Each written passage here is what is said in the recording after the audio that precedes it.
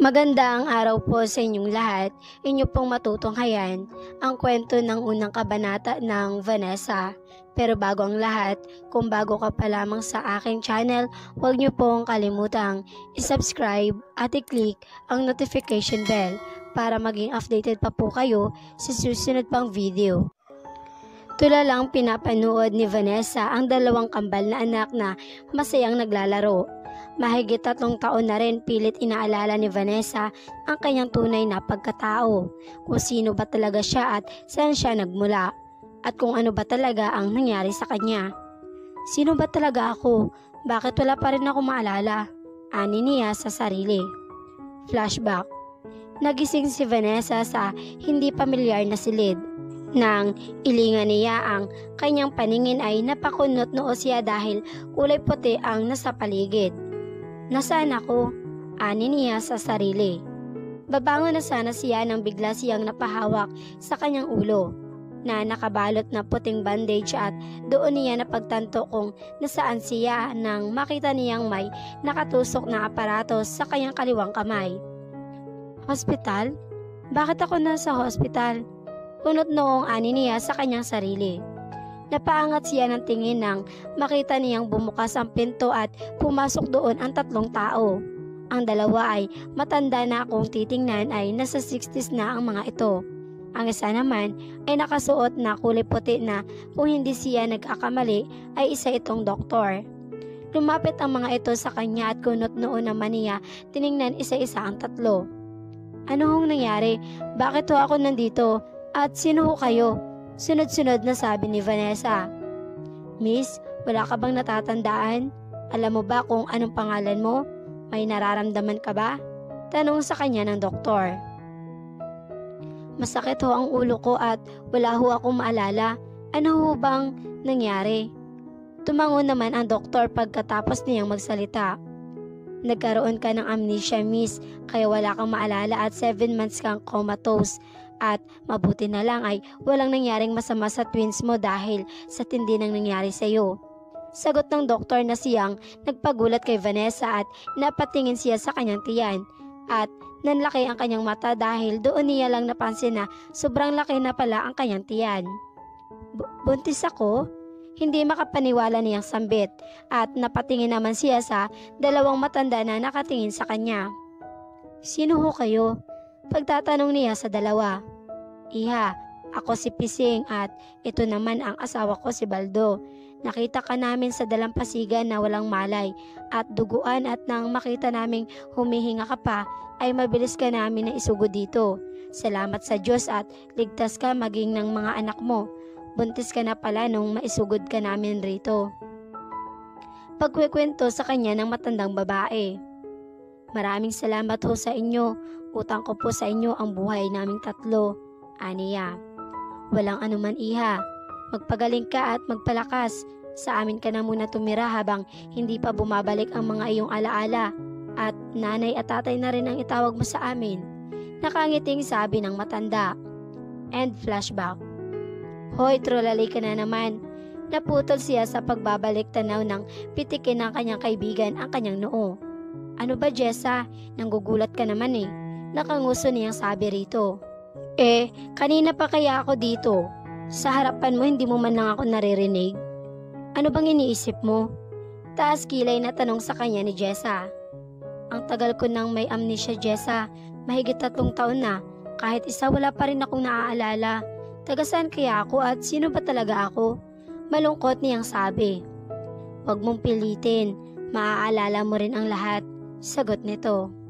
Hmm, Jessa, sino kaya ang tatay ng mga anak ko? Sabi ni Nanay Pising, naka-wedding gown daw ako nung matagpuan nila ako sa tabing dagat. Ano kayang nangyari sa akin? Kunot noong tanong niya. Hays, dami mong tanong. Huwag mo nalang pilitin o nasaan pala ang mga inaanak ko? May binili ako sa kanila. Pag-iiba nito sa usapan. Nasa, o nasaan na ang mga anak ko? Kunot noon niyang sabi nang mapatingin siya sa pwesto ng mga bata kanina. Ngunit wala na ang mga ito. Mama, mama, tita, ninang, Jenny, dati na siya. Bulol na sabi ng dalawang kambal na sina Stephanie at Stephen. Ang tita ganda niyo wala bang kiss? Pagtatampo kunwari ni Jessa. Mas malapit kasi ang dalawang kambal kay Jenny, ang kapatid ni Jessa. Pumasok na kayo para makapananghalian na tayo. Yaya naman sa kanila ng nanay pising nila.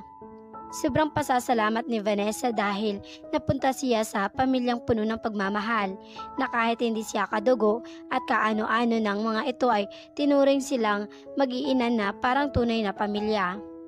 Abala sa pag-aayos ng mga gamit ng kambal si Vanessa nang pumasok sa kanyang silid si Jenny. Beshi, kailan ka magsisimula magtrabaho dun sa sinabi ni Sheila? Biglang sabi nito na siya namang kinapagtaka ni Vanessa. Hmm, bukas sana. Bakit mo na itanong? Takang tanong niya rito. "W- wala naman. Sige, hintayin na lang kita sa labas. Ani nito. Word. Mahinang sabi ni Vanessa habang napapailing. Nang matapos niyang ayusin ang mga gamit ng mga anak niya, ay inayos naman niya muna ang kanyang sarili. Habang nasa harap siya ng salamin at pinakatitigan niya maigi ang kanyang sarili, ay hindi pa rin nawawala sa kanyang sarili ang malaking katanungan at pagtataka kung bakit sa loob ng mahigit tatlong taon ay wala pa rin siya ni isang naaalala tungkol sa tunay niyang pagkatao. Napatingin siya sa kanyang kwintas na kung saan nakasulat sa pendant nito ang kanyang pangalan. Naisip ng mag-asawang Pising at Baldo na marahil na iyon ang kanyang tunay na pangalan. Kaya hindi na siya tumutol nang tawagin sila nito ng Vanessa. Ano ba talaga ang nangyari sa akin? May mga magulang ba ako? May asawa na ba ako? Bakit ako naka-wedding gown nung matagpuan ako nila nanay Pising sa tabing dagat? Ani ng kanyang isipan. Ah, malakas na sigaw ni Sebastian sabay hagis ng bote ng alak. Wipe, sambit nito habang umiiyak. Mahigit tatlong taon na niyang sinisira ang kanyang buhay magmula nang mawala ang babaeng pinakamamahal nito sa araw ng kanilang kasal. Ilang beses na rin niyang tinangkang magpakamatay ngunit sadyang hindi siya sinasang-ayunan ng kapalaran dahil palaging may dumarating at pumipigil sa kanya. Wife, please. Umiiyak pa rin sabi habang nakatingin sa malaking nakasabit na larawan ni Vanessa sa kanyang silid. Sobra nang pinabayaan ni Sebastian ang kanyang sarili. Humaba na rin ang kanyang buhok at umabot na ito sa kanyang balikat. Maging ang mga bigote niya ay pinabayaan na rin niyang humaba. Umaga, tanghali at gabi na rin siyang naglalasing na kahit kailan ay hindi pa niya nagagawa nung kasama pa niya si Vanessa. Tulala namang minamasdan ni Don Rafael ang larawan ng kanyang nag-iisang anak. Sobrang miss na miss na niya ito. Marami ng buwan at taon na ang lumipas ay hindi pa rin siya nawawala ng pag-asa na makikita at makakasama niya ulit ang kanyang unika iha. Han, kumain ka na. Kanina mo pa yan tinitingnan hanggang ngayon ba naman? Hindi mo pa rin matanggap na matagal nang wala si Vanessa at hindi na siya babalik? Ani ng kanyang asawa na si Margarita. Hanggat hindi ko nakikita sa harapan ko mismo ang katawan ng aking anak ay hindi ako mawawala ng pag-asa Margarita. Tiimbagang nasagot ng Don sa asawa nito. Lihim namang napakuyom ng kamao si Margarita sa tinuran ng kanyang asawa. Pero Han, nandito pa ako at ni Rita, paano naman kami? Palagi na lang si Vanessa ang nasa isip mo. Maging ang kumpanya ay hindi mo na naiisip. Mas mabuti pang ilipat mo na lang sa akin ang kumpanya. Kaya, kaya ko naman patakbuhin at palaguin ito. Ani ulit ni Margarita na siya namang kinataas ng kaliwang kilay ni Don Rafael. Iwan mo muna ako Margarita. Gusto kong makapag-isip ng maayos. Sagot ng Don at patuloy na tinititigan ulit ang litrato ng kanyang anak. Narinig naman ni Don Rafael ang pagbukas at sarado ng pinto ng kanyang silid bago na pakuyom ng kamao. Hinding-hindi ka mawawagi sa mga binabalak mo. Mahinang sambit ni Don Rafael habang nanlilisik ang mga mata. Malaki ang hinala at pakiramdam ni Don Rafael na may kinalaman si Margarita sa pagsabog ng helicopter na sinasakyan ni Vanessa nung araw na kasal nito. Naglalakad si Vanessa patungo sa restaurant na kanyang papasukan. Sobrang laki ng pasasalamat niya sa kanyang kaibigan na si Sheila ang pinsan nila Jenny at Jessa dahil kay Sheila kaya siya nakapasok sa kanyang bagong trabaho sa resort na pag-aari ng mga salvi umano. Hindi niya alam ang kanyang pakiramdam nung una niyang marinig ang tungkol sa El Salve Restaurant. Kaya ko to para sa mga anak ko. Mahinang sabi ni Vanessa nang makarating na siya sa tapat ng restaurant. Pagpasok pa lang niya sa loob, ay lahat ng tao lalo na ang mga lalaki sa loob ng restaurant ay napapatingin sa kanya. Kaya napapayuko na lamang siya habang dumadaan sa gitna. Ang ganda niya. Modelo siguro yan, grabe ang ganda ng body niya sana all. Napakasimple niya pero napakalakas ng dating niya, taga saan siguro siya? Ang kinis niya, sana ganyan rin ako ka-sexy. Tingnan kahit nakapajama lang at nakasimpleng t-shirt lamang.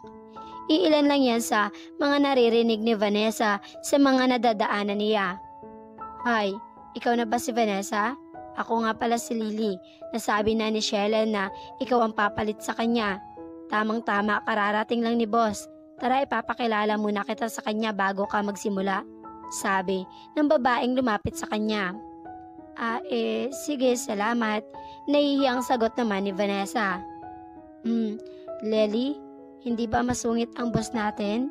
Tanong ni Vanessa habang naglalakad sila patungo sa office ng may-ari ng restaurant at resort. Naku, hindi girl. Sobrang bait ni sir. Halos lahat naman ata ng pamilya Salve ay mababait. Basta wag kang kabahan, mabait ang boss natin at 100% alam kong matatanggap ka niya. Sagot naman ni Lily kaya naman gumaan kahit papaano ang kanyang loob. Taga rito ba sa Boracay ang pamilya Salve at nakita mo na ho ba ang sila kaya mo ba nasasabing mababait silang lahat? Curious na tanong niya. Total madaldal naman ang babaeng kasama niya ay lulubos-lubusin na niya magtanong. Ay hindi, taga Maynila sila. Minsan lang bumisita rito si Boss Lance, ang may-ari ng restaurant na ito. Saka hindi ko pa nakita lahat. Ang kuya lang ni Boss ang nakita kong pumunta rito. Mabait rin yun. O, andito na tayo, tama na ang chismis. Sabi naman ni Lily at huminga muna ng malalim bago kumatok ng pinto ang babaeng kasama niya. Sir, nandito na ho si Vanessa yung pumalit kay Sheila. Tuloy, sagot ng baritonong boses ng lalaki sa loob. Dahan-dahan binuksan naman ni Lily ang pinto at nakasunod lamang siya sa likod ni Lily. Nang makapasok na sila sa loob ay napadako kaagad ang tingin ni Vanessa sa lalaking seryosong nakatutok lamang sa harap ng laptop nito. Ahem, sir, agaw pa rin ni Lily sa kanyang boss. Napaangat naman ang tingin ang lalaki at napakunot ang noo nito nang madako ang tingin nito kay Vanessa. Iwan mo na kami, Lily. Baling ng binata sa babaeng katabi niya. Tumango naman ang babae bago mabilis na lumabas. Naiwan naman silang dalawa sa loob ng office room ng binata at hindi mapigilang mapataas ng kilay si Vanessa nang hindi pa rin gumagalaw ang lalaking nasa harapan niya at nakakunot noo pa rin nakatitig sa kanya. Ahem, pukaw ni Vanessa sa lalaking nakatulala pa rin nakatingin sa kanya. Hi, Miss Vanessa? Nagkita na ba tayo noon? Kunot noong tanong ng lalaki sa kanya. Ha? Hindi po siguro sir, bakit ho? Sagot niya. You look familiar. Hindi ako sigurado. Hmm, siguro kamukha mo lang siguro siya. Ah, sino ho? May cousin. 18 years ko na siyang hindi nakita na sa US kasi ako at kakabalik ko lang din rito sa Pinas. Hmm, sorry. Okay din, tanggap ka na. Pwede ka na magsimula. Sagot nito. Ano ho? Tanggap na agad-agad? Wala nang tanong-tanong, sir? Hindi na kailangan. Pwede ka nang magsimula. Maraming salamat ho, sir. Masayang sabi ni Vanessa dahil sa wakas ay may trabaho na rin siya.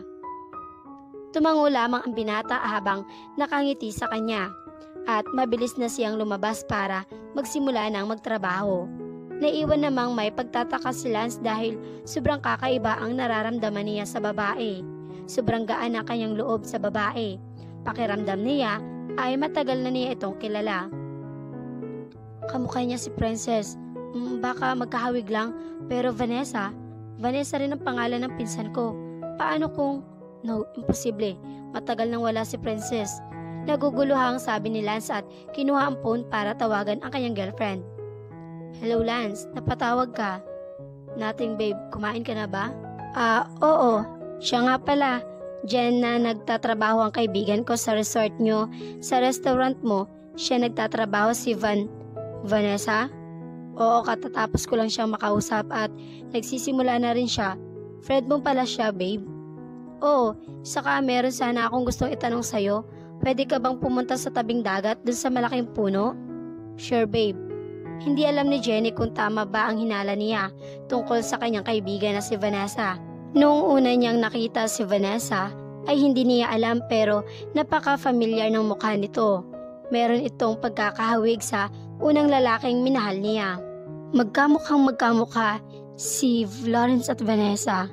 Posible kayang kamag-anak nila Lance si Vanessa? Ani ng isip ni Jenny. Mami, kausapin mo naman si Tito na ilipat na sa akin ang kumpanya ni Vanessa. Bakit si Lawrence ang pinalit niyang CEO? Dapat ako yun eh. Inis na sabi ni Rita sa ina. Manahimik ka Rita. Kung gusto mong mapasayo ang lahat ng pag-aari ni Vanessa, dapat ay kinukuha mo ang loob ni Rafael, hindi yung umaasa ka na lang sa bawat plano ko. Pagalit na sagot ni Margarita sa anak. Ay nako, matagal nang patay si Vanessa. Bakit hanggang ngayon ay sakit pa rin siya ng ulo? Ma'am, tulungan mo ko. Gusto kong makuha ang kumpanyang yon at si Sebastian.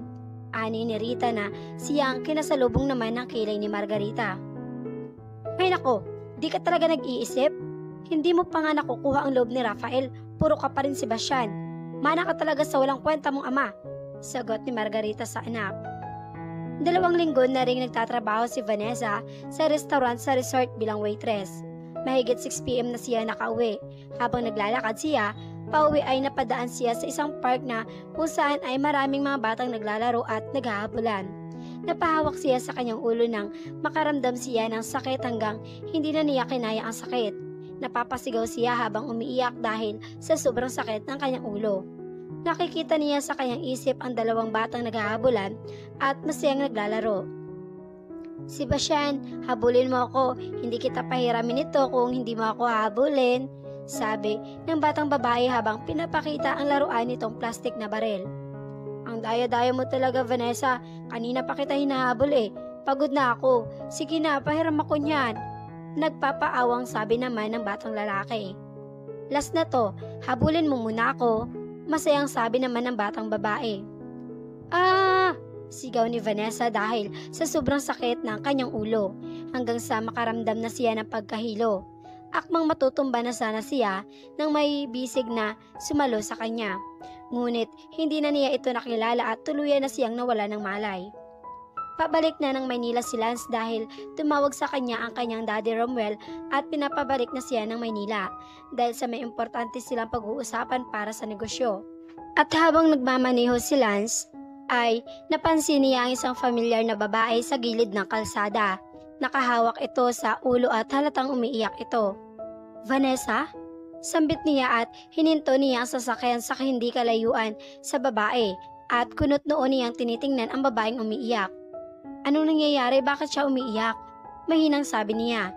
Muli niya naalala yung usapan nila ng kanyang girlfriend na magkikita sana sila ngunit hindi natuloy dahil may importanteng pinuntahan kaagad si Jenny.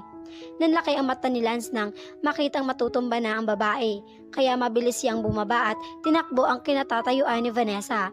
Pagkalapit pa lang niya, ay siya namang pagkatumba ni Vanessa, mabuti na lang ay nasalo niya kaagad ito. Kaagad niya itong binuhat at dinala sa malapit na hospital. Nakaupong naghihintay si Lance sa paglabas ng doktor na tumingin sa babae. Napaangat siya ng ulo at mabilis na tumayo nang bumukas ang pinto at lumabas doon ang babaeng doktor. Dok, kamusta po siya? Nag-aalalang tanong ng binata. Mukhang unti-unti nang bumabalik ang alaala ng pasyente sa ang... Alaala? What do you mean, Dok? Kunot noong tanong ni Lance. Mukhang wala ka pang alam sa kalagayan ng pasyente, Mr. Salve. Mahigit 3 years na siyang may amnesia at ako ang doktor niya. Sa case niya ngayon, malaki ang posibilidad na hindi na magtatagal ay babalik na ang kanyang memorya. Sagot ng babaeng doktor. Mga walang silbi. Pagalit na sabi ni Margarita sabay tapon sa cellphone nito. Mami, ano na naman ba yan? Tas kilay na tanong ni Rita sa kanyang ina. Yung mga tauhan natin maging ang walang kwenta mong ama, hanggang ngayon ay wala pa rin silang nakukuhang impormasyon tungkol sa katawan ni Vanessa. Hindi pa rin nila hinahanap. What? Ibig bang sabihin buhay pa ang pisting babaeng yun, Mami? No, hindi pwedeng mabuhay ang babaeng yun at imposible pang mabuhay yun sa pagpasabog ng helicopter. Mukhang kailangan ko nang gawin ang plano ko para mawala na ang matandang Rafael na yon at para masulo na rin natin lahat ng kayamanan nila. Walang ibang pwedeng magmamana kundi tayo lang, kaya hindi dapat mabuhay ang Vanessa yon. Ikaw, bakit ka nandito? Di ba dapat nasa kumpanya ka ngayon ni Vanessa? Paano ka mag- mapipiling CEO kung nandito ka at wala ka roon? Bumalik ka na doon at pilitin mo ang mga board member na pumanig sa'yo. Sabi ulit ni Margarita sa kanyang anak. Lasing na lasing si Sebastian habang titig na titig pa rin sa larawan ng babaeng pinakamamahal niya. Nang biglang magring ang kanyang phone at nakita niya sa screen ang pangalan ng sekretary ni Vanessa. Wala pag-aalinlangan niya itong sinagot at pinakinggan ang nasalin niya. Sir, nandito na naman po si Miss Rita. Hindi po namin kayang pagsabihan, pinagalitan ni... Hindi na naituloy ng babaeng nasalin niya ang sasabihin nang biglang binaba ni Zeb ang tawag at nagagalaitis sa galit. Dahil ayaw na ayaw niyang pinapakaalman ng ibang tao ang kumpanyang itinayo ni Vanessa at lahat ng pag-aari ng kanyang mahal. Kahit nahihilo ay, pinilit pa ring tumungo ng kumpanya at tinawagan niya si Nelson ng kanyang kanang kamay para ipagmaneho siya. Nang makarating na sila sa kumpanya ng pag-aari ni Vanessa, ay lahat ng mga tao roon ay bumabati sa kanya ngunit seryoso lang siyang naglalakad at madilim ang aura. Sir, nasa loob po si Miss Rita, ani ng sekretary na sumalubong sa kanya. Dire-diretso lang siya sa paglalakad at hanggang sa malakas niyang binuksan ang pinto at lalo siyang nagagalaitis sa galit nang makitang nakaupo sa President Chair Office si Rita. Hi sweetie na pa... Aray, bitawan mo ko Seb. Malakas na sabi ni Rita habang pilit inaalis ang kamay ni Sebastian sa kanyang buhok. Halos matanggal na lahat ang kanyang buhok dahil sa higpit na pagkakahawak ng binata at malakas siyang kinaladkad palabas ng opisina. Aray, Sebastian, nasasaktan ako. Aray, masakit, bitawan mo. Shut up, Animal Bitch. Sigaw ni Seb sa babae at malakas na itinulak sa labas ng opisina at napadaing naman sa sakit si Rita dahil sa lakas ng kanyang pagkabagsak sa sahig. Kung ayaw niyong mawala ng trabaho, ako at si Don Rafael lang ang pwede niyong sundin at wag na wag niyong papasukin ang babaeng ito, maging ang kanyang ina. Maliwanag ba? Malakas na sabi ni Sebastian sa mga gwardya at sa mga taong nagtatrabaho sa kumpanya. Ate Vane, kamusta ang pakiramdam mo? Masakit pa rin ba ang ulo mo? Nag-aalalang tanong ni Jessa kay Vanessa nang magising na ito. Hindi naman masyado. Mm, Jessa, bakit ako nandito? Sino ang nagdala sa akin dito? Kunot noong tanong ni Vanessa nang mapagtanto niyang nasa hospital na pala siya. Yung boss mo ate si Sir Lance? Ha? Nasaan na siya? Umuwi na siya ate. Umalis na siya nang makarating ako. Ay, hindi man lang ako nakapagpasalamat. Ano raw sabi ng Dr. Jessa? Malaki raw ang posibilidad na malapit nang bumalik ang alaala mo ate dahil unti-unti nang bumabalik sa iyo ang mga nakaraan mo. Sagot ni Jessa. Bigla naman naalala ni Vanessa yung dalawang bata na nakita niya sa kanyang isipan. May nakita akong dalawang bata. Masayang naglalaro at naghahabulan. Babae at lalaki kapangalan ko yung babatang babae at si Basya naman ang pangalan ng batang lalaki. Parte rin ba yun ang alaala ko, Jessa? At sino yung batang si Basyan? Nako, hindi ko rin alam Ate Vane. Wala akong alam sa mga ganyan. Baril-barilan lang ang alam ko. Ngising sagot ni Jessa ngunit wala man lang narinig si Vanessa sa sinagot ni Jessa dahil napalalim masyado ang kanyang pag-iisip. Sino si Sebastian? Kaibigan ko ba siya? Kapatid o boyfriend ko ba? Naguguluhang tanong ng isip ni Vanessa. Leo, kamusta na ang pinapagawa ko sa iyo? May balita ka na ba sa princess ko? Tanong ni Don Rafael sa kanyang private investigator na isang Apollo agent na matagal nang nagtatrabaho sa kanya. Sir, hindi ako sigurado kung si young lady nga ba ang nahanap ko. Ngunit sobrang magkamukhang magkamukha sila sir at kapangalan rin niya ang young lady. Vanessa rin po ang pangalan ng babae. Hindi lang ako sigurado na siya nga ba ito dahil meron itong dalawang kambal na anak at mahigit 2 years old pa lang ang mga anak nito. Isa itong waitress sa tanghali hanggang gabi at tindera naman ng isda sa umaga sa palengke. Gusto ko muna makasigurado na siya nga ba ang young lady princess kaya bigyan niyo muna ako ng kahit isang linggo sir. Sabi ng inasalin niya na si Leo. Bigla namang nabuhayan ng loob ang Don dahil sa balitang nalaman. Posible kayang yun ang Unica iha niya. Okay, good Leo. Ipasa mo sa email ko ang lahat ng information tungkol sa babaeng sinasabi mo. At gusto ko sa isang linggo na yon ay meron ka ng patunay. Sagot ni Don Rafael at pinatay na ang tawag. Excuse me sir, narito po si Mr. Sandoval. Papasukin ko na po ba? Tadong ng kanyang sekretary na si Mary. Yes. Maikling sagot ng Don at umupo ng maayos. Bumukas ang pinto ng kanyang opisina at pumasok roon ang kanyang inaanak na si Sebastian. Napatayo kagad ang Don upang salubungin ang kanyang inaanak na asawa na sana ng kanyang anak ngayon. O iho, naparito ka. How are you, Seb? Pangunguna ni Don sabay tapik sa balikat ng binata. Tito Dad, kamusta ang paghahanap kay Vanessa? Malungkot na tanong ng binata. At napakunot noo ang Don nang maamoy niya ang binata. Lasing ka na naman, iho? Next time na lang tayo mag-usap kapag hindi ka na lasing, iho. Ani, nang Don at umiling lang si Sebastian. Tito Dad, please, sagutin niyo na lang ako kung may balita na ba sa Vanessa ko. Ang mga tauhan na inutusan ko ay negative pa rin ang balita. Maluhaluhang sabi ng binata.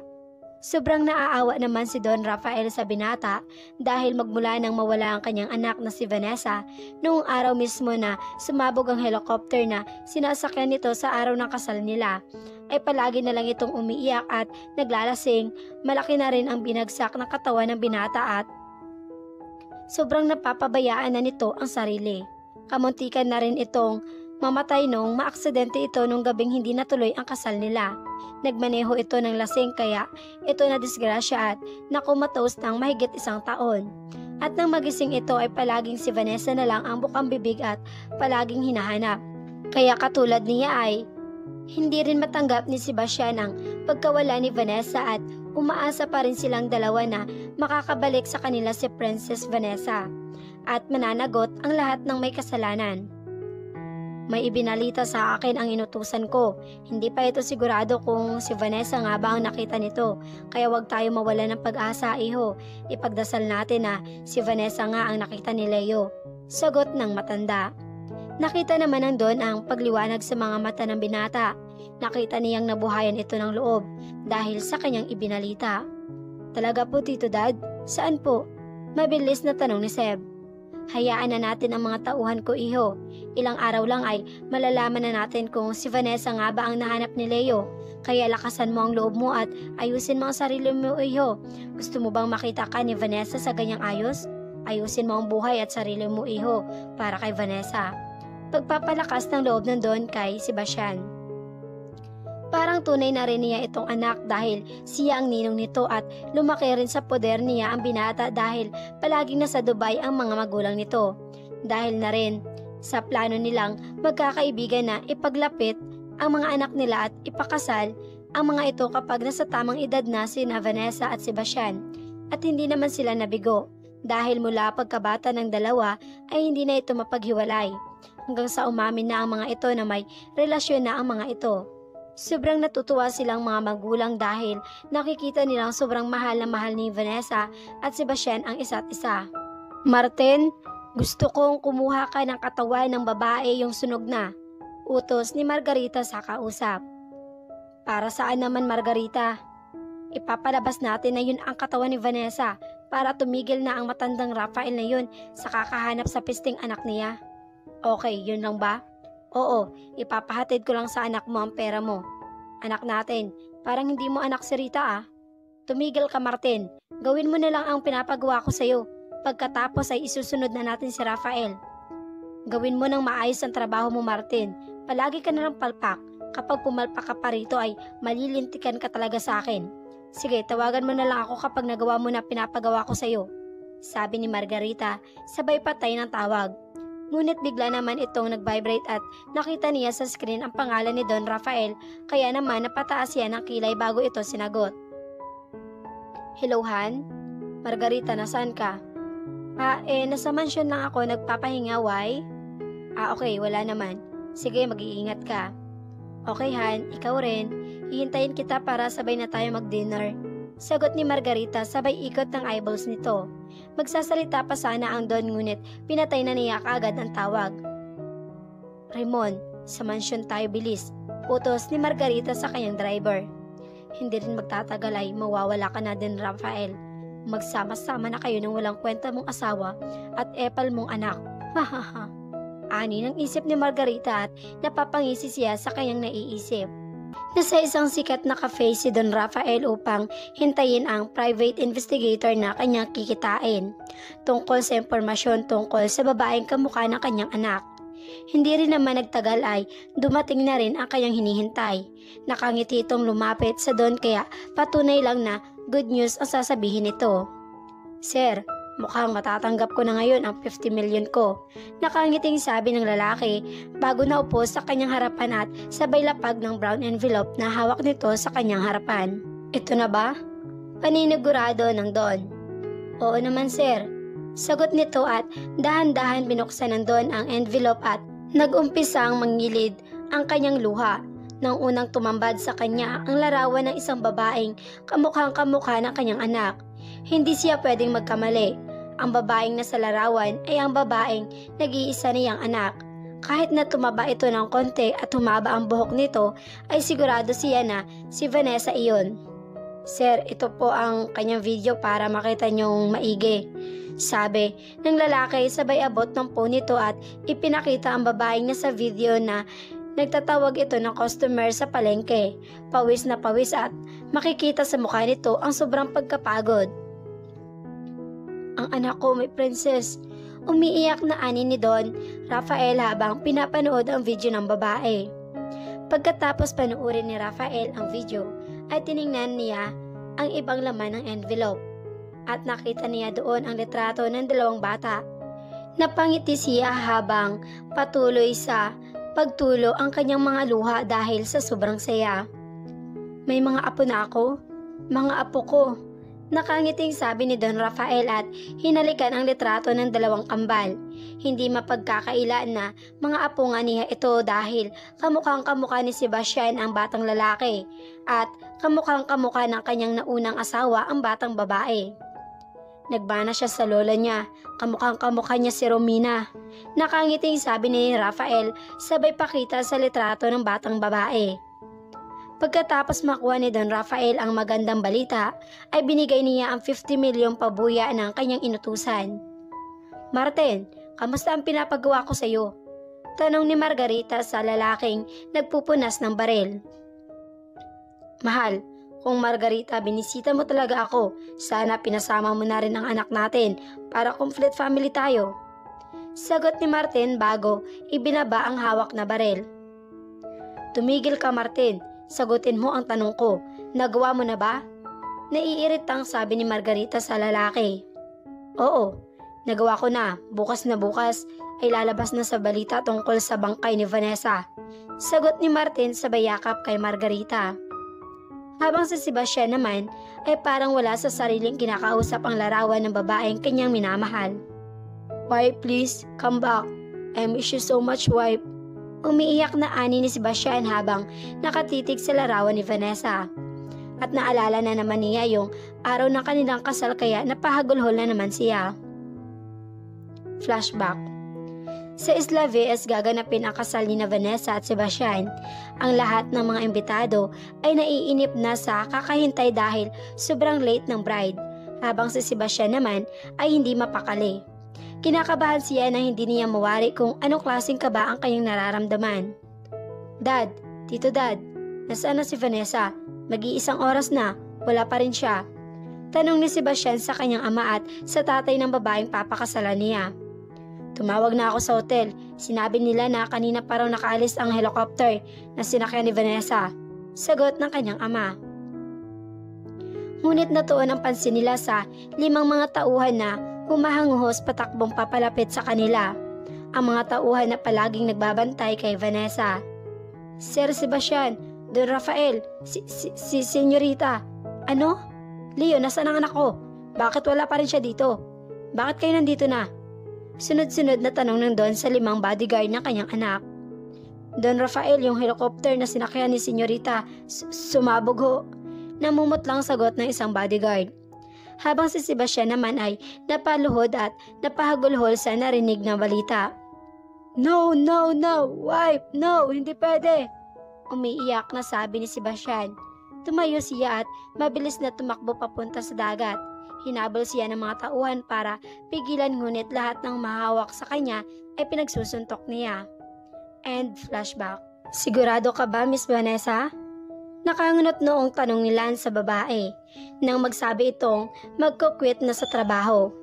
Oho sir, saka gusto ko po kasi ilaan ang time ko sa hapon para sa mga anak ko. Okay na po ako sa pagtitinda ng isda sa palengke. Sagot nito. Mukhang hindi ka na talaga magpapapigil. Sige pero anytime na gusto mong bumalik dito sa resto ay welcome na welcome ang job para sa'yo. Nakangiting sabi ni Lance. Thank you po sir. Saka salamat rin po ulit para doon po sa pagtulong niyo sa akin nung mga nakaraang araw. Oh, nakalimutan ko itanong. Pasensya na kung may pagkaschismoso ako. Curious lang talaga ako sa nangyari sa'yo. Paano ka ba napadpad dito sa isla? Sabi ni Nanay Pising, nakita lang nila ako sa dalampasigan walang malay at sugatan. Sagot ni Vanessa at ngumiti ng mapait sa binata. Hmm, wala kang natatandaan kahit na ano sa pagkatao mo? Wala, maliban na lang sa mga malabong alaala na nakikita ko sa aking isip. Dalawang batang naglalaro, yun lang. Eh, bakit Vanessa ang pangalan mo? Sino ang nag-isip na tawagin kang Vanessa? Hmm, nung ma-hospital ako, kwentas ko lang ang meron sa akin.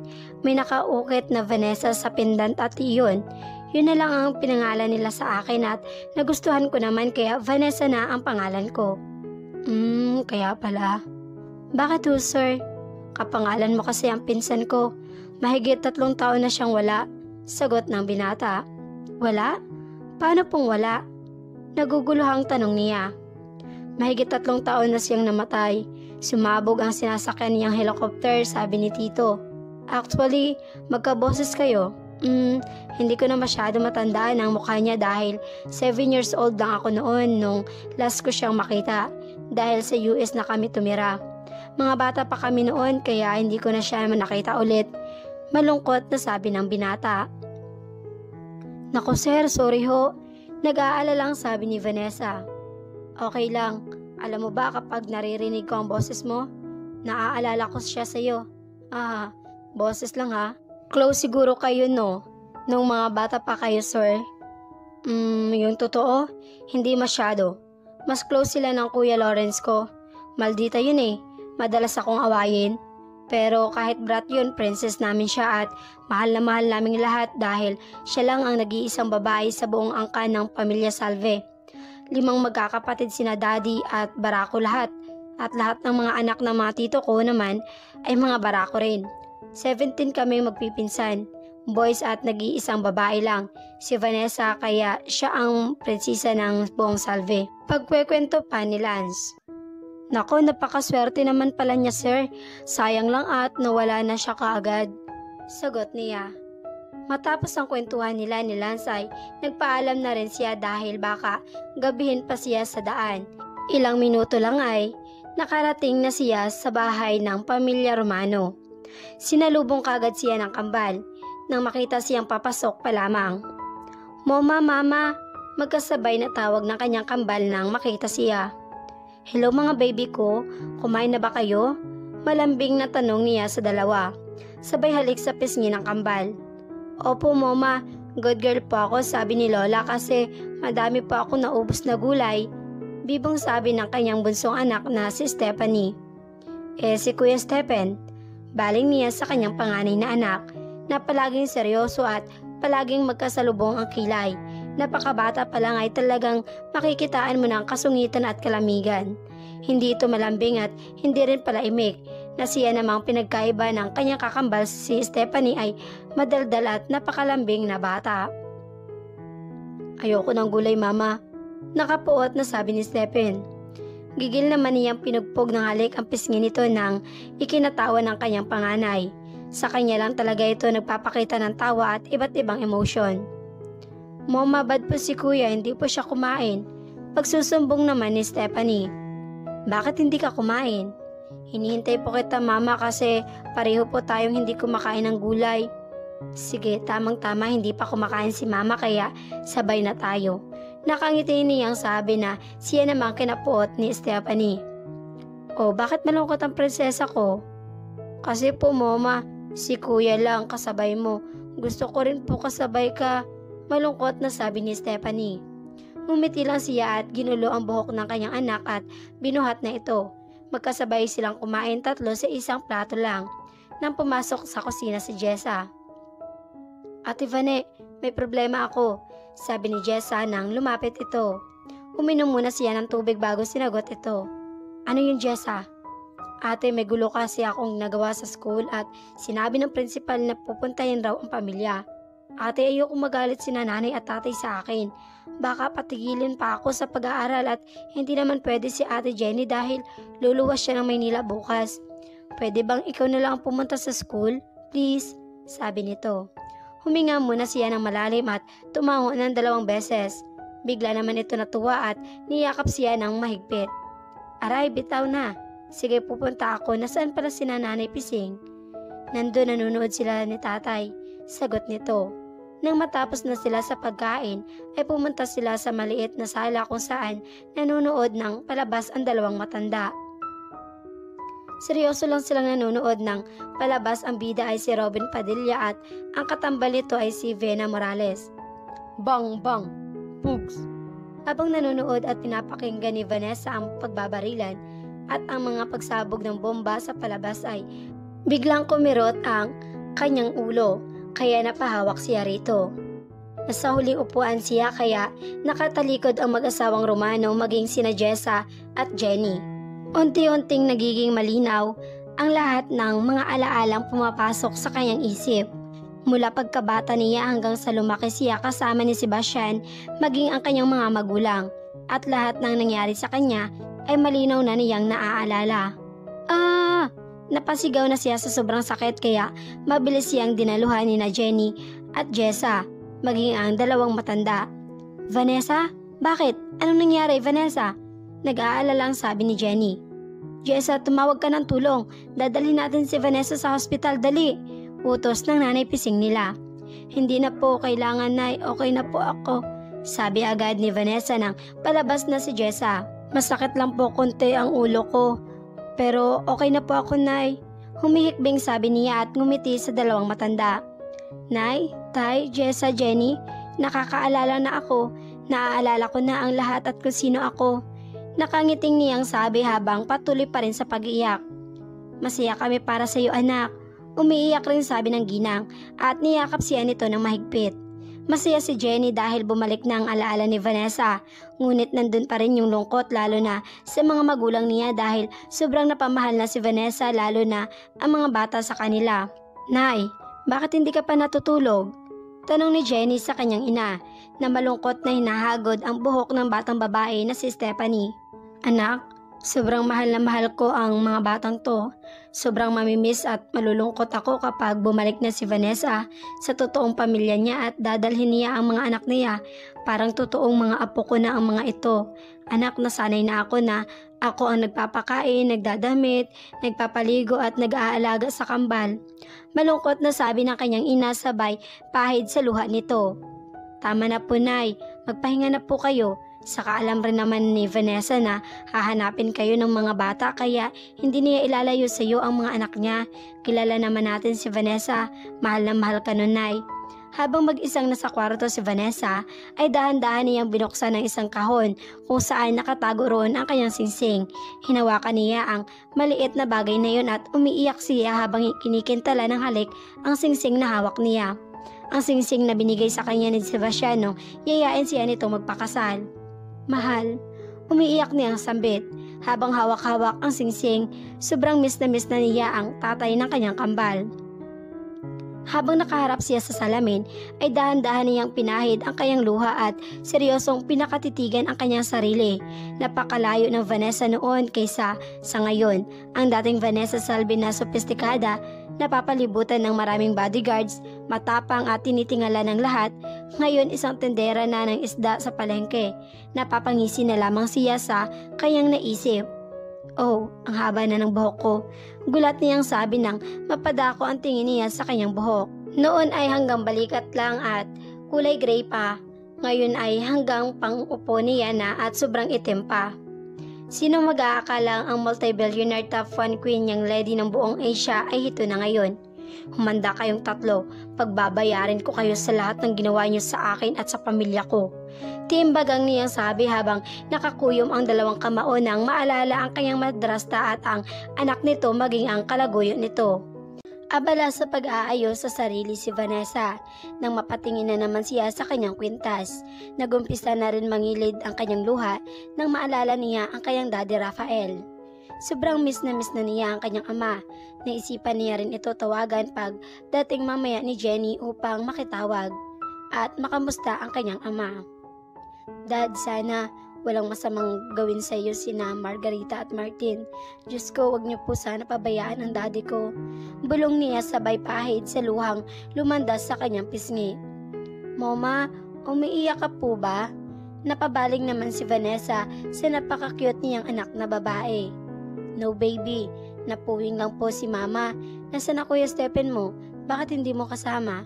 Tanong niya sa kanyang anak at pinaupo ito sa kanyang kandungan. Kasama po ni, ni Nana Lola. Mama, matagal pa rin po ba uuwi si Papa? Biglang tanong ni Stephanie na siyang nagpatigil kay Vanessa. Hmm, baby, sa birthday ni Papa, iso-surprise natin siya. Gusto mo ba yon? Namilog naman ang mata ng bata at pumalakpak pa ito sa tuwa. Talaga po, Mama? Makikita na po namin ni Kuya si Papa? Hindi makapaniwalang tanong ni Stephanie. Yes, baby. Malapit niyo na makita si Papa niyo. O halika na, puntahan na natin ang kuya mo. Sabi niya at binuhat na ang anak palabas ng silid. Nakita niya sa may lamesa si Stephen habang sinasabayan nito sa pagkain ng rambutan ng matandang si Nanay Pising. Stephen, Stephanie, aalis mo na si Mama ha. Huwag kayo pasaway sa nana lola nyo. Opo mama, opo mama. Dala po kayo ng ice cream. Magkasabay na sabi ng kambal kaya napangiti silang dalawa ng matanda. Yes po mga baby ko. Nay, aalis na po ako. Pupunta po ako sa school ni Jessa. Mga anak, pakabait kayo kay Lola ha. Paalam niya sa matanda at nagmanong muna siya at hinalikan ito sa pisngi maging sa dalawang bata bago umalis. Sige anak, mag-iingat ka. Sagot naman ng matanda. Sumakay na sa isang tricycle si Vanessa at nagpahatid na sa school na pinapasukan ni Jessa. Nang makarating ay, kaagad naman siya pinagtitinginan ng mga estudyante nang makababa siya at halos lahat ng nadadaanan niya ay napapatingin sa kanya. Oh, parang modelo. Grabe ang sexy pre. Last sana all pinagpala. Transpiri ata, tara tol, kilalanin natin. Napakaganda niya. Sino kaya siya? Parang nakita ko na siya. May kahawig siya. Grabe ang ganda niya. Iilan lang yan sa mga naririnig ni Vanessa sa mga nadadaanan niya. Nakasuot lang siya ng baby pink at hapit na dress hanggang tuhod at kitang-kita ang napaka-sexy niya sa hubog ng kanyang katawan. At hinayaan niya lang na nakalugay ang kanyang mahabang itim na buhok hanggang bewang. At dahil na rin bumalik na ang kanyang alaala, bumalik na rin ang style niya. Yung Vanessa na may amnesia, mahiyain at palaging hindi makatingin ng diretsyo sa harap ay napalitan na ng totoong Vanessa. Parang modelo kong maglakad, nakataas noo at kahit na sino ay mahihiyang lumapit sa kanya dahil sa malamig niyang aura. At dahil hindi niya alam ang principal office, ay lumapit siya sa dalawang babaeng nakatingin rin sa kanya. Ngumiti siya sa dalawa kaya naman lumabas ang malalim niyang dalawang dimple sa pisngi. Hi, pwede bang magtanong? Nakangiti niyang sabi sa dalawang babae. Oh, ang lambing ng boses niya. Rinig niyang sabi ng apat na lalaking estudyante. Ha, eh, o, opo, opo ate. Nauutal na sabi ng babaeng may malaking salamin. Saan ba dito ang principal office ngayon lang ako nakapunta dito eh? Sagot niya. Ang ganda talaga pati boses niya grabe. Sabi naman ng isang lalaki na mukhang nerd. Ah eh, halika po ate samahan ka po namin. Sagot ng isa pang babaeng pinagtanungan niya. Nang makarating siya sa room ng principal ay hindi pa man siya nakakapasok ay rinig na rinig na niya sa labas ang sigawan at sumbatan sa loob.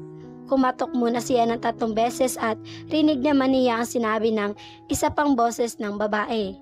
Come in. Rinig niya. Nagpasalamat muna siya sa dalawang estudyante bago pumasok. Pagpasok pa lang niya ay napakunot noon na siya sa nakita. Isang ginang na galit na pinagduduro si Jessa at may dalawang binata na puno ng pasa sa mukha at ang isa pang ginang ay galit rin ang mukha pero tahimik lang. Habang si Jessa ay parang wala lang, pa-chill-chill lang habang ngumunguya ng bubblegum.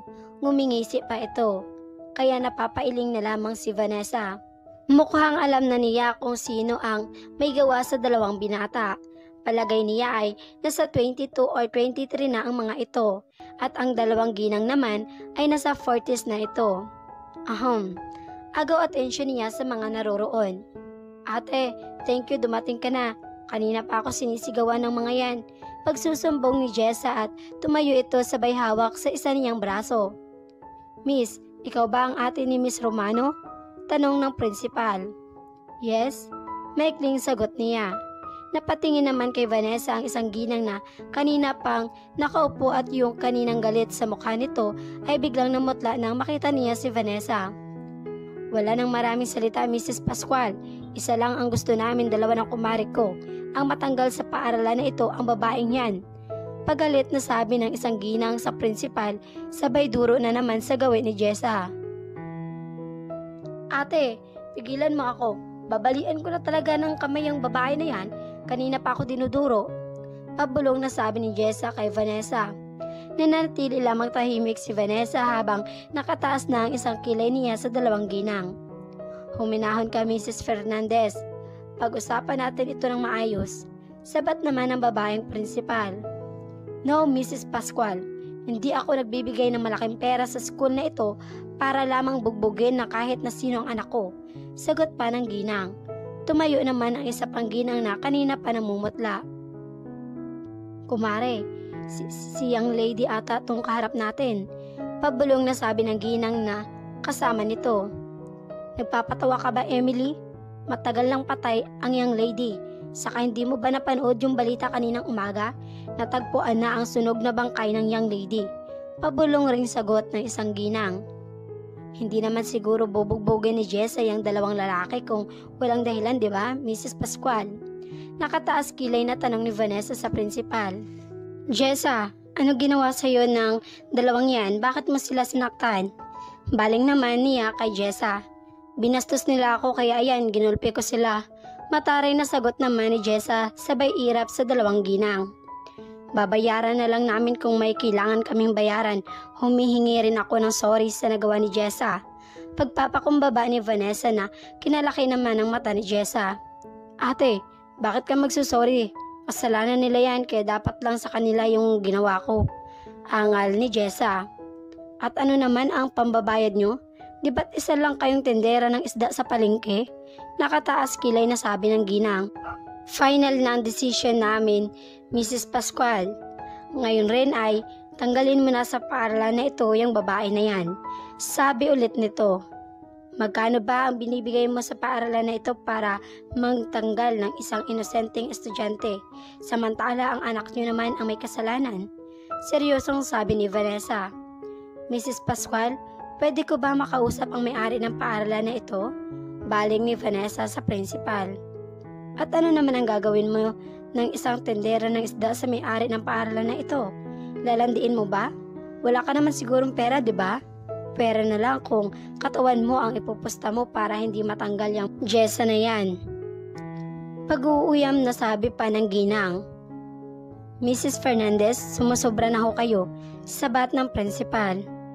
Abat Mrs. Pascual, baka nakakalimutan mo kung sino ako. Kami ng kasama ko. Mataray na baling ng ginang sa principal. Kilala ko po kayo Mrs. Fernandez at Mrs. Cosino, pero mali na po yung pinagsasabi nyo kay Miss Romano. Pagtatanggol naman ng principal kina Vanessa. Hindi na nila namalayan ang pagbukas ng pinto dahil sa kanilang pagtatalo. What's happening here? Ang baritonong boses ng lalaki ang nagpatigil sa pagtatalo ng mga ito. Napalingon naman si Vanessa sa pinaggagalingan ng boses at ganoon na lamang ang pagkagulat niya at panlalaki ng mata niya nang makilala kung sino ito. Sabay pa silang napasinghap dalawa ng binata dahil sa pagkagulat. Diego? Sambit ni Vanessa habang hindi pa rin nawawala ang pagkagulat sa mukha niya. Van, Vani? Princess? Is that you? Hindi makapaniwalang sambit ng binata. Tumango naman si Vanessa at nangilid na ang kanyang luha at hindi na niya napigilang sugurin ng yakap ang binata. Diego, sambit niya habang nakayakap pa rin sa binata. Si Diego ang isa sa kanyang mga kagrupo sa Ocho Apollo at sobrang malapit rin sa kanya ito, lalo na't first cousin ito ni Sebastian. God, Vane, ikaw nga. Hindi makapaniwalang sabi ng binata at kumalas ng yakap at pinakatitigan siya nito mula ulo hanggang paa at niyakap siya ulit nito. Thanks God, buhay ka nga. Sambit ng binata at nakalimutan na nilang may ibang tao sa silid na yon. Ahem, sir, magandang umaga po. Agaw atensyon sa kanila ng principal. Mr. Sandoval, do you know her? Nagtatakang tanong naman ng ginang. Yes, maikling sagot naman ni Diego. Mr. Sandoval, kung isa na naman yan sa mga babaeng mo, ngayon pa lang, ipamukha mo na sa babaeng yan kung sino kami. Tingnan mo ang ginawa ng kapatid niya sa anak ko. Kanina ko pa sinasabi kay Mrs. Pascual na tanggalin na sa paaralan na Stop at Mrs. Fernandez. Anong babae ko pinagsasabi mo? Hindi mo ba kilala ang babaeng ito? Putol ni Diego sa sisabihin ng ginang. Kilala na namin yan, Mr. Sandoval. Isa lang yan tendero ng isda sa palengke. Poor at halatang ginagamit lang ang sarili para makabingwit. Sagot ng ginang na kinapintig naman ang panga ni Diego dahil sa narinig. Ikaw ang nagkakamali, Mrs. Fernandez. Hindi mo ba alam na ngayon mismo ay kayang-kayang pabagsakin ng babaeng ito ang lahat ng mga negosyo nyo? Huwag mo siya minamaliit, madam, kung hindi mo siya kilala, kahit gaano ka pa kayaman. Sagot naman ng binata. Kaya nagsimula na ang pagpawisan ng isa pang ginang na kanina pang namumutla. Mrs. Coseno, nandito ka rin pala. Siguro naman, kilala mo na itong pinagsasabihan ni Mrs. Fernandez. Baling naman ni Diego sa isa pang ginang na tagaktak na ang pawis kahit naka-aircon naman. Sir, siya ho si Miss Romano, kapatid ni Jessa. Sabat naman ng principal. No, Mrs. Pascual, walang kapatid ang young lady at hindi siya Romano. Siya si Princess Vanessa Castro Salve, the young lady queen multi-billionaire big tycoon sa buong Asia. Pagpapakilala ni Diego kay Vanessa sa mga ito. Namutla naman si Mrs. Fernandez at pinagpawisan na rin dahil sa nalaman. Nakaramdam na ng takot dahil sa pag-aalala para sa kanilang mga negosyo. Diego, hindi ko alam na ikaw pala ang may-ari ng school na yon, sabi ni Vanessa habang nasa restaurant sila tatlo kasama si Jessa. Yeah, Vane, minsan lang ako bumisita, meron lang kasi akong gustong makita kaya ako pumupunta dito. Sagot naman ni Diego at tumingin kay Jessa. Hindi ko alam ate na magkakilala pala kayo ng kapre na ito. Sabat naman ni Jessa. Pinsan siya ng ama ng kambal. Saka ba? Siya ang may-ari ng school niyo. Bakit kapre ang tawag mo sa kanya? Nagtatakang tanong ni Vanessa. Ah, hayaan mo siya, Vane. Sanay na ako sa kasungitan ng tomboy na yan. Sabat naman ni Diego. Hoy, kapre. Hindi nga ako tomboy. Napipikong sabi naman ni Jessa. Hep, hep, hep. Nandito ako. Huwag kayong mag-away sa harapan ko at sa harap ng pagkain. Sabat ni Vanessa. Vane, kailangan natin makapag-usap ng maayos. Marami kang ikukwento sa akin at marami rin ako ikukwento sa iyo tungkol kay Seb. Ani ni Diego na kinatango naman ni Vanessa. Diego, tuloy ka. Pagyaya ni Vanessa sa binata nang makauwi na sila sa bahay na tinitirhan nila. Nay, nandito na po kami. Ani ni Jessa nang makapasok na rin. Mama, mama, magkasabay na sabi ng kambalat masayang sinalubong si Vanessa. Mga baby ko, kamusta naman po? Hindi nyo ba pinahirapan ang nana lola at palolo nyo? Nakaluhod na ani ni Vanessa sa mga anak at isa-isang hinalikan sa pisngi na ikinahagik-hik ng kambal. Mama, sino po siya? Siya na po ba ang papa namin? Ani ni Stephanie nang mapansin nito si Diego sa kanyang likod. Mama, sambit naman ni Stephen na may pagtatanong ang mga mata nito. Ah eh, hindi mga anak, siya ang tito Diego nyo, pinsan siya ng papa nyo, sagot niya sa mga anak. Lumuhod naman si Diego at pinantayan ang dalawang bata na nakatingin lamang. Hello, ang cute-cute naman. Ako ang tito Diego nyo. May dala akong ice cream sa'yo. Sabi ng mama nyo, paborito nyo raw to. Nakangiting sabi ni Diego. Sa kambal na, ikinatuwa naman ang dalawa nang makita ang dala nitong ice cream. Wow, talaga po? Sa amin po lahat ito? Masayang tanong ni Stephanie habang tinitingnan ang laman ng malaking paper bag na may lamang madaming chocolates at ice cream na may iba't ibang flavors. Opo, sa inyo po lahat yan. Sagot naman ni Diego at tuwang-tuwa na ang nakatingin lang sa nakangiting dalawang bata. Mga anak, ano yung tinuro ni Mama kapag may nagbigay po sa inyo? Tanong ni Vanessa sa kambal habang nakangiti. Wala ba kayong sasabihin sa Tito Diego nyo? Sabi niya ulit. Nagtinginan muna ang dalawang bata at sabay na tumango bago hinarap si Diego. Thank you po, Tito. Sabay na sabi ng dalawang bata at niyakap ang nakaluhod na binata. Sabay rin itong humalik sa magkabilang pisngi ng binata bago bumalik sa tabi ni Vanessa. Napaka-sweet nyo naman. Pag araw-araw kayong mabait, araw-araw rin ako magpapadala rito ng maraming chocolates. Nakangiting sabi ng binata sa dalawang bata. O siya, magbibihis muna ako. Mga anak, dun muna kayo sa palolo nyo. Diego, dito ka lang. Jessa, asikasuhin mo muna si Diego. Ani ni Vanessa at tumayo na. Lumapit naman si Jessa na may daladalang juice at pritong saging at pritong kamote. Magmerienda ka muna kapre. Ani ni Jessa nang may lapag niya na ang inihanda para sa binata. Kapre ang tawag ni Jessa kay Diego dahil na rin sa napakatangkad ng binata at hanggang tiyan lang siya nito. 5'4 lang si Jessa habang 7 feet at 3 inches naman si Diego. Thank you to Bird. Sagot naman ni Diego na ikinapikon naman ng mukha ni Jessa. He, wag mo ako matibird dyan, hindi ako ibon. Pikon nitong sabi na ikinatawa naman ni Diego. Ayaw mong tawagan kitang tomboy kaya tibird na lang. Nakangising sabi ng binata. Oh, may bisita pala tayo. Jessa, bakit hindi mo man lang nasabing may boyfriend ka na pala? Aba, napakagwapong binata. Taga saan ka ba iho? Ngayon ang ata kita nakita dito sa lugar namin. Ani, ni Nanay Pising na nagpapula sa mukha ng dalaga. Good afternoon po, taga Maynila po ako. Ako nga po pala si Diego Sandoval, pinsan ko po ang asawa ni Vanessa. Nakangiting sabi ng binata sa ginang. Abay, bisita ka pala ni Vanessa iho. Akala ko'y boyfriend ka ng anak ko. Ani, nang matanda na ikinangiti naman ng binata. Ah, eh, kung ganun po, pwede ko po bang ligawan ang anak niyo pong si Jessanay? Magalang na sabi ng binata. Abay, walang problema sa akin iho. Pero sa anak ko, siya ang tanungin mo kung magpapaligaw na ba yan. Hindi ko nga alam kung babae ba tong si Jessa ko. Kumakamot sa ulong, sabi ng matanda na ikinapi ko naman ni Jessa. Nay, babae po ako. Sabat niya. O siya, magluluto muna ako. Ikaw na bahala sa bisita mo. Este, bisita ng ate Vanessa mo.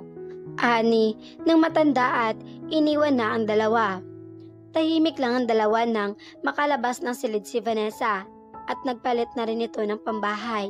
Lumapit si Vanessa sa dalawa at tiningnan naman niya si Jessa na nagpapahiwatig na gusto niyang makausap ang binata kaya naman nakaintinding tumango si Jessa at tumayo na. Vane, makikinig ako. Bakit ka nawala ng mahigit tatlong taon at bakit ka hindi bumalik? Basag ni Diego sa katahimikan. Huminga muna ng malalim si Vanessa at nag-umpisang magkwento. Nung araw ng kasal ko, nakasakay ako noon ng helicopter na magdadala sa akin sa isla. Nang nasa itaas na kami, nakita ko sa pinanggagalingan kong rooftop hotel yung lalaking palagi nagtatangka sa buhay ko, yung kumidnap sa amin ni Sebastian nung high school pa kami at yung lalaking paulit-ulit na nagtatangkang pumatay sa akin at nagtangkang gahasain ako, ayun din ang lalaking may kagagawa ng pagsabog ng sinasakyan kong helicopter. Nagising na lang ako na nasa hospital na pala ako. Sabi nila na kumatos ako ng 7 months at mabuti na lang hindi naapektuhan ang pinagbubuntis ko.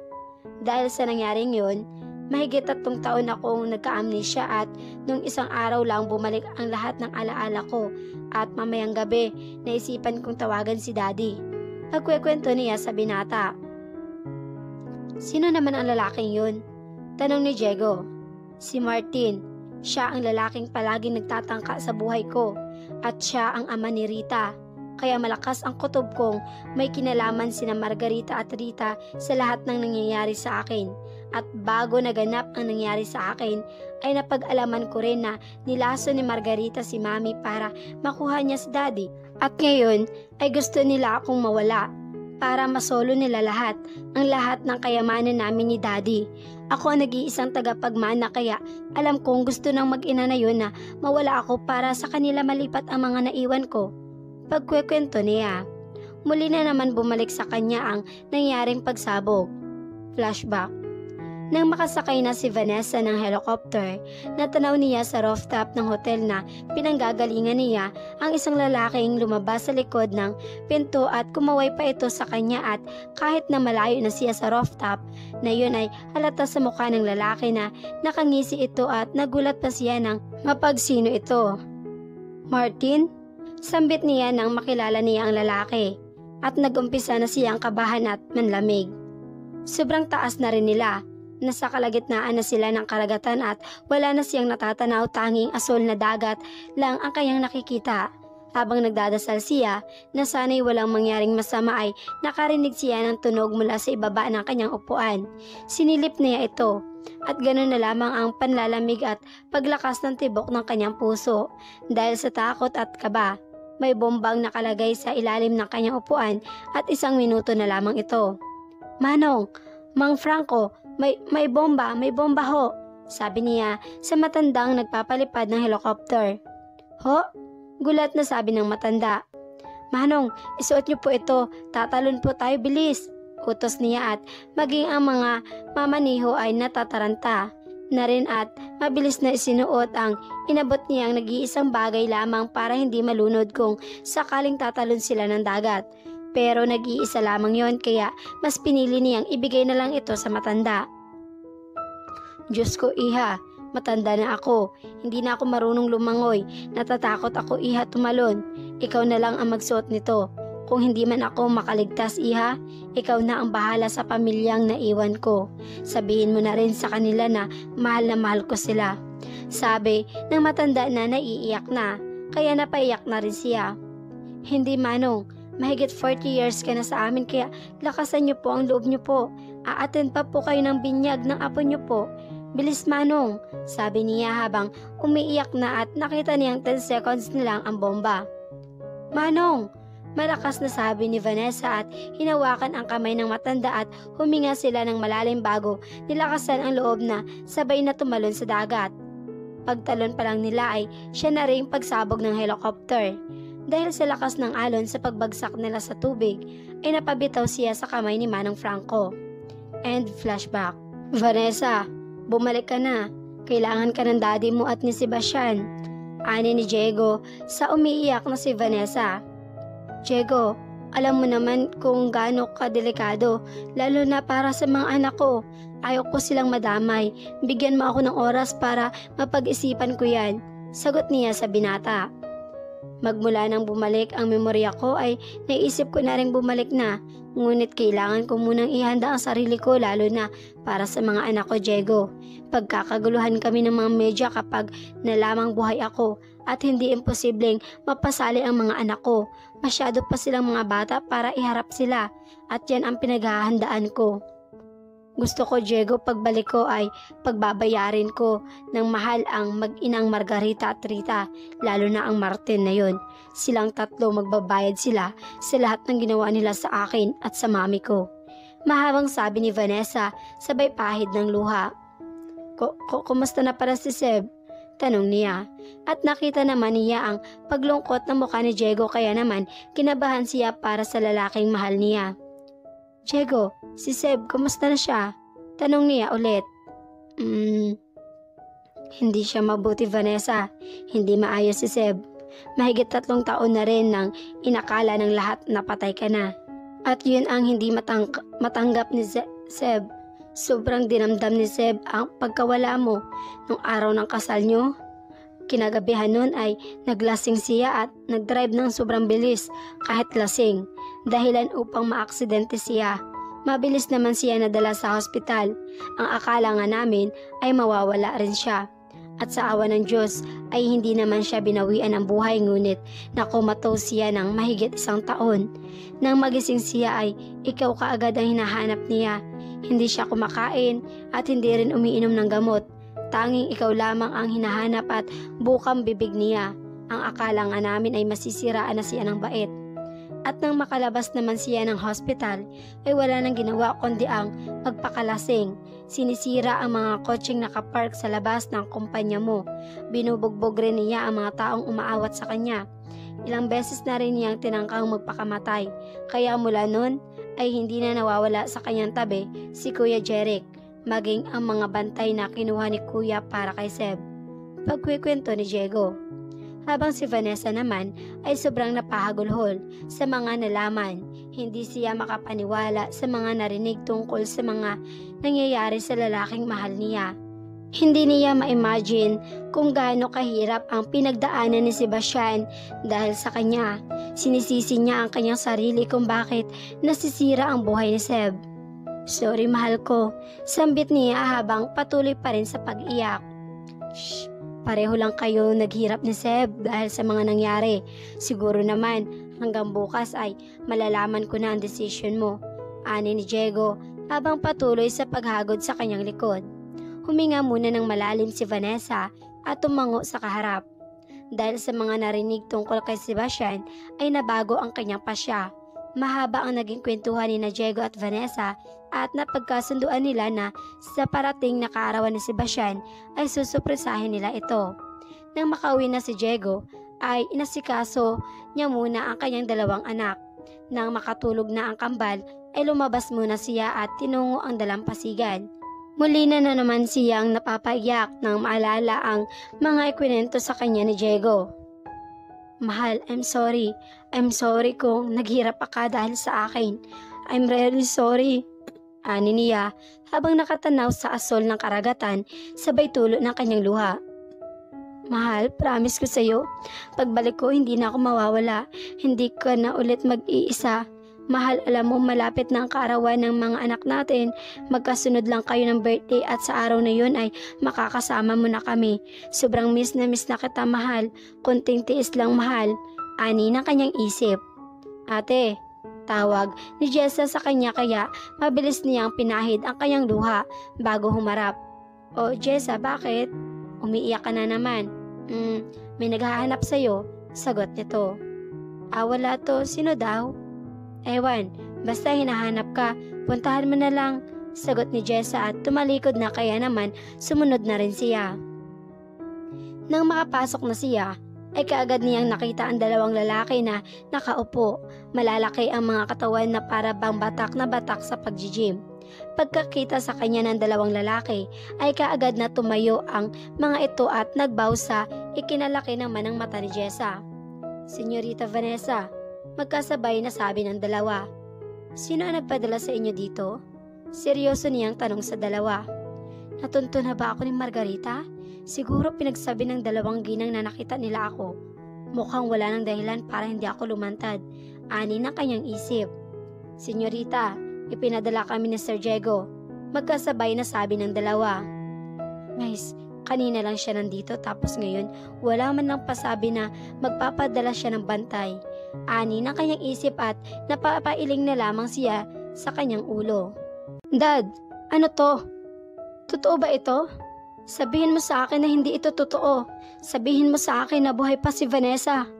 Ani ni Sebastian kay Don Rafael sabay pakita ng newspaper na kung saan nakalagay roon ang balitang tungkol sa isang sunog na bangkay na natagpuan sa isang isla kung saan malapit sa islang paggaganapan ng kasal nila. At tinutukoy na iyon raw ang katawan ni Vanessa na nasunog sa pagsabog ng helicopter. Umiling ang Don at ngumiti sa binata. No, iho, hindi yan ang anak ko. Nakakasigurado akong hindi siya si Vanessa. At papaano kung siya nga yan? Rafael, Sebastian, Hanggang ngayon ba naman, hindi nyo pa rin matanggap sa sarili nyo na wala na si Vanessa? Sabat naman ni Margarita na kararating lamang kasama nito ang anak na si Rita.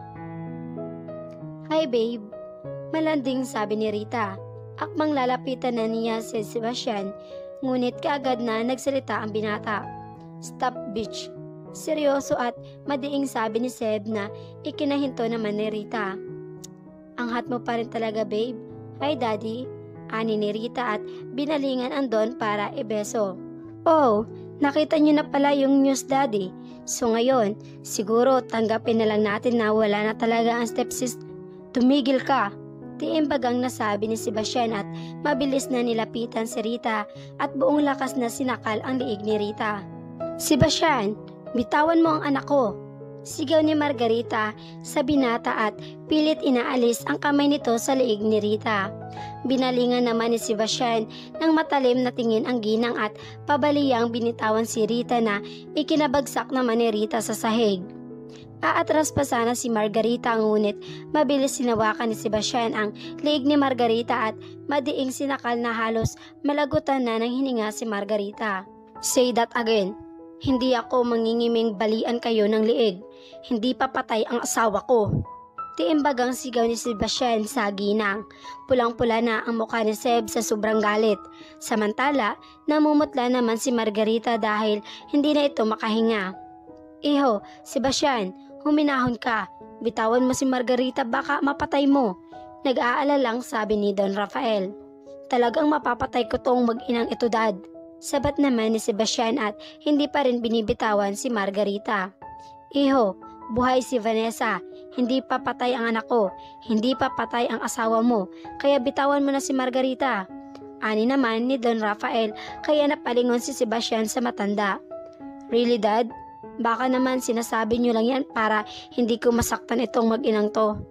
Pina-DNA test ko na yung bangkay iho, kaya confirm na hindi si Vanessa yon, kaya huminahon ka na iho. Ani ni Don Rafael na ikinalambot naman ng anyo ng mukha ni Sebastian at kaagad na binitawan ang liig ni Margarita. Habang hininga naman si Margarita, na kaagad nilapitan ni Rita para itayo ang ina. Let's go ma'am, Ayan ni Rita sa ina kaya naiwan ulit sina Sebastian at Don Rafael. Napapahilamos na lamang sa sariling palad si Seb at napaluhod na lamang sa sobrang panghihina. Hindi na niya napigilang mapahagulhol sa harapan ng Don. Pisti talaga ang Sebastian na yan. Munti ka na ako doon? Ay, may araw ka rin. Nanggigigil na sabi ni Margarita. Mami, ikaw naman kasi bakit pa kasi tayo nakisali sa usapan nila? E di sana, hindi tayo nasaktan ng baby Sebastian ko. Ani naman ni Rita. Matalim na tingin naman ang pinukol ni Margarita sa kanyang anak dahil sa sinabi nito. Napakaboba mo talaga. Galit at nanggigigil na sabi niya sa anak. Jenny, may pupuntahan ka ba mamaya? Tanong ni Vanessa sa kanyang kaibigan. Nasa kusina silang dalawa, magkatulong sa pagluluto para sa kanilang pananghalian. Bakit Beshi? Tanong ni Jenny habang nakatutok pa rin ang atensyon sa kanyang nilulutong pinakbet. Kung wala ka kasing pupuntahan mamaya, pwede ko bang iwan muna sa iyo ang kambal? May pupuntahan lang kasi ako saka nandito naman ang dalawang bantay na pinadala ni Diego. Gagabihin pa daw sa pag-uwi si Jessa. Tumawag siya kanina. Sabi niya. Ah, ganun ba? Oo naman. Anything para sa mga inaanak ko. Saan ka nga ba pupunta? Ah, bibisita lang ako sa dati kong pinagtatrabahuhan sa restaurant. Hindi kasi ako nakapagpaalam ng maayos, saka may gusto lang akong alamin, sagot niya. Sa, sa, restaurant ka pupunta? Gulat na sabi ni Janie na siyang ikinakunot noon naman ni Vanessa. Oo, bakit? Wala lang naman. Ani ni Jenny habang hindi makatingin sa kanya. Hindi alam ni Jenny kung sasabihin ba niya ang totoo kay Vanessa na kilala niya ang magkapatid na Lance at Lawrence na mga pinsan ni Vanessa. Hindi niya rin alam kung ipagtatapat ba niya sa kaibigan na naging sila ni Lawrence noon at boyfriend niya ngayon si Lance. Masyadong magulo kaya naisip na lang niya na huwag muna banggitin ang mga ito. Subalit hanggang kailan niya matatago sa kaibigan ang tungkol sa kanya at sa dalawang pinsan nito. Ah, eh, Vanessa, Beshi, mm, sigurado ka bang hindi mo natatandaan si Lance? Lakas loob na tanong ni Jenny. Yun rin nga ang gusto kong malaman eh. Ngayon nakakaalala na ako. Gusto ko sana makaharap si Lance dahil gusto ko lang alamin kung sino nga ba yung Kuya Lance ko, ang kapatid ng pinsan kong si Kuya Lawrence. Sa ting... Jenny, what happened to you? Sabi niya at nagulat pa siya nang mabitawan ni Jenny ang sandok na hawak nito. Kaya nahulog ito sa paanan niya at tumilapan ang sauce nito na pinakbit sa skinny pants niya. Sorry, so- sorry. Jenny, okay ka lang? Nag-aalalang tanong niya. O, oo, ayos lang ako. Pasensya na. S- sige, tawagan ko lang yung kambal. Pakitingnan lang ito baka masunog. Ani ni Jenny at mabilis siyang tinalikuran. Ano nangyari doon? Taka niyang sabi at napapailing na lamang. Hello Vanessa, ang tagal mong nawala ah. Bakit ngayon ka lang pumasok? Late ka na ah. Ani na isang waitress na naging kaibigan na rin niya. Hi Chloe, um, nagka-problema lang saka pumunta lang naman ako dito para magpaalam sana. Sabi niya. Paalam? Saan ka pupunta? Magre-resign na sana ako. Mm, nandyan ba si Sir Lance? Sagot niya. Nako, bakit? Akala ko ba kailangan mo ng trabaho? Bakit ka aalis? Muling tanong ni Chloe. Mm, eh, kukwento ko na lang sa'yo mamayang gabi. Pumunta ka sa bahay. Sagot niya. Tanging si Chloe lamang ang naging matalik niyang kaibigan sa restaurant na iyon. Sige basta may suman mamaya. Saka day, kahapon pa umalis si Sir Lance, bumalik ng Maynila. Ewan ko nga, mukhang importante dahil nagmamadali eh. Sabi nito. Ah, ganun ba? Sige, pakisabi nilang na pumunta ako dito. Saka pakibigay na rin itong resignation letter ko. Hintayin kita mamaya ha? Sabi niya. Sige, mag-iingat ka. Pahabol pang sabi ni Chloe at tumalikod na. Kuya, where are you? Tanong ni Diego sa kanyang kapatid na si Jeric. Nasa bahay, bakit? Masungit nitong sagot. Where is Sebastian? Muli niyang tanong. Why? Mukha ba akong yaya ni Seb? Kuya, bukas na ang birthday ni Seb. O tapos, iso-surprise natin siya ang lahat, bu. Doon rin ako galing sa kondo niya kanina. Ayun, naglalasing na naman. Saka anong surprise pinagsasabi mo, Diego? Alam mong hindi lalabas ang pinsan mong yun. Mas gugustuhin pa ang bote ng alak ang katabi kaysa makijoin sa atin. Sagot ni Jeric. Aba, kung makapagsalita parang hindi mo rin pinsan ha. Saka basta malaking surprise yun para kay Sebastian. Kuya, at bukas ay makikita na natin ngingiti. Asa ka. Alam naman natin na isang tao lang ang may kayang magpangiti at magpapabalik sa normal kay Sebastian. Exactly. Kaya nga tinawagan kita eh, para magpatulong para madala nyo sa isla VS si Seb. What do you mean, Diego? Saka may importante akong business meeting bukas. Kaya siguraduhin mong makukumbinsi mo ako sa dahilan at gusto nyo. Huminga muna ng malalim si Diego bago inumpisahang magkwento sa kapatid. Sinabi niya kay Jeric ang lahat ng tungkol sa kalagayan ang mga nangyari kay Vanessa. Really? Hindi makapaniwalang sambit ni Jeric. Ye kuya, maging ako man ay nagulat nang makita ko siyang buhay. Sagot niya. Okay, ako nang bahala, magdadala sa kanya bukas sa isla. Sagot nito. Dad, di ba birthday ni Seb tomorrow? Hindi ba maghahanda sila tita Sonia? Tanong ni Rita kay Don Rafael habang nasasala silang tatlo. I don't know iha at hindi rin ako makakapunta bukas kung meron man dahil may business trip ako. Bukas at 2 days akong mawawala. Ani ni Don Rafael. Pero ang totoo ay pupunta siya sa Isla VS kasama niya ang mga magulang ni Sebastian. Dahil tinawagan na siya ni Diego maging ang mga magulang ni Sebastian at mga malalapit na kaibigan ng mga ito ay tinawagan na rin ito.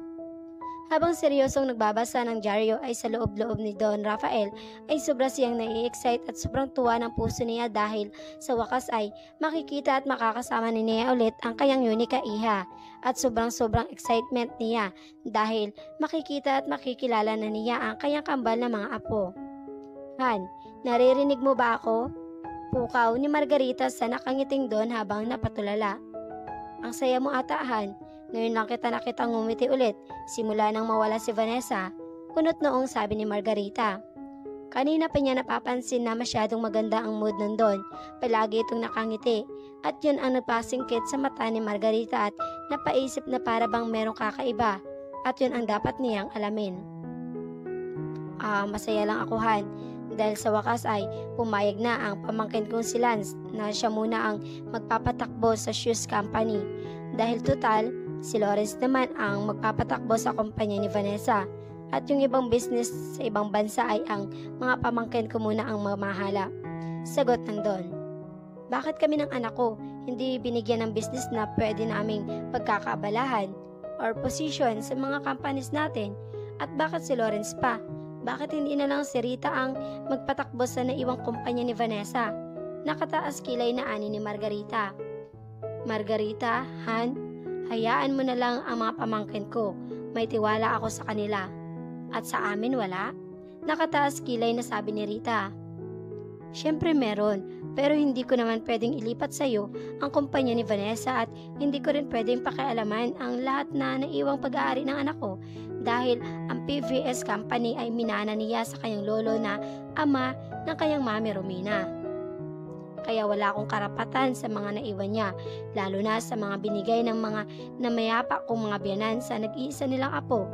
Mahabang litanya ni Don Rafael. E bakit si Lawrence ang naupo sa PVS? Naiinis na tanong ni Rita. Dahil si Lawrence lamang ang pinakamalapit na pinsan niya at pinagkakatiwalaan ni Vanessa sa lahat ng ari-arian niya. Sagot ng Don. Sobrang galit na galit naman ang kalooban ni Rita dahil matagal na niyang gustong makuha ang PVS company at mukhang mahihirapan siyang makuha ito. Iyang R. Jewelry, sino ang namamahala? Sabat naman ni Margarita. Tukoy niya sa mga naiwang business ni Romena. Lahat ng naiwan ni Romena ay hindi ko rin pwedeng pakialaman.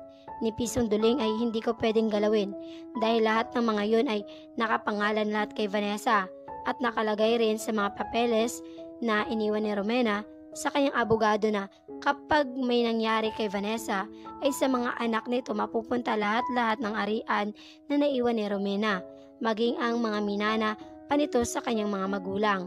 Mahabang sabi ng doon na siyang nagpagalit naman kay Margarita. What? Kahit anak mo pa si Vanessa? Galit at patanong na sabi ni Margarita. Oo, kahit anak ko pa siya, ay wala pa rin akong karapatan dahil lahat ng naiwan ng mga magulang ni Romena ay si Vanessa lamang ang may karapatan at yun ang sinabi ng abogado ng mga Castro. Eh ang mga ari-arian mo, siguro naman Han, may karapatan na kami ni Rita dahil asawa mo naman ako, di ba? Paniniyak ni Margarita habang seryosong pinakatitigan ang matandang Don. Napakunot noon naman si Don Rafael dahil sa mga tinura ni Margarita. Buhay pa ako, Han at malakas pa ako sa kalabaw. Bakit ang mga ari-arian ko kagad ang usapan natin? Saka malalaman nyo rin kapag naibigay ko na kay attorney ang last will ko. Sagot ng Don. Sobra namang napapaisip si Margarita at naiisip niyang palitan kung ano man ang mga ilalagay ni Rafael sa last will nito. Ayaw niyang may kahati sila ni Rita sa lahat ng ari-arian ng matanda. Nay, tapos na po ba kayo? Tanong ko kay Nanay Pising. Oo, Iha. Natapos ko na lahat ng mga dadalhin. Ang tatay baldo mo, ani nito. Nasa labas na po it si Itay, kasama ng kambal. Akin na po yan ay, ako na po ang magdadala. Sabi ko at kinuha ko sa kanya ang dalawang malaking bag na naglalaman ng mga gamit nila para sa tatlong araw na bakasyon sa Isla VS na nirigalo pa sa akin ni Sebastian nung ikasampung taon ng relasyon namin. Sige anak, Mabigat yan ha? Ayos lang po nay, kaya ko naman po, sagot ko. Habang buhat-buhat ko ang dalawang malaking bag palabas ng bahay, ay kaagad naman akong tinulungan ng dalawang lalaki na nagbabantay sa amin. Salamat. Sabi ko sa kanila. Mama, look po, mukha po akong princess dito sa dress ko. Sabi ni Lolo Tay. Bibong sabi ng anak kong si Stephanie. Wow, napakaganda naman ng princess ko. Nagustuhan mo gift ni Tito Diego mo? Ani ko sa anak ko. Opo, Mama. Sobrang saya ko po. Mama, gusto ko rin po ng pink na headband. Sige, pag may oras si Mama, ibibili kita ng maraming maraming headband. Gusto mo ba yon? Nakangiting sabi ko, sabay halik sa matambok na pisngi ng cute kong anak. Mahigit tatlong taon pa lamang si Stephanie ay kitang-kita na ang pagkakatulad nila ng kanyang anak.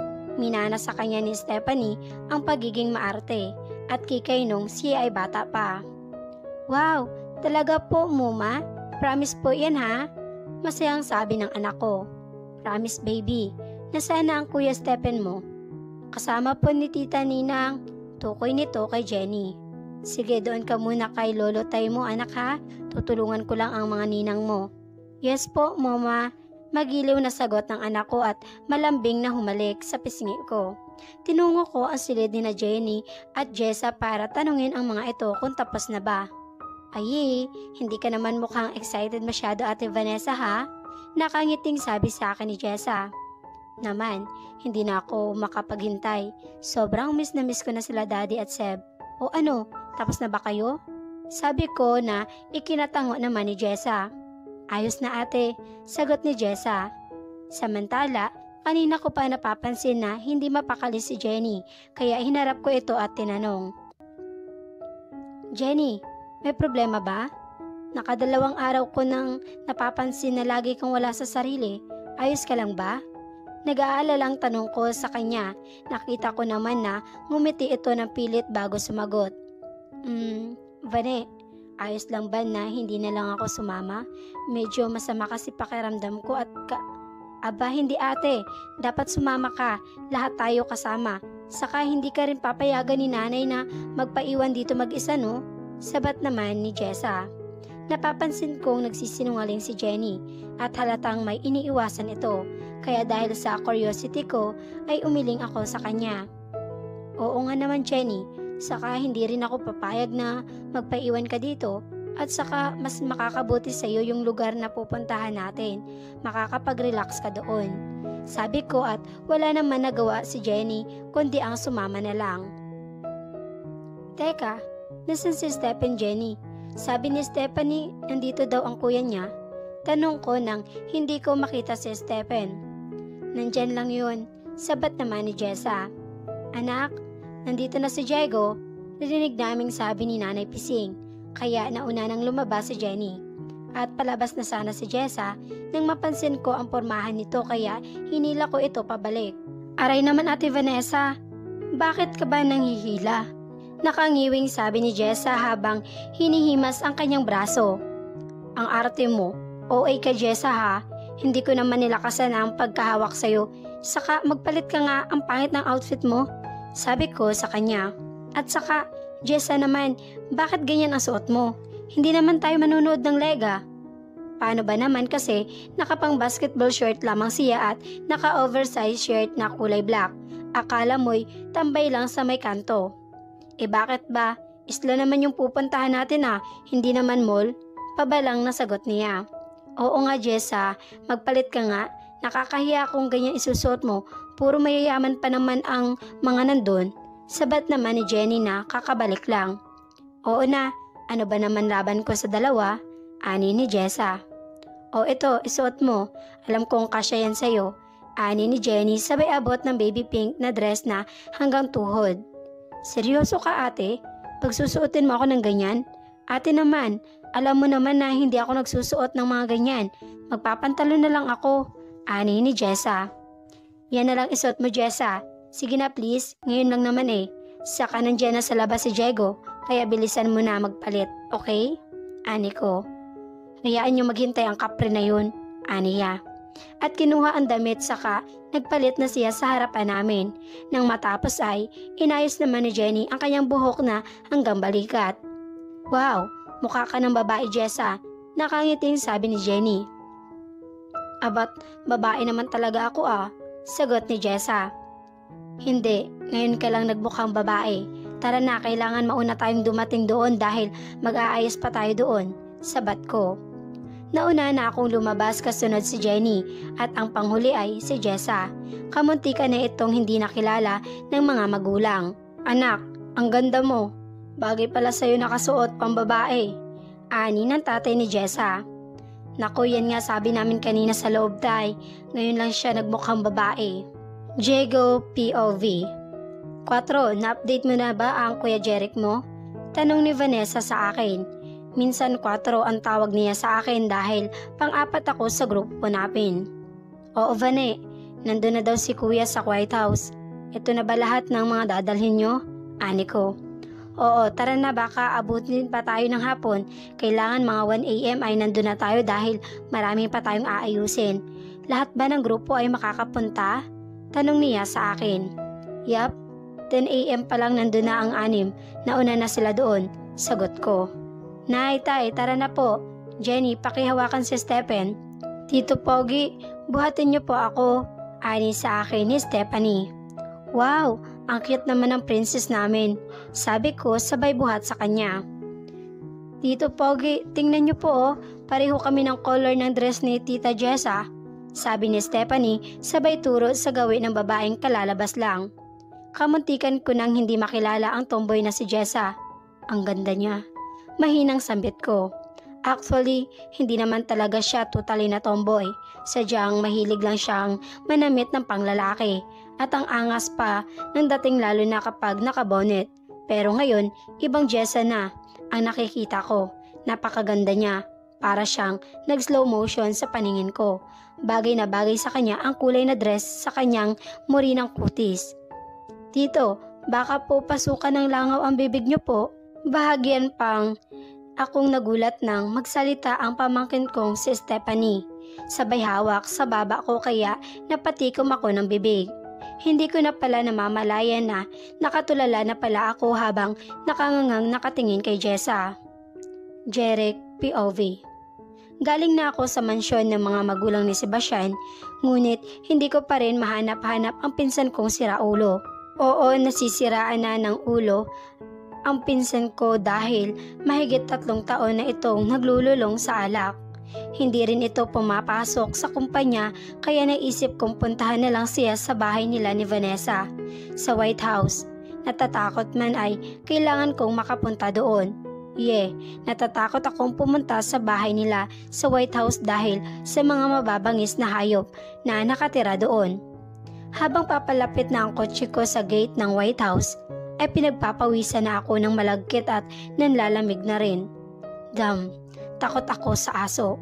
Hindi pa man ako nakakapasok, ay sinalubong na kaagad ako ng limang gwardya kasama ang limang malalaking aso na kulay itim.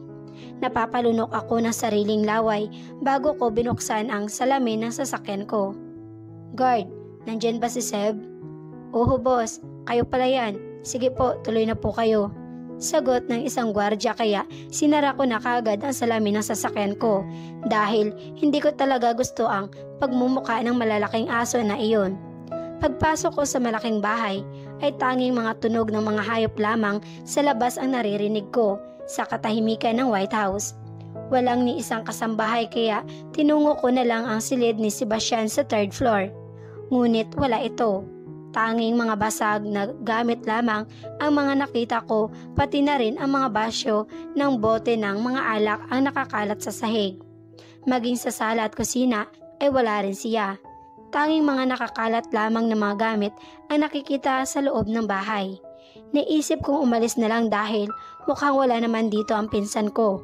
Ngunit bigla kong naalala ang isang private room sa pinaka-ground hindi iyon nakikita ng kahit na sino dahil tangi ang grupo lamang ng otso ang nakakaalam nun ngunit hindi sinasadya na nakita ko iyon nang minsan nakita kong pumasok doon si Sebastian.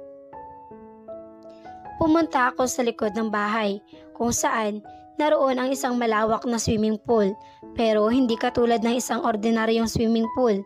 Lamang iyon dahil hindi tao ang naliligo roon kundi tinitirahan ng walong naglalakihang mga buwaya na alaga pa ng pinsan ko. Mataas na bakod ang nakaharang at may print password ang pinto nito. kaya walang sino mang nakakapasok kundi sina Seb at Vanessa lamang. Sa likod ng White House, katabi ng pader ng mga buwaya, ay mayroong isang malaking flower vase na halos kasing laki ko na, na nakagitna roon. Sa gitna ng vase ay may maliit na screen roon kung saan may anim na numero ang kailangang pindutin upang gumalaw ang vase. Nakita kong hindi nakatakip ang screen kaya patunay lang na may tao sa baba. Pinindot ko ang kulay asol na may nakasulat na open kaya gumalaw ang malaking vase na para bang may makina sa baba. Umatras ito ng konti kaya napatingin ako sa simentong kinatatayuan roon ng vase kanina. Malakas ko yung itunulak pababa kaya napaluhod ako. Pagbukas noon ay nakita kong may hagdan. Idinungaw ko ang ulo ko para sumilip. Nakita ko namang nakabukas ang ilaw kaya naisipan ko ng pasukan iyon. Kasya lang sa isang tao ang butas, kaya pumasok ako doon at nakita ko si Sebastian. Nakaupo ito habang nasa tabi niya ang isang case ng alak, kaya napapailing akong lumapit sa kanya. Nilinga ko ang tingin sa loob at nakita ko sa apat na sulok noon ay puro mga masasayang larawan nila ni Vanessa ang nakadisplay roon. Ang kesame at ang apat na sulok noon ay makikita mong halos wala ng space pa dahil naka-wallpaper roon ang mga maliliit nilang mga larawan. Simula nung mga bata pa sila hanggang sa maging sila na. 16 years memories na roon na lahat. Ang mga bags nila nung nag-aaral pa sila simula grade 3 hanggang sa college life, maging first guitar ni Sebastian ay naroon rin. Doon ko napagtanto na ang silid na ito ay tambakan ng memories nila ni Vanessa. Narito pa ang mga old couple t-shirt nila nung high school, maging ang badminton ni Vanessa ay hindi nakaligtas sa paningin ko. Grabe, nandito na lahat ng mga ginamit niyo sa loob ng 16 years, mga ginamit sa birthdays, mansary, anniversary, valentines, ani ko nang mapansin ang mga kahon na pinaglagyan. Lahat ng mga special occasion na pinagamitan nilang dalawa ay naroon na. Nakasulat pa ang mga buwan at araw kung kailan iyon ginamit. Wow, insan, napakatagal na nito. Ito yung binigay sa'yo ni Vanessa nung grade 6 pa lang tayo. Nandito pa pala to? Gulat kong sabi nang makita ko ang binigay ni Vanessa na bonnet nung kabataan pa namin nila Sebastian. Huwag mong hawakan yan. Paano ka ba nakapasok dito? Alam mo bang bawal pumasok dito? Lasing niyang sabi sa akin. Tama na yan pinsan, napakadami mo nang nainom.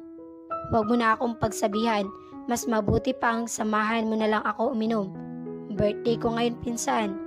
Lasing niyang sabi. Hays, paano ba to? Anong gagawin ko? Paano ko madadala sa islang mokong na ito? Hays, bahala na. Para naman sa kanya itong gagawin ko. I'm sorry insan kung kailangan ko tong gawin sa'yo. Happy birthday. Sabi ko sa kanya sabay palo sa kanyang batok na ikinatulog naman niya. Eksaktong mahigit alauna ng tanghali dumating sina Vanessa sa Isla VS pagtapak pa lang niya sa maputi at pinong buhangin ay hindi niya napipigilang mapaluha dahil ang isla na ito ang isa sa mga regalo sa kanya ni Sebastian at dito sana gaganapin ang kanilang kasal noon. Wow mama, wow mama, mangha at magkasabay na ani ng kambal ng makababa ng mga ito.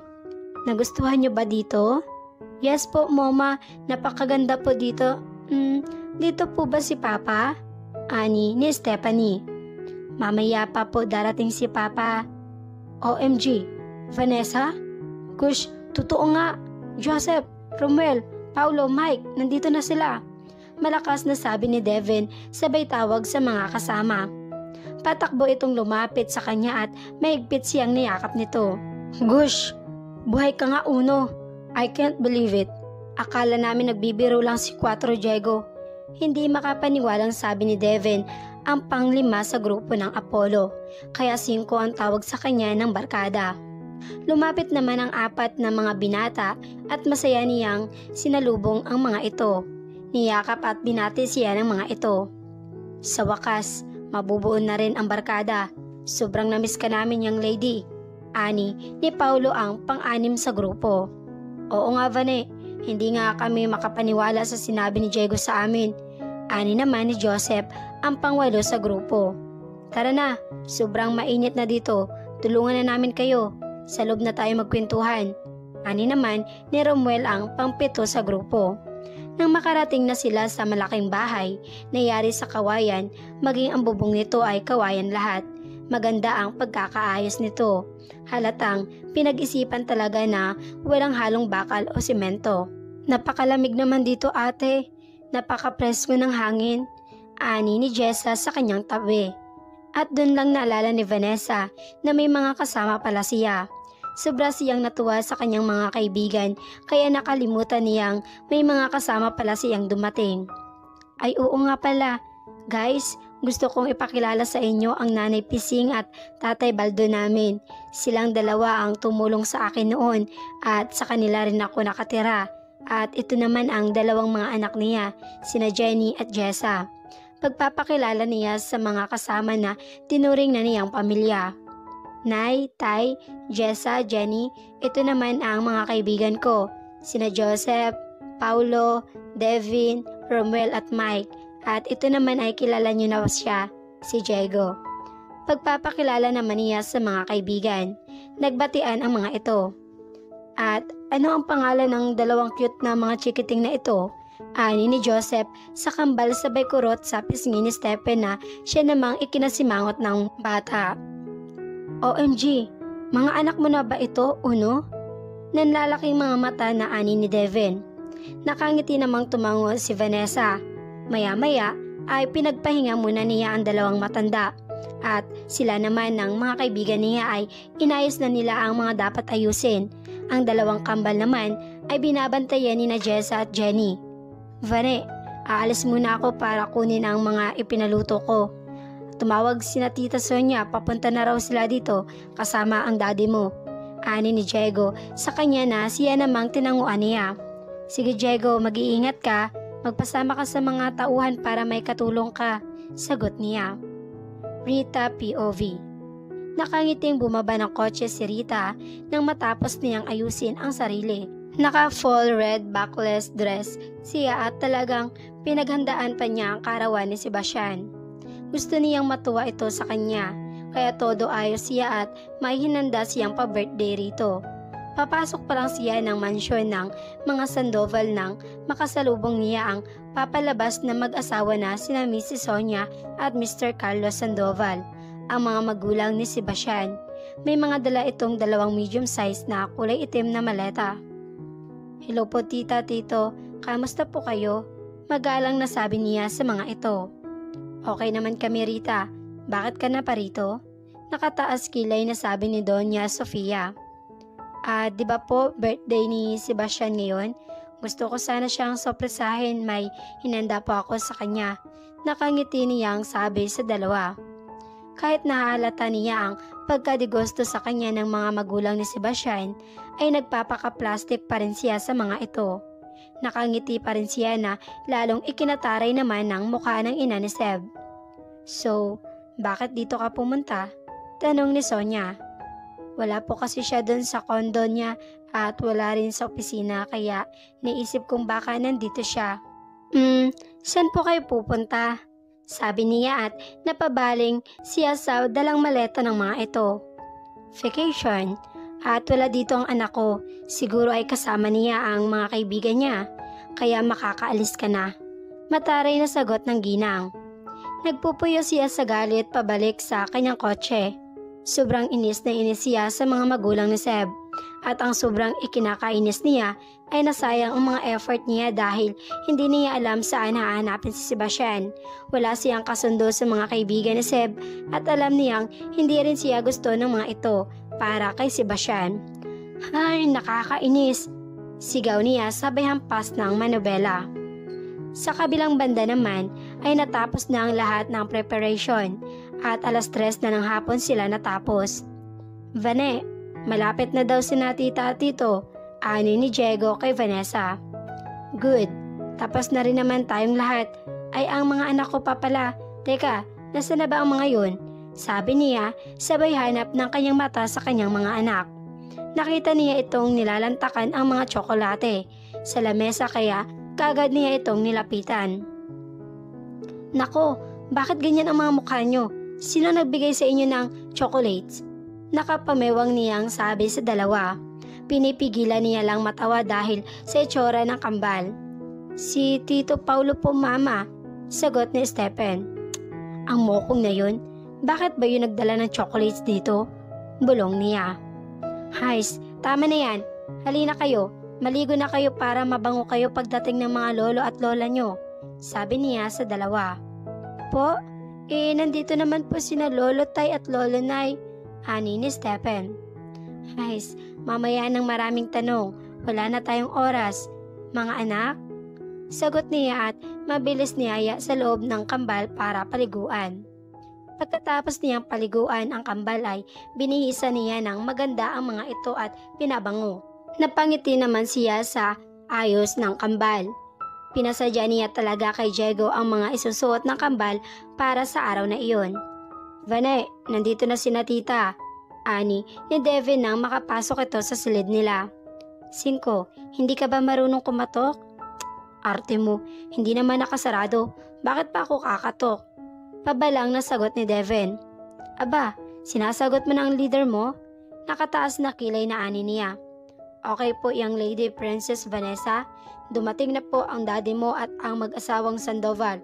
Kasama na rin ang pinsan mong NBI agents na si Lieutenant Lawrence Salve. Ani ni Devin sa seryosong tinig. Pagkatapos ay bumanghalit ito ng tawa. Maging siya ay napatawa na rin. Ha, wala tayo sa Mission 5, sabi niya. Sabay na silang lumabas apat at hindi pa man sila nakakababa ng hagdan ay napatingin na sa kanila ang tatlong matanda. Maging ang kanyang pinsan, kasama rin ang apat na kaibigan. Parang gusto na niyang talunin ang hagdan nang makita niya ang kanyang ama. Nagumpisa nang magsilabasan ang mga luha niya kaya napansin ito ng kambal. Mama, why po? Bakit di pa po tayo bumababa? Ani ni Stephanie. Wala anak, masaya lang si Mama. Sabi niya, sabay pahid ng luha. At nagumpisa na silang bumaba ng hagdan. Pagbaba nila ay sinalubong siya kaagad ng mahigpit na yakap ng kanyang ama. Princess, thanks God. I miss you so much, my princess. Umiiyak na sabi ni Don Rafael habang nakayakap pa rin ito. I miss you too po, Daddy. Kamusta na po kayo? Iniinom niyo pa rin po ba ang mga gamot mo? Sagot niya at humiwalay na ng yakap. Yes, princess. Um, ito na ba ang mga apo ko? Ani ni Don Rafael. Opo, Daddy. Nakangiting sagot niya habang patuloy sa pagdaloy ang mga luha niya.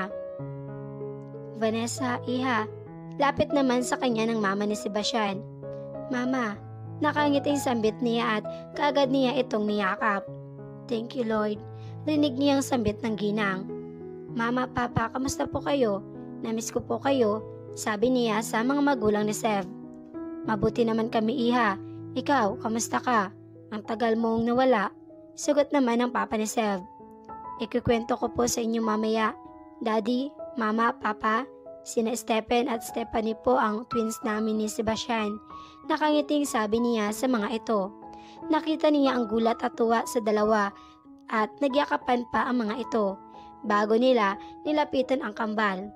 Nagulat pa ang mga ito nang kunin ng kambal ang kamay ng mga ito sabay mano. Mano po, Lola. Mano po, Lolo. Ani ng kambal sa tatlong matanda na ikinangiti ng mga ito. God, ang cute ng mga apo natin, Carlos. Tingnan mo oh, kamukhang kamukha ng anak natin ito. Masayang sabi ni Doña Sonia. Sabay hawak sa pisngi ni Stephen.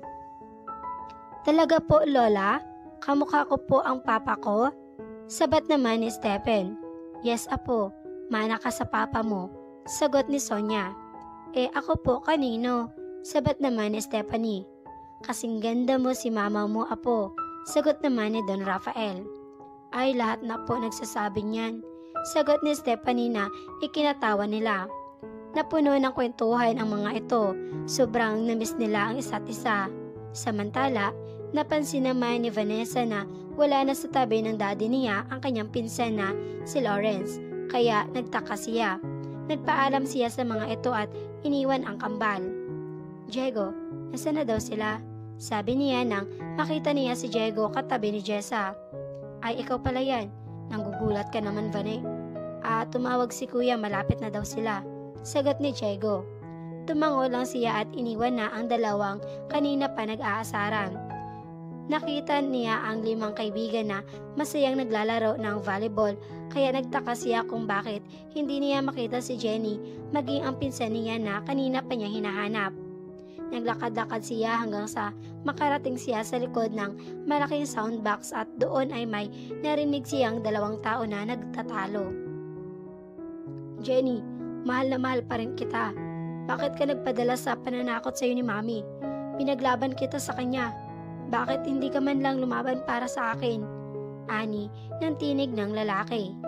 Kaya na-curious siya sa narinig kaya sumilip siya at nagtago. At nagulat siya nang makita niyang magkaharap sina Jenny at Lawrence. Kita pa niya ang mukha ni Jenny na luhaan. Kaya nagtaka siya. Magkakilala sila? Ani ng kanyang isip. Lawrence naman, matagal na tayong tapos. Hanggang ngayon ba naman? Jenny, hindi pa matagal yon. Five months pa lang tayong nagkahiwalay. Bakit ka ba ganyan? Hindi mo na ba ako mahal? Lawrence, may boyfriend na... Jenny, ilang months pa lang na nakipag-break ka sa akin. Tapos ngayon, sasabihin mong may bagong boyfriend ka na? Sino? Sabihin mo. Napakadali sa yung palitan ako? Tama na Lawrence. Oo, five months pa lang tayong hiwalay. Pero oo, mahal ko na agad siya. Sorry kung nasaktan man kita ngayon. Pero paprangkahin kita. Minahal rin kita pero hindi gaya ng pagmamahal ko sa kanya. Shit. Sino? Sino ang pinalit mo sa akin? Sigaw ni Lawrence sa umiiyak na si Jenny. Nakita niyang umiling si Jenny, kaya nagtaka si Vanessa. Damn, Jenny, tell me, hindi mo na ba talaga ako mahal? Three years na relasyon natin, sobrang minahal kita. Ikaw ang unang babaeng minahal ko. Jenny, kinalaban ko si Mami para sa'yo, para ipaglaban ang pagmamahal ko sa'yo. Pero ikaw, napakadali sa'yo na palitan ako. Jenny, halos mabaliw ako kakahanap sa'yo. Hindi ako naniniwala na tinanggap mo ang perang sinuhol ni Mami sa'yo para hiwalayan ako. Jenny, tell me, ang boyfriend mo ba ang dahilan kaya ka nakipag-break sa akin? Umiiyak na ring sabi ni Lawrence. I'm sorry, Lawrence. Tipid na sagot ni Jenny at nakita niya itong tumalikod at patakbong iniwan ang kanyang pinsan na si Lawrence. Natutop ni Vanessa ang bibig dahil sa mga narinig. Hindi siya makapaniwala na nagkarelasyon pala ang kanyang kaibigan sa kanyang pinsan. Naglalakad pabalik si Vanessa habang malalim pa rin ang kanyang iniisip. Hindi pa rin siya makapaniwala na sa tagal niyang nanirahan kila Jenny ay wala man lang siyang kaalam-alam na may nobyo na pala ito. At hindi rin ito nabanggit na nakarelasyon pala nito ang isa sa mga salve. Kaya ba hindi sinabi sa akin ni Jenny ang tungkol kay Kuya Lawrence dahil matagal na niyang alam na isa akong salve? Pero bakit? Paano? Anong dahilan ni Jenny? Eh, kaibigan naman niya ako. Guys, ang babaeng yun sobrang malihim. Mahinang sabi niya, Van, halika na. Salubungin na natin sila kuya. Pukaw sa kanya ni Diego sa malalim na pag-iisip. Dumating na sila? Oo, oo ayan na pala sila. Ani ni Diego nang mapatingin ito sa likod ko kaya napabaling ako sa likod ko at doon ay nakita kong buhat-buhat ni Jeric at ng isang tauhan nito si Sebastian na walang malay. Napatutop ng bibig si Vanessa dahil sa mahigit tatlong taon na ngayon niya lang ulit nakita ang lalaking mahal niya. Nang hina siya, pakiramdam niya ay sinaksak ng libo-libong karayom ang kanyang puso. Napaluha siya dahil sa nakikita niyang paghihirap ni Sebastian magmula nang mawala siya. Naglalakad pabalik si Vanessa habang malalim pa rin ang kanyang iniisip.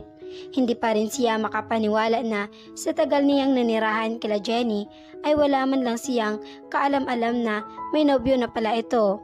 At hindi rin ito nabanggit na nakarelasyon pala nito ang isa sa mga salve.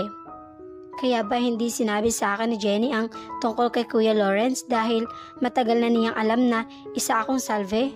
Pero bakit? Paano? Anong dahilan ni Jenny? Eh, kaibigan naman niya ako. Hays, ang babaeng yun, sobrang malihim.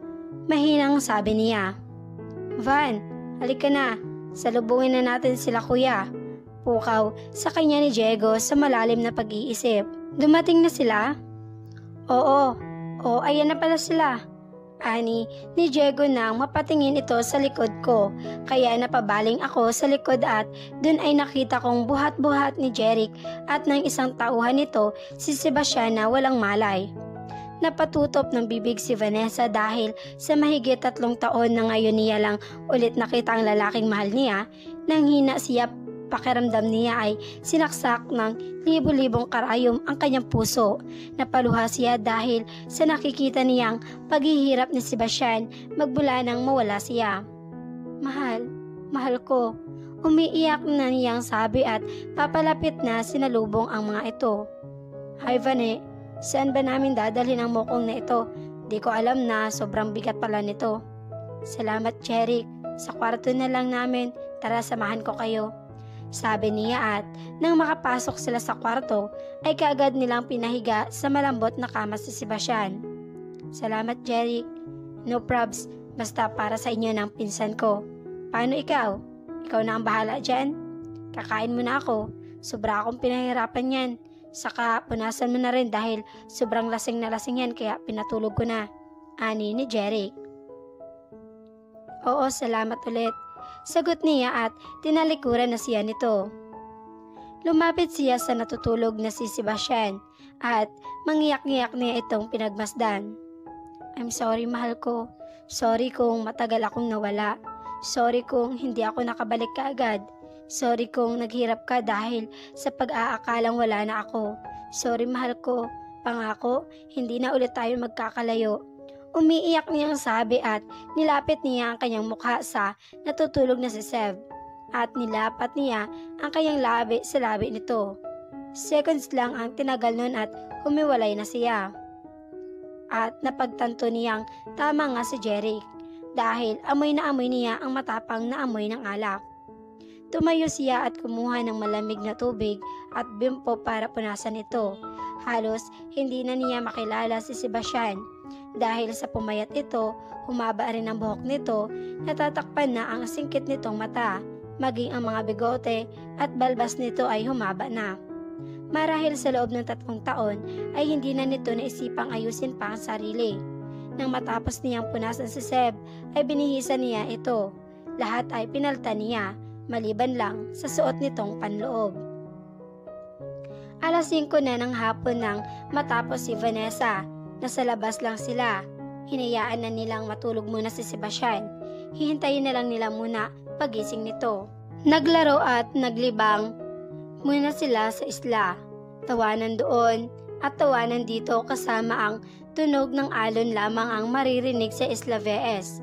Ang Don Rafael maging ang mga magulang ni Sebastian ay pinagkakatuwaan nila ang dalawang kambal na mga apo hanggang sa sumapit na ng alas 8 na ng gabi ay hindi pa rin nagigising si Sebastian. Kaya inutusan na ni Vanessa si Diego na piringan na si Sebastian kahit na tulog pa ito. At ipinatali na rin niya ang kamay nito para kapag nagising ay hindi nito matanggal ang piring sa mata. Nang matapos na si Diego ay pinagtulungan ni na Diego, Joseph at Paulo si Seb na buhatin at alalayan na makaupo sa yaring kahoy na upuan.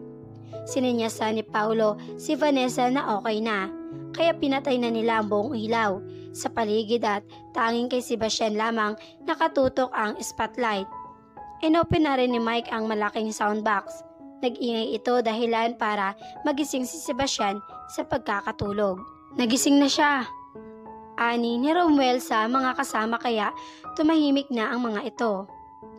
Nagising naman si Seb dahil sa kung anong bagay na maingay dahilan para siya ay magising. Iminulat niya ang kanyang mata at napakunot noo siya nang wala siyang makita kundi madilim. Sinubukan niyang gumalaw ngunit hindi siya makatayo at napagtanto niyang nakatali pala ang mga kamay niya at nakapiring ang kanyang mata dahilan para wala siyang makita. Bumilis bigla ang tibok ng puso niya. Sa isiping baka may dumukot sa kanya. Bakit pa ako matatakot? Wala na rin naman ang babaeng mahal ko kaya wala nang dahilan para lumaban pa ako. Ani ng isip niya. Ang kaninang kabang naramdaman niya ay biglang nawala. Kakaiba ang tibok ng puso niya at yun ang hindi niya alam kung bakit. Wala siyang maramdamang takot sa sitwasyon niya ngayon at ang mas lalong ikinabilis ng tibok ng puso niya ay nang mag-umpisa ang tugtog galing sa kung saan. Pamilyar sa kanya ang kanta kaya mas lalo siyang naguluhan dahil sa nararamdaman niya. Ang kantang ito ay ang unang beses na kinanta ko sa babaeng mahal ko nung second year high school pa kami. Ano ba trip ng mga gagong yun? Bakit nila ito ginagawa sa akin? Ani, nang isip niya at ang tinutukoy niya ay ang kanyang mga kaibigan.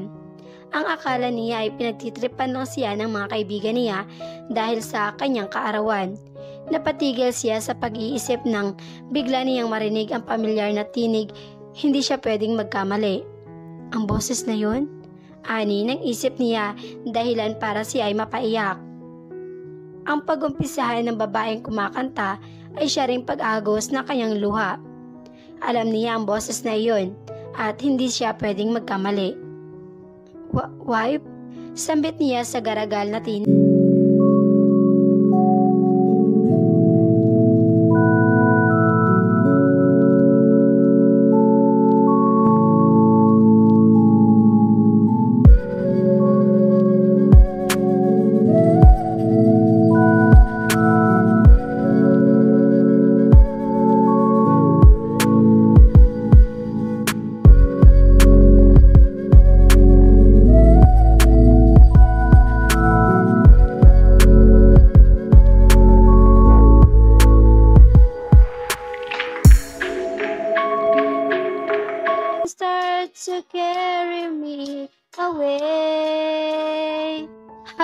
Kumakanta si Vanessa, ay napapaluha rin siya.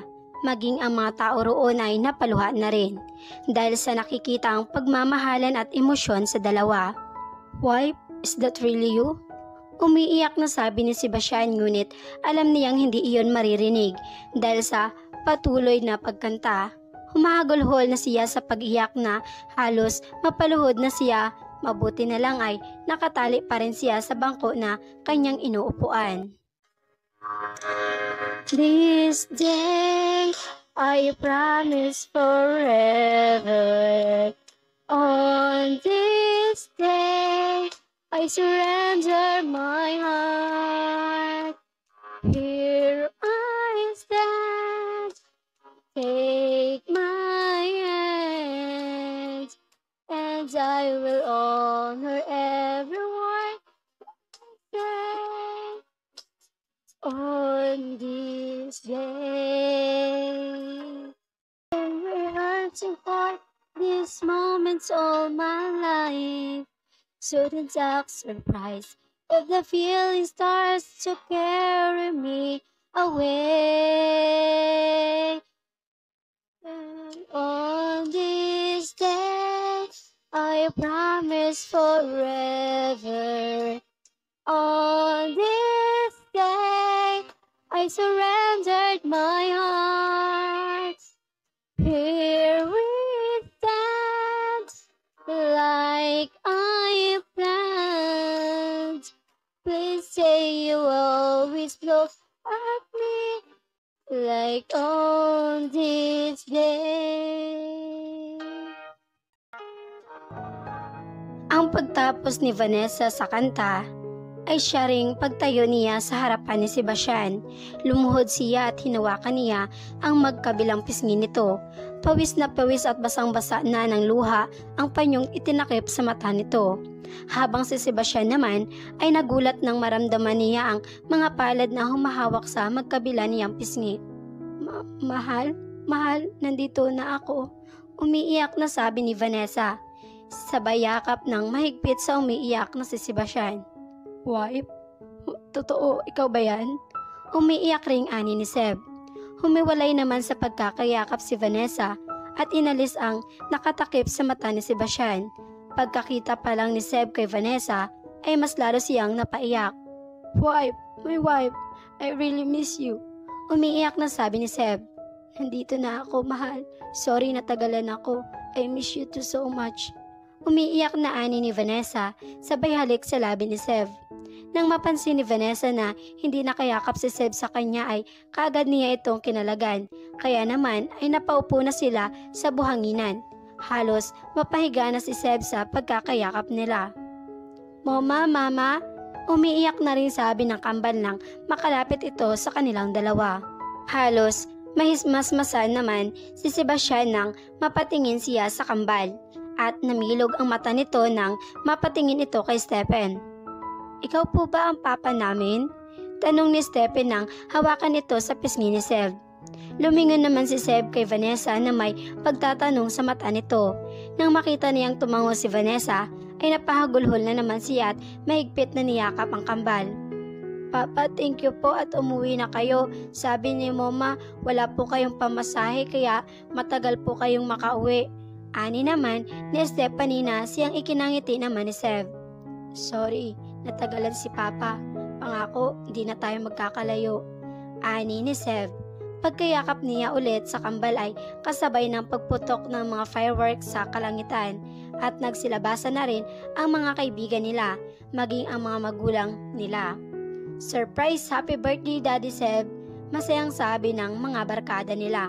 Lumapit naman si Vanessa sa mag-aama niya at niyakap niya ang tatlo. Wow, happy complete family na po tayo, Mama. Ani ni Stephanie. Happy birthday po, Papa. We love you. Magkasabay na sabi ni na Vanessa at ng kambal.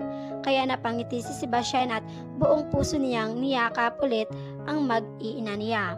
Madam, ito na po yung pinapagawa nyo. Ani, ng lalaking inutusan ni Margarita na baguhin ang laman ng Last Will Testament. Good. Sa akin ba lahat nakapangalan ang lahat ng arerian ng Don? Ani ni Margarita. Opo, madam. Katulad po ng pinautos nyo. Very good. Ito na ang bayad mo at siguraduhin mo walang ibang makakaalam nito dahil alam mo na mangyayari sa pamilya mo. Pananakot ni Margarita sa lalaki sabay abot ng sobrang naglalaman ng pera. Mabilis umalis ang lalaki at naiwan si Margarita na sobrang laki ng ngiti sa labi at hinalikan pa ang envelope na hawak. Kinuha naman agad ni Margarita ang kanyang cellphone para tawagan ang kanyang uutusan. Hello Martin? Oo, nakuha ko na. Mayaman na tayo. Gawin mo na ang inuutos ko. Patayin mo na si Rafael. Wala na akong kailangan sa kanya. Huwag kang tatanga-tanga Martin ngayon din. At pinatay na ang tawag. Samantala, maaga naman pumasok ng kumpanya si Don Rafael para kunin ang nakalimutan niyang dokumento na naglalaman ng kanyang last will testament. Hindi muna siya umuwi ng mansyon. Sa opisina siya agad tumuloy. Masyadong mahaba naging biyahe niya dahil galing pa siya ng isla para sa hinandang sorpresa ni Vanessa. Pero maging siya ay nasorpresa. Sobrang saya ng kanyang nararamdaman dahil sa nalamang buhay si Vanessa at lalong kinasaya niya ay meron na siyang mga apo. Pagod na pumasok si Don Rafael, lahat bumabati sa kanya at sinalubong naman siya agad ng kanyang sekretary. Good morning, sir. Sir, pumunta nga po pala dito si Madam Margarita kahapon. Hinahanap po kayo. Ani ng kanyang sekretary. Mabilis naman pumasok si Rafael sa kanyang opisina at dali-dali hinanap ang kanyang envelope na pinaglagyan niya ng kanyang last will. Pagbukas niya sa kanyang drawer ay ganoon na lamang pag-igting ng panga niya sa galit dahil wala na doon ang kanyang hinahanap, may nagnakaw ng kanyang dokumento. Agad niyang tinawagan ang kanyang matalik na kaibigang attorney. Isang ring lang, sumagot agad ang kanyang kaibigan. Zack, pumunta ka dito sa opisina ko, ngayon na. Yun lang sinabi niya at pinatay ang tawag. Nag-isip ng maayos ang Don. Naisipan niyang i-video ang sarili at doon magsalita. Natapos na gumawa ng video record si Rafael nang dumating ang kanyang kaibigan. O Rafael, bakit mo ako pinabalik dito? Bungad ni Zack. Take this at please pakaingatan mo yan para sa mga apo ko at kay Vanessa. Inabot ni Don Rafael ang bagong gawa niyang Last Will Testament at cellphone niya kung saan naglalaman ng kanyang video. Matapos ang usapan, naisip ni Don na umuwi muna ng mansyon. Habang nasa daan sila, Pauwi ng mansyon, may bigla siyang naramdamang kaba. Sobrang kaba ang naramdaman niya at ang unang pumasok sa kanyang isipan ay ang kanyang mga apo. Kaya agad niyang tinawagan ang number ni Vanessa.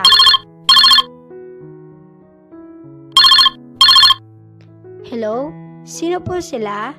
Napangiti naman si Rafael sa narinig dahil boses ng kanyang apo na si Stephen ang unang sumagot sa kanyang tawag. Hello apo, ang lolo pogi mo ito. Kamusta na kayo? Miss na kayo agad ni lolo? Miss ka na rin po namin agad lolo. Sabay sabi ng dalawang bata sa kabilang linya kaya mas lalong napangiti ang don. Nasaan ang papa at mama nyo? Bakit kayo ang sumagot ng tawag? Eh lolo, sabi po kasi ni papa, magbehave lang po kami dito sa baba. Nasa kwarto po sila ni mama. Bibigyan niya daw po kami ng little brother. Pagbehave po kami. Hihihi. Napatawa naman ng malakas ang don. I love you lolo. Sigaw ng batang babae sa kabilang linya, si Stephanie. Mahal na mahal ko rin kayo mga apo. Bigla naman napaluha ang Don sa sobrang tuwa dahil sa mga apo niya. Sabihin niyo na sa... Sir, Yoko! Sigaw ng driver at nabitawan ng Don ang kanyang cellphone. Hindi pa nakapatay ang tawag kaya narinig ng mga bata ang putukan ng baril.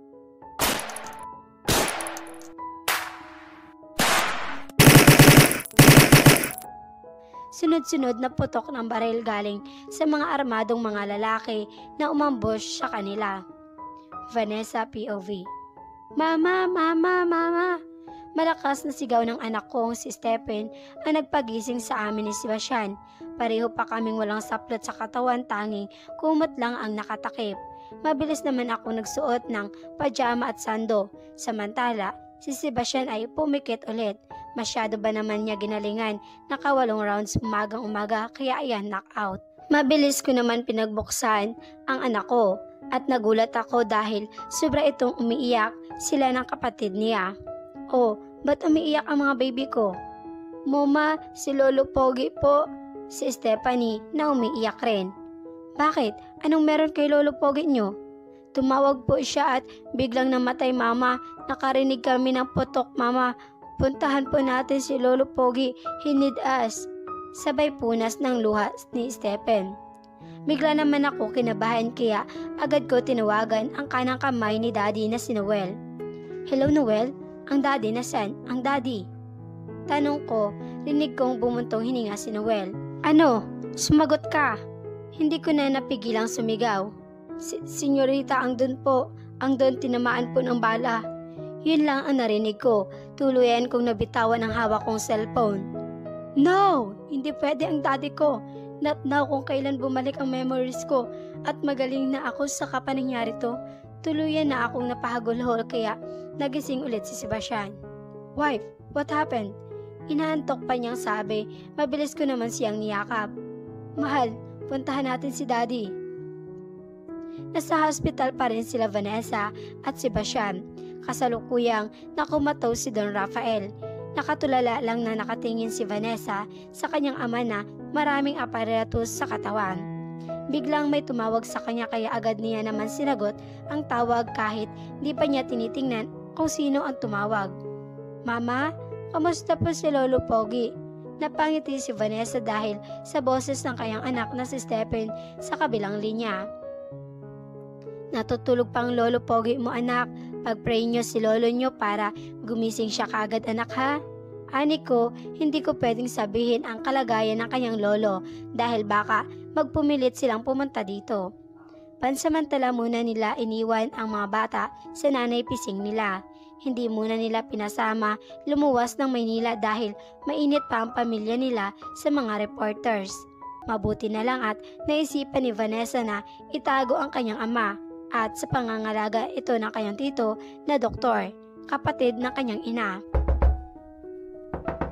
Tatlong beses nakatok sa pintuan na bambilis naman pinagbuksan ni Sebastian. Sir, ang senyorita po. Si Noel na kanang kamay ni Don Rafael. Lumapit si Vanessa at hinawakan naman ni Sebastian ang kamay niya. Noel, anong nangyari? Sino ang bumaril sa daddy ko? Sigaw niya sa tauhan ng Don. Pasensya po, senyorita. Masyado pong marami ang mga armadong lalaking umambos sa amin at si Martin po ang bumaril kay Don. Patawad po, senyorita. Hindi namin sila nahuli. Paliwanag ni Noel habang nakayuko. Mas lalo naman ang inig sa galit si Vanessa na ngayon lamang nakita ni Sebastian. Wife, calm down. Ani, ni Sib at hinagod ang likod ni Vane. Nasa loob na sila ng kwarto ng Don matapos ng pag-uusap nila kanina ay napag-isipan ni Vanessa na umuwi muna ng mansyon. Lumapit si Vanessa kay Sebastian at sinisik ang ulo sa balikat ng lalaki. Mahal, pwede bang pakibantayan muna si Daddy? May pupuntahan lang ako. Paalam niya habang nakayakap pa rin sa likuran ni Seb. Saan ka pupunta wife? Samahan na kita. Hindi na mahal. Mabilis lang naman ako eh, may bibilhin lang ako. Pagdadahilan niya. Hinarap naman siya ni Seb at pinakatitigan habang napakaseryoso ng mukha na para bang binabasa niya kung nagsasabi ba siya ng totoo or hindi. Anong bibilhin mo? Ako na bibili wife. Hindi na nga, mabilis lang ako. Di niya sinasadya na palakas ang boses niya. Pumikit naman si Sebastian dahil nakikita niyang mukhang hindi niya mapipigilan si Vanessa. Okay fine, basta mabilis lang ha. Mamaya nandito na rin sila Manang Silya. Tinawagan ko para maghatid ng pagkain. Ani ni Sev. Niyakap naman siya ni Vanessa. Opo mahal, sorry na sigawan kita. Aalis na ako, I love you, mahal, moi. Hindi na nahintay ni Vanessa ang sagot ng lalaki, mabilis na siyang lumabas. Nakalabas na ng pinto si Vanessa, agad naman tinawagan ni Sebastian ang mga tauhan sa labas. Baste, lalabas ang senyorita nyo. Sundan nyo siya kahit saan siya pupunta. I-update nyo ako at huwag nyo siya pababayaan kung ayaw nyo malintikan sa akin. Mabilis niyang pinatay ang tawag at tinawagan naman niya ang kanyang pinsan. Isang ring lang sinagot agad ng pinsan ang tawag. Diego, pumunta ka ng Boracay magpasama ka ng tauhan na magbabantay sa mga anak ko. Mabilis naman sumunod ang kausap. Nasa harapan na ng gate si Vanessa at nag-doorbell siya ng tatlong beses. Ilang minuto lang ay agad naman siya pinagbuksan ng gate. Si Senyorita? Gulat at hindi makapaniwalang ani ng kasambahay. Siguro nga dahil ang akala nila ay patay na siya. Pumasok siya agad sa loob ng mansyon habang nakasunod lang sa kanya ang kasambahay. Nasaan si Nani Rosa? Tukoy ni Vanessa sa mayordoma.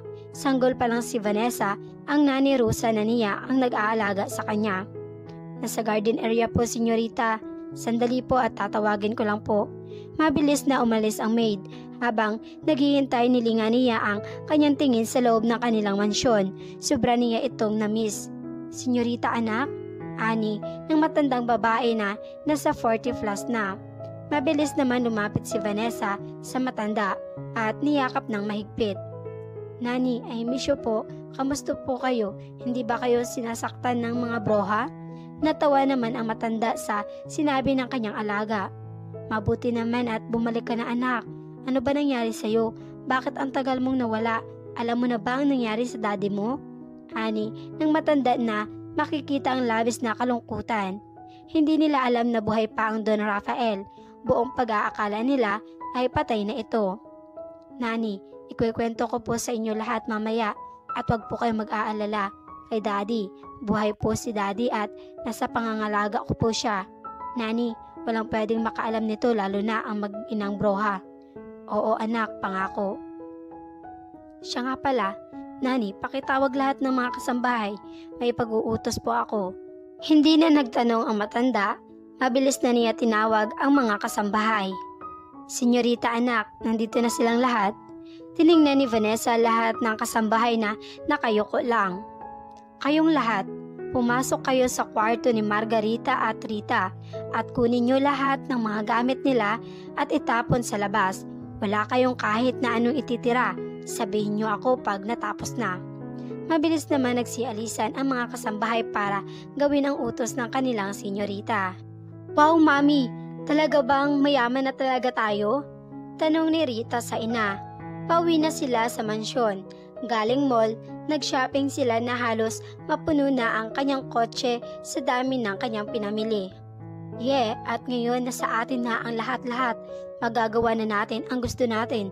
Mayaman na tayo. Wala nang makakahadlang dahil patay na ang mag-ama. Hahaha. Malakas na tumawa si Margarita na animoy isang demonyo. Papasok pa lang ng gate ang kotseng sinasakyan ng mag-ina. Malayo pa lang ay natanaw na nila ang puting van na nakaparada sa harap ng mansyon. Nagkatinginan ang mag-ina at napaisip. Mami, may bisita ata tayo. Ani ni Rita habang nakasilip pa rin sa bintana. Wala akong ibang inaasahan na bisita. Raldo, bilisan mo. Utos ni Margarita sa kanilang driver.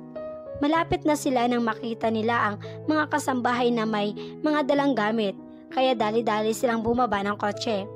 Ganun na lamang paglaki ng mata ng dalawa sa kanilang nakita. Ang mga kasambahay ay pinagtatapon sa labas ang mga gamit nila na para na itong bundok kung titingnan sa sobrang dami na pinagtutumpok. Oh my! Mami! Ang mga gamit natin! Tili ni Rita. Anong ginagawa niyo sa mga gamit namin? Bakit nyo nilalabas? Sigaw ni Margarita sa mga katulong pero hindi sila pinapansin ng mga ito. Anong ginagawa nyo? Itigil nyo yan kung ayaw nyo paalisin ko kayo. Sigaw na naman niya pero parang walang narinig ang mga ito. Patuloy pa rin ang mga ito sa paglalabas ng mga gamit nila. May lumabas na isang kasambahay habang yakap-yakap ang napakaraming underwear at bra na pag-aari ni Rita. Nilapitan ni Rita ito at hinablot ang braso at pinaharap. Sino ang may utos na gawin yan? Gusto niyo bang mamatay? Sigaw ni Rita. Nanginginig naman sa takot ang babae. Pasensya na po na pagutusan lang, ani ng babae at mabilis na umalis. Sino nag-utos sa inyo? Hoy, itigil niyo yan! Sigaw ng dalawa habang pinipigilan ang mga apat na lalaking nagbubuhos na ng gasolina sa kanilang mamahaling gamit. Ano ba? Sumagot kayo! Sigaw ni Margarita. Lumabas naman si Vanessa dahil sa ingay na naririnig niya sa labas. Oh my! May mga baliw palang nakawala dito. Si Vanessa. Lumingon naman ang dalawa sa pinanggalingan ng boses. Ganun na lamang ang paglaki ng mga mata nila sa nakita. V- Vanessa? Yes, the only one and only. I'm back. Hindi ba kayo masaya? My dear stepmother, sister. Pa, pa paanong? Si Margarita. Di, di ba't patay ka na? Si Rita na halos himatayin na sa takot. Hi, hindi. Mahinang bigkas ni Margarita. Tiningnan ng dalawa mula ulo hanggang paa si Vanessa. Mukha lang nito ang hindi nagbago. Ang noong buhok ni Vanessa hanggang liig at color gray, ngayon color black na hanggang bewang ang haba. Malakas naman tumawa si Vanessa. Haha, para kayong nakakita ng multo. Ang papangit yung dalawa. Bu- buhay ka? Si Rita. Tumawa ng malademonyo si Vanessa na dahilan na lalong kinaputla ng dalawa. Anong akala niyo sa akin, multo? Napakaganda ko namang multo. Hahaha. Sagot ni Vanessa. Lumapit ang isang kasambahay kay Vanessa. Senyorita, tapos na po lahat. Okay, good. Tawagin mo si Noel. Mabilis naman dumating si Noel. Noel, natapos niyo na bang buhusan lahat ng gasolina? Tanong ni Vanessa habang nakatingin pa rin sa dalawa. Opo, senyorita. Okay, good. Teka, anong gagawin mo? Gumagaragal na ani ni Rita. Susunugin ko lahat ng basura sa pamamahay ko.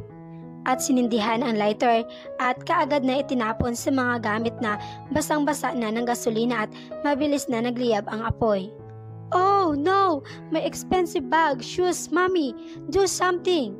Pagwawala ni Rita. Noel, kunin mo ang kotseng sinakyan nila. Sa'yo na yan at yung mga gamit sa loob ng kotse nila, sunugin mo na rin. Pag pumalag sila, barilin mo. Ani ni Vanessa. Tatalikod na sana siya nang sugurin siya ng dalawa pero mabilis naman napigilan ng mga tauhan ni Vanessa. Lumapit si Vanessa kay Rita at hinawakan ng mahigpit sa panga. Subukan mo kung ayaw mong igatong ko kayo. Nilapitan naman niya si Margarita at buong lakas na pinagsasampal ang mukha nito. Apat na mag-asawang sampal ang pinakawala niya sa pisngi ni Margarita pagkatapos at malakas niya itong sinakal. Halos mabali na ang liig ni Margarita sa lakas ng pagkakasakal sa kanya ni Vanessa. Nagsisimula pa lang ako stepmom, sabi niya rito at binitawan na si Margarita. Kunin niyo lahat-lahat ng alahas, cellphone sa kanila at itapon yan sa labas pag pumalag barilin niyo. Utos niya sa mga tauhan at tumalikod na. Wala kang karapatan gawin to sa amin. Asawa pa rin ako ng daddy mo. Malakas na sigaw ni Margarita kaya napahinto sa paglakad si Vanessa at hinarap si Margarita. Bravo, bravo, bravo. Pumalakpak si Vanessa habang palapit kay Margarita at pak, isang malakas na namang sampal ang binigay ni Vanessa. Baka nakakalimutan mo, ako ang kaharap mo, hindi ang daddy ko. At wag mo ipagmalaki sa akin na asawa ka ng daddy ko dahil kahit kailan hindi ka tinuring ni daddy bilang asawa, kaya asawa ka lang sa papel. At wag mo sa akin sasabihin na wala akong karapatan dahil ako lang ang nag-iisang may karapatan sa lahat, lahat ng pag-aari ng mami at daddy ko. Ani ni Vanessa at hinawakan ulit sa panga ang ginang. Kung noon napapalampas ko, lahat, pwes ngayon, ihanda nyo na kabaong nyo. You bitch! Galit na sabi ni Rita at sasampalin sana si Vanessa pero mabilis na hawakan ni Vanessa ang kamay ni Rita at humarap siya rito. No, I'm not bitch. Ako ang karma nyo. Pak! Isang malakas na sampal ni Vanessa. Para yan noon sa panlalandi sa asawa ko. Pak! Pangalawang sampal naman sa kabilang pisngi. Para yan sa pilit mong sinisira ang relasyon namin mag-asawa. Pak! Pangatlong sampal sa kanang pisngi. Para yan sa lahat-lahat ng pang-uuto mo sa daddy ko. Kahit anong sabihin mo Vanessa, may karapatan pa rin ako dahil mag-asawa pa rin kami ni Rafael. Ani ni Margarita. Binitawan naman ni Vanessa ang kamay ni Rita at humarap kay Margarita. Asawa? O sige nga, kung asawa ka ng daddy ko, bakit wala ka sa tabi niya ngayon? At imbis na bantayan siya, heto ka ngayon Nagpapakasarap sa yaman ng daddy ko. Nagawa niyo pang mag-shopping. At imbes na umiyak ka ngayon, tuwang-tuwa ka pa. Baka nakakalimutan mo na kahit kasal pa kayo ng daddy ko, hinding-hindi kanya magawang mahalin o ituring bilang asawa. At hindi ko rin nakakalimutan na ikaw ang dahilan kung bakit namatay ang mami ko. Mahabang lintanya ni Vanessa, pinipigilan niya lang maluha dahil sa pagbanggit na naman sa kanyang ina. Namatay sa sakit si Romena hindi ko siya pinatay. Bakit ba sa akin mo sinisisi pagkamatay ng mami mo? Si Margarita. Oo, may sakit si mami. Pero hindi yun ang dahilan ng kinamatay niya. Hindi ako tanga na kagaya mo. Napag-alaman kong namatay si mami dahil sa lason at walang ibang may kagagawa nun kundi kayo. Pinatay mo ang mami ko para makuha ang daddy ko at ang yaman namin. Mga wala kayong pak Malakas at galit na sabi ni Vanessa sabay sampal ulit sa mukha ni Margarita. Kitang-kita sa mukha ng dalawa ang takot at pamumula ng mga mukha dahil sa paulit-ulit na sampal ni Vanessa. Noel, siguraduhin mong walang matitira sa kanila. Kunin mo mga sandals nila at sunugin at palayasin ang mga yan sa pamamahay ko. Malakas na sabi ni Vanessa. Mami, magpahinga muna tayo. Ang sakit na ng mga paa ko. Reklamo ni Rita sa ina. Kanina pa sila lakad ng lakad sa lansangan habang walang sapin ang mga paa. Naupo sila sa gilid ng kalsada para silang mga pulubi. Crew. Napahawak si Rita sa kanyang tiyan. Hapon na hindi pa rin sila nakakakain. Kasalanan ito ng bobo mong ama, tatanga-tanga. Paano nangyaring nabuhay pa si Vanessa? Galit na ani ni Margarita. Crew. Tumunog naman ang tiya ni Margarita hindi nila alam kung ano ang mangyayari sa kanila. Sa hospital naman, naiinip na si Sebastian kakahintay kay Vanessa. Kanina pa niya tinatawagan si Vanessa, hindi ito sumasagot. Samantala, kakasabi lang sa kanya ng tauhan ni Yana na sa mansyon lang si Vanessa. Hanggat hindi niya makakausap o makita si Vane, hindi siya mapakali. Naisipan niyang tumawag sa mansyon. Ilang minuto lang ay may sumagot na. He, Si Vanessa, nandyan ba ang asawa ko? Sigaw niya sa kabilang linya. Hindi na niya pinatapos ang sasabihin ng nasa linya. Sinisigawan mo ba ako, Sebastian Sandoval? Ganun na lamang panlalambot ni Sebastian dahil si Vanessa pala ang kausap niya at nasigawan pa niya ito. Sorry wife, nag-aalala na kasi ako sa'yo. Wala ka pa kasi. Sabi mo mabilis ka lang. Ani ni Seb sa mahinahon na salita. Huwag kang mag-alala, mahal okay lang ako. Pabalik na rin ako dyan. Mamaya pinapalinis ko lang ang dalawang kwarto para kila Nani Pising kung sakaling pumayag silang lumipat sa atin. Saka, kumain ka na ba? Mahabang lintay niya ni Vanessa. Napangiti naman si Sebastian. Kahit may pagkategre ang babaeng mahal niya, sobra naman itong mag-alaga sa kanya. Hindi pa wife, hindi ako kakain hanggat hindi ka bumabalik. Sasabay na lang ako sa iyo mamaya pagbalik mo. Kunwaring nagtatampong boses ni Sebastian. Hays, gabi na di ka pa rin kumakain. O sige sige na, babalik na ako dyan ngayon. Okay wife, I love you. I love you too mahal. Hindi pa umabot ng isang oras, mabilis nakarating si Vanessa sa hospital. Wife, umuwi muna tayo sa bahay. Sa bahay na lang tayo kumain para makapagpahinga ka na rin. Nandito naman si Manang Celia at Tita Tessa. Ani, ni Sebastian, nakikita niya sa mukha ni Vanessa na labis ang pagod nito. Nilingon ni Vanessa ang magbabantay sa daddy niya at humarap kay Sebastian. Sige mahal. Ay, ibaba mo ko mahal. Tili ni Vanessa na bigla naman siya nang buhatin siya ni Sebastian na animoy bagong kasal. Lahat ng nadadaanan nilang mga nurse na babae kinikilig. Wala na siyang nagawa kundi mas lalo niyang siniksik ang mukha sa dibdib ni Sebastian. Hindi siya makatingin sa mga taong nadadaanan nila.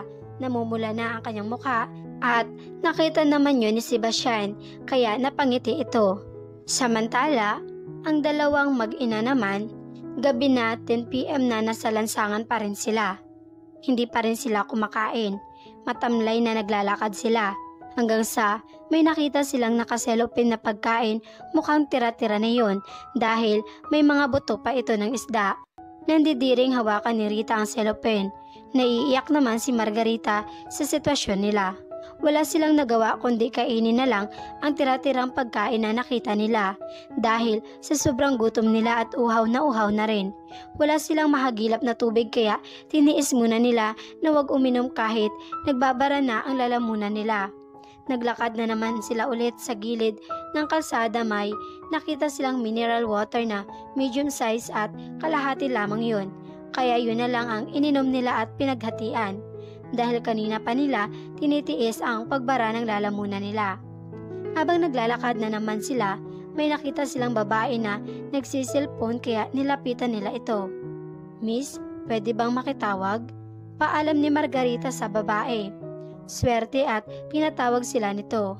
Memorize naman ni Margarita ang number ni Martin, kaya tinawagan niya ito. Dalawang ring lang sinagot na agad ni Martin ang tawag. Hello Martin, ako to si Margarita. Puntahan mo kami dito ngayon na. Wala na maraming tanong, nakitawag lang ako, sige bye. Matapos i-text ni Margarita ang kanyang location, ay binigay niya agad sa babae ang cellphone nito, hindi man lang sila nagpasalamat. Habang hinihintay ng dalawa ang pagdating ni Martin sa may kadiliman ng eskinita, ay may limang kalalakihang mga tambay mukha itong mga adik at halatang mga lasing na naglalakad sa gawi nila. Mas lalo naman dinikit ni Rita ang sarili sa ina. Mommy, I'm scared. Kinakabahang ani ni Rita. Hi miss, hinihintay niyo ba kami? Sabi ng isang lasenggo na puno ng tato ang katawan. Hinawakan nito ang bewang ni Rita. Mabilis naman sinampal ni Rita ang lalaki. Ew, don't touch me. Maarting sigaw ni Rita. Hoy babae, huwag kang mag-inarte, hindi ka maganda. At nagtawanan ang mga lasenggero. Samantala, si Margarita naman ay hinawakan ng dalawang lalaki sa magkabilang braso. Huwag kayong papalag kung ayaw niyong gripuhin ang tagiliran niyo. Sabi ng isang matabang lalaki habang hawak sa bewang si Margarita at hinahalikan ang leeg niya. Kahit 42 pa lang si Margarita ay hindi halata dahil sa alaga siya ng kanyang doktor kaya mukha siyang bata. Mukha silang magkapatid lang ni Rita kung titingnan. Hindi makakilos si Margarita dahil sa nakatutok na kutsilyo sa tagiliran niya. Mami, umiiyak na tawag ni Rita sa ina. Hmm, kahit amoy pawis mukhang masarap naman. Sabi naman ng may hikaw habang nakalabas ang dila. Si Margarita hawak ng dalawang lalaki habang si Rita naman hawak rin ng dalawang lalaki sa magkabilang braso para hindi siya makapalag. Habang ang isang lalaki naman ay parang nakalabas ang dila habang tumawa at hinihimas-himas ang malulus ni Rita. Iyak lang ng iyak si Rita, hindi siya makasigaw dahil tinakpan ng lalaki ang kanyang bibig. Please, wag ang anak ko.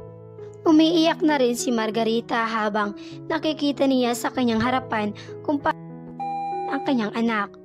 Huwag kang mag-alala, isusunod ka rin namin. Pero sa ngayon, pagsasawaan namin muna ang katawan ng anak mo. Sabi ng matabang lalaki. Ng limang lalaki si Rita, sobrang latang-lata na ito, mahina lang siyang humihikbi. Samantala, si Margarita ay tapos na ang limang adik nang dumating si Martin. Mabilis binaril ni Martin ang mga lalaki pero isa lang natamaan niya. Mabilis nakatakbo ang apat na mga lalaki. Tatay, mabilis niyakap ni Rita ang ama. Samantala, si Margarita ay nakatulog. Hindi kinaya ang pagod. Sobrang galit ang naramdaman ni Martin sa nakitang kalagayan ng kanyang anak at sa babaeng minsan na niyang palihim na minahal. Dating magkaibigan si Martin at Margarita. Isang takas preso si Martin dahil sa kasong pagpatay nito sa sariling ina at lulong rin sa droga. At isang dancer ng club si Margarita. Isang gabi lamang nangyari sa kanila dahil sa kalasingan nagbunga yun at yun ay si Rita. Kaya humanda ang pamilya Salvi na yan, babalikan ko sila. Talagang ginawa mo ng zoo itong bahay natin. Ani, ni Vanessa, kakalabas lang ito. Paano ba naman, puro mga hayop na ang nasa bakuran. May apat na unggoy sa garden area at madaming ibon na nakakulong sa kanilang hawla. Meron rin na ahas na kasing taba na ng hita niya at guard dog na malaki na kulay itim lahat. Mahal, hindi ka ba natatakot? Kasi ako, natatakot ako sa mga alaga mo. Si Vanessa habang pinapanood si Sebastian na masiyang pinapakain ng karne ang mga alagang buwaya. No wife, mababait yan sila. Remember, nung mga bata pa tayo, alaga na natin sila. Ani ni Sebastian habang tinatapunan ng karne ng baka ang mga alaga niyang walong malalaking buwaya. Che, alaga mo lang. Hindi ko mga alaga yan. Ani ni Vanessa at takot talaga siya sa mga alaga ni Sev. Hindi naman siya animals lover. Nasa White House mansion sila. Pagkagising niya pumunta siya ng rooftop para magpapawis at magpaaraw. Habang nag exercise ay rinig niya mula sa baba ang boses ni Sebastian na masayang nagpapakain ng mga alaga. Ngayon niya lang ulit narinig na tumawa ng malakas si Sev, kaya napangiti rin siya. Nang madako ang mga mata niya sa mga naglalakihang buhaya, halos atakihin sa puso si Vanessa dahil sa sobrang takot. Kaya mabilis siyang bumaba para pumunta sa likod ng bahay. Hais, bakit mo ba naisipang dito sila ilagay sa fish pond mo? Halos wala na akong makitang isda ah. Pwede naman sa ibang lugar. Bakit dito pa sa likod ng bahay? Kahit may malalaking pader na nakapalibot sa fish pond nila at may malaking bakal na pintuan, hindi pa rin siya komportable. Paano na lang pag nakawala ang mga iyan at nagkataon na wala ang lalaki? Wala lang wife, gusto ko lang, saka gusto ko ako palagi magpapakain at mag-aalaga sa kanila para umamo sila. Ay loko, mapapadali buhay ko dito eh. Doon na lang tayo sa mansion or isla tumira. Gawin na lang natin bahay bakasyonan to. Natatakot ako para sa mga bata. Tumawa lang si Sebastian. Ikaw bahala wife. Siya nga pala, aalis ako. Mamaya wife, kailangan ako sa opisina baka gagabihin ako. Magpapalagay ako ng maraming bantay dyan sa labas. Okay, bukas na lang tayo pumunta kila Nay Pising.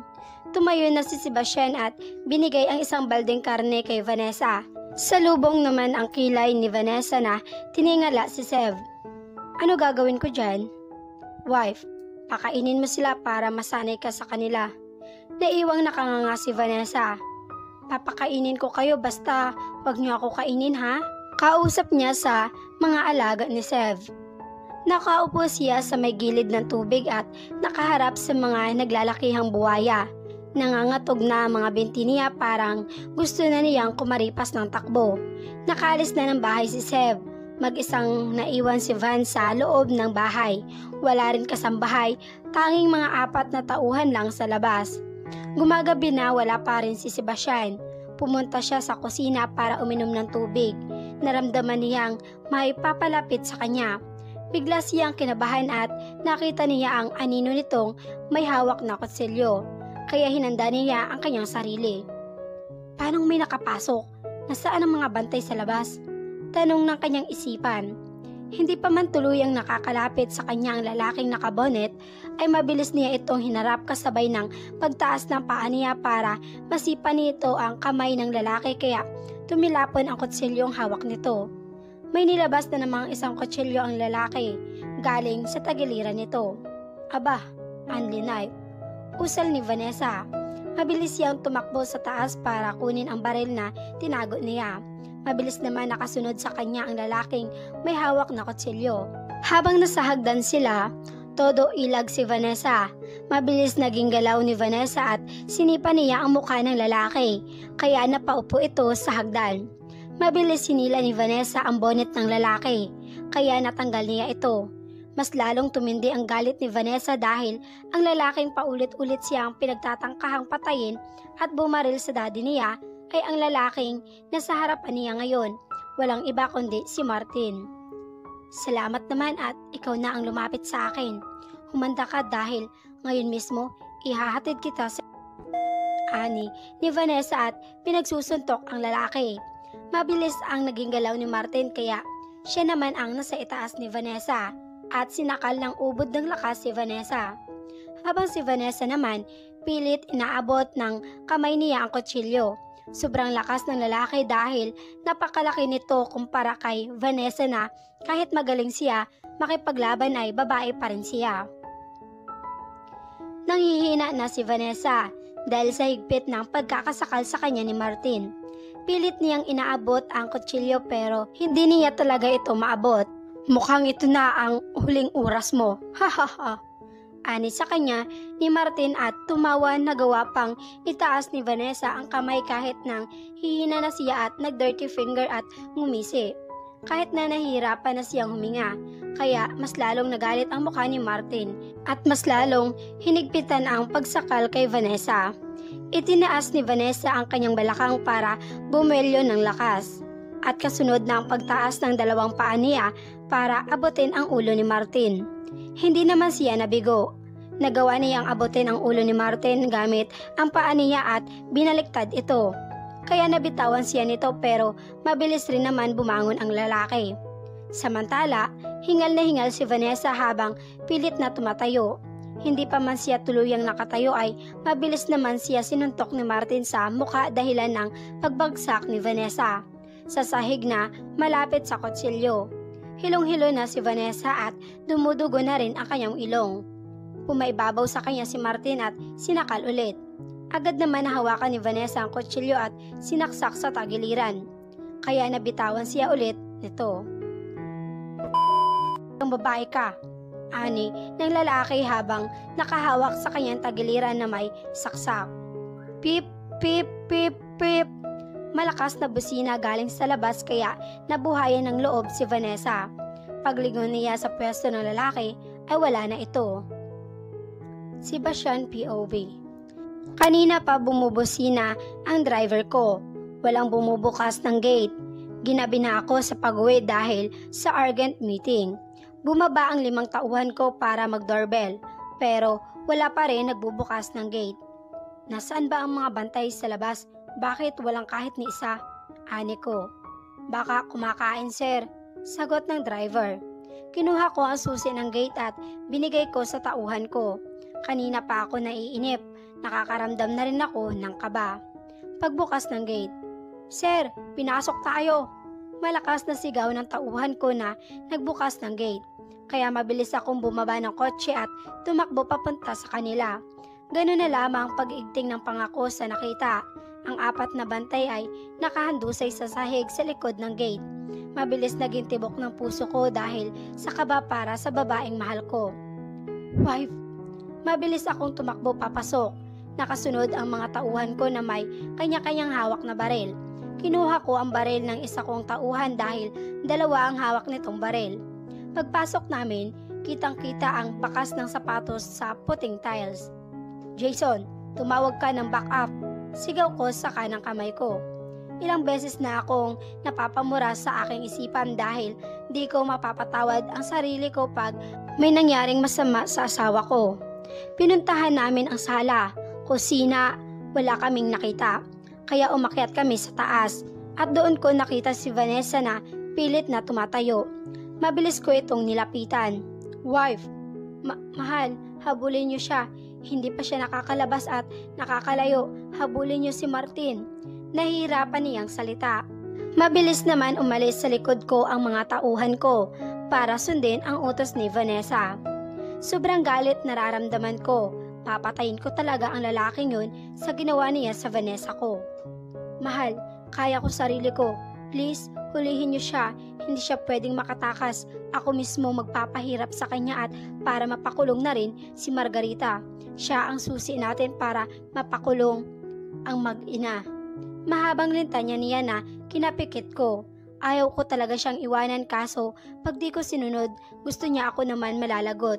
Kaya hinalikan ko siya sa noo bago tumayo. Dito ka lang ha, hintayin mo ako. Pakiusap ko na kinatango niya. Vanessa POV Sobrang hinang-hina na ako pero kailangan ko mahuli ang pisting lalaking yun. Ililibing ko talaga yun ng buhay. Ha?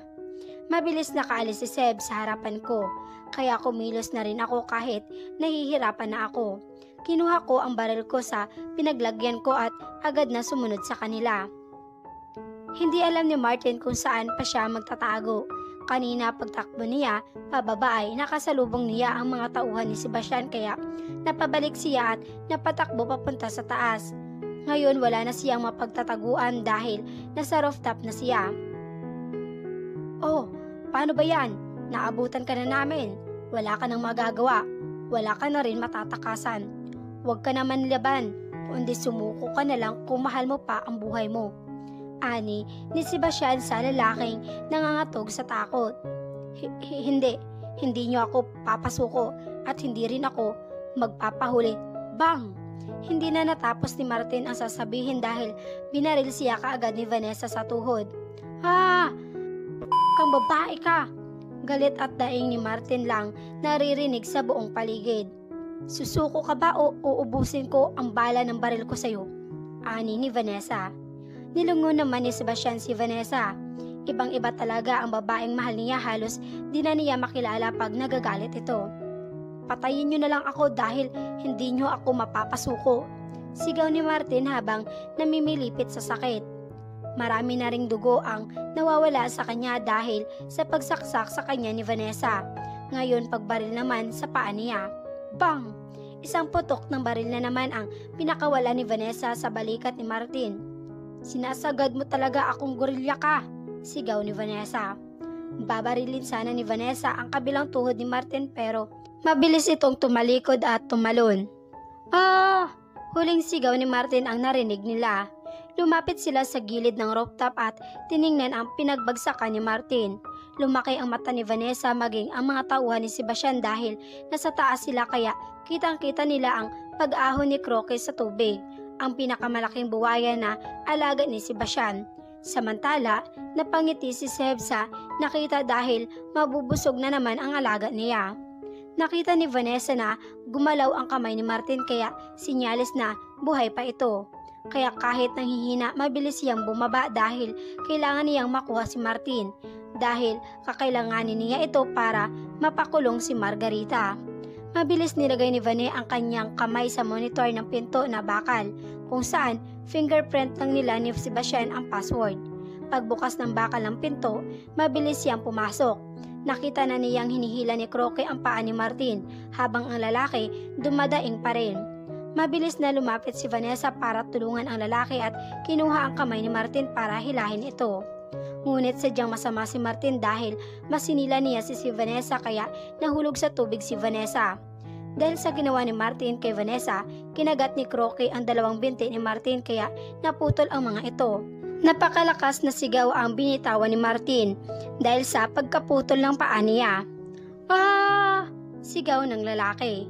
Mabilis naman nakapasok sila Sebastian pati na rin ang mga tauhan niya. Hinanap ng mata niya si Vanessa, ganun na lamang paglaki ng mata ni Seb dahil nakita niyang takot na takot si Vanessa sa limang buwaya na papalapit sa kanya. Mabilis pumito si Sebastian kaya nakuha niya ang atensyon ng mga alaga. Tinaas ni Seb ang kamay at pinailing ang hintuturong daliri sabay pigito ng isang beses. Kaya naman bumalik umilalim agad sa tubig ang limang buwaya. Mabilis inaaho ni Seb si Vanessa sa tubig at niyakap ito ng sobrang higpit. Ramdam niya ang takot sa katawan ni Vanessa dahil sa sobrang panginginig. Samantala, si Crocky ay nakatuon lang ang ulo kay Seb para bang naghihintay ng permiso. Kaya nilingon ni Seb ang ulo sa dumadaing na lalaki. Halos wala na itong dugo. Kalahati na rin ang katawan. Humiwalay muna si Seb kay Vanessa para lapitan ang alaga. At hinimas ang ulo ng buwaya sabay sabing, Magpakabusog ka, old brother. Nakita niya ang kumurap ang mata ng alaga kaya napangiti siya dahil naiintindihan siya nito. 38 years na si Crocky, samantalang 27 pa lang si Sebastian. Dating alaga ni Mr. Simon Sandoval si Crocky. Bata pa lang si Sebastian, palagi na siya nilalaro ng daddy niya kasama si Crocky. Sinanay siya ng daddy niya para mapamahal at mapaamo niya ang alagang buwaya.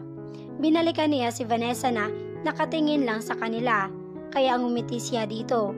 Muli siyang pumito ng dalawang beses kaya nagsilabasan ang mga ulo ng pitong buwaya at tinuro ang gawin ni Martin na nakapikit na habang dahan-dahan hinihila ni Crocky. Margarita POV Isang linggo na wala pa rin si Martin? Nasaan na kaya ang lokong yun? Hindi rin namin matawagan dahil nakapatay ang cellphone nito. Wala nang ibang pamilya si Martin maliban sa amin lang dalawa ni Rita. Mami, one week na wala pa rin si tatay baka tinakasan na tayo noon. Si Rita nakakagaling lang kung saan. San ka ba galing? Tanong ko. Kinuha ko lang ang ibang pera na tinago ko, aniya. Napalingon ako sa sinabi niya. May pera naman pala ang lokong to bakit pa kami nagtitiis sa barong-barong na maliit na bahay na ito. Saan mo naman nakuha ang perang tinago mo? Di ko alam na ginagamit mo rin pala ang utak mo. Ani ko. Siyempre, sa kumpanya ni Vanessa nung pinasok ako ng tandang Rafael na yun doon, kaya nakakuha ko ng milyon sa kumpanya. Sagot ni Rita na nagpatuwa sa akin. Mami, saan na ba si tatay? Ano na ba ang plano? Huwag na natin hintayin ang tatay mo. Susunod rin yon pag di niya tayo naabutan. Ani ko. Tamang-tama sa makalawa. Birthday na ni Vanessa na yun, Mami. Aniya na nakapagpaisip sa akin. Sebastian POV Busy akong nakatutok sa harap ng laptop ko dahil sa tambak na trabaho sa kumpanya. Dalawang kumpanya namin ni Vanessa ang pinapatakbo ko. Inangat ko ang ulo ko para tingnan si Vanessa na seryosong nakatutok sa pinapanood na Korean drama. Mula umaga, yan na lang ang pinapanood niya paulit-ulit. Kapag natapos papanoorin ulit. Hindi ko alam kung kailan pa naging k-drama lover ang Vanessa ko. Napansin kong tumataas baba ang balikat niya kaya kumunot ang noo kong nakatingin sa kanya. Tumayo ako at nilapitan siya. Sheila, wag mo na kasi siyang iwan. Habang umiiyak, panay naman ang subo niya sa kinakaing marang. Napansin ko nakaubos na siya ng dalawang marang. Mula kaniyang umaga niya pa, iniiyakan ang dramang pinapanood niya na si Lee Min Ho, ang bidang lalaki. Wife, tama na yan. Sasakit tiyan mo niyan. Mamaya nandito na ang pinadeliver mong dinner natin. Ani ko at kinuha sa kamay niya ang marang. Mahal, sino ba direktor ng dramang yan? Ipapatanggal ko. Umiiyak na ani niya. Napapailing na lang ako dahil di ko alam kung ano sasabihin. Apat na araw ko na siyang napapansing kakaiba. Palagi na lang mainit ang ulo niya, inaaway niya ako at naiinis palagi at nagiging matakaw na. Ting dong! Napatayo ako at napatingin sa monitor kung sino ang nagdoorbell. At doon ko nakita ang dalawang delivery boy. Wife, tama na yan. Nandito na ang pinadeliver mo. Ani ko. Lumingon siya sa akin na sa lubong ang kilay. Eto na naman. E di kunin mo na. Ano pa tinatayo-tayo mo dyan? Kunin mo na para makakain na tayo dahil maaga tayong matutulog. May lakad pa tayo bukas. Aniya habang nakasalubong ang kilay. Napakamot na lang ako ng batok at napailing.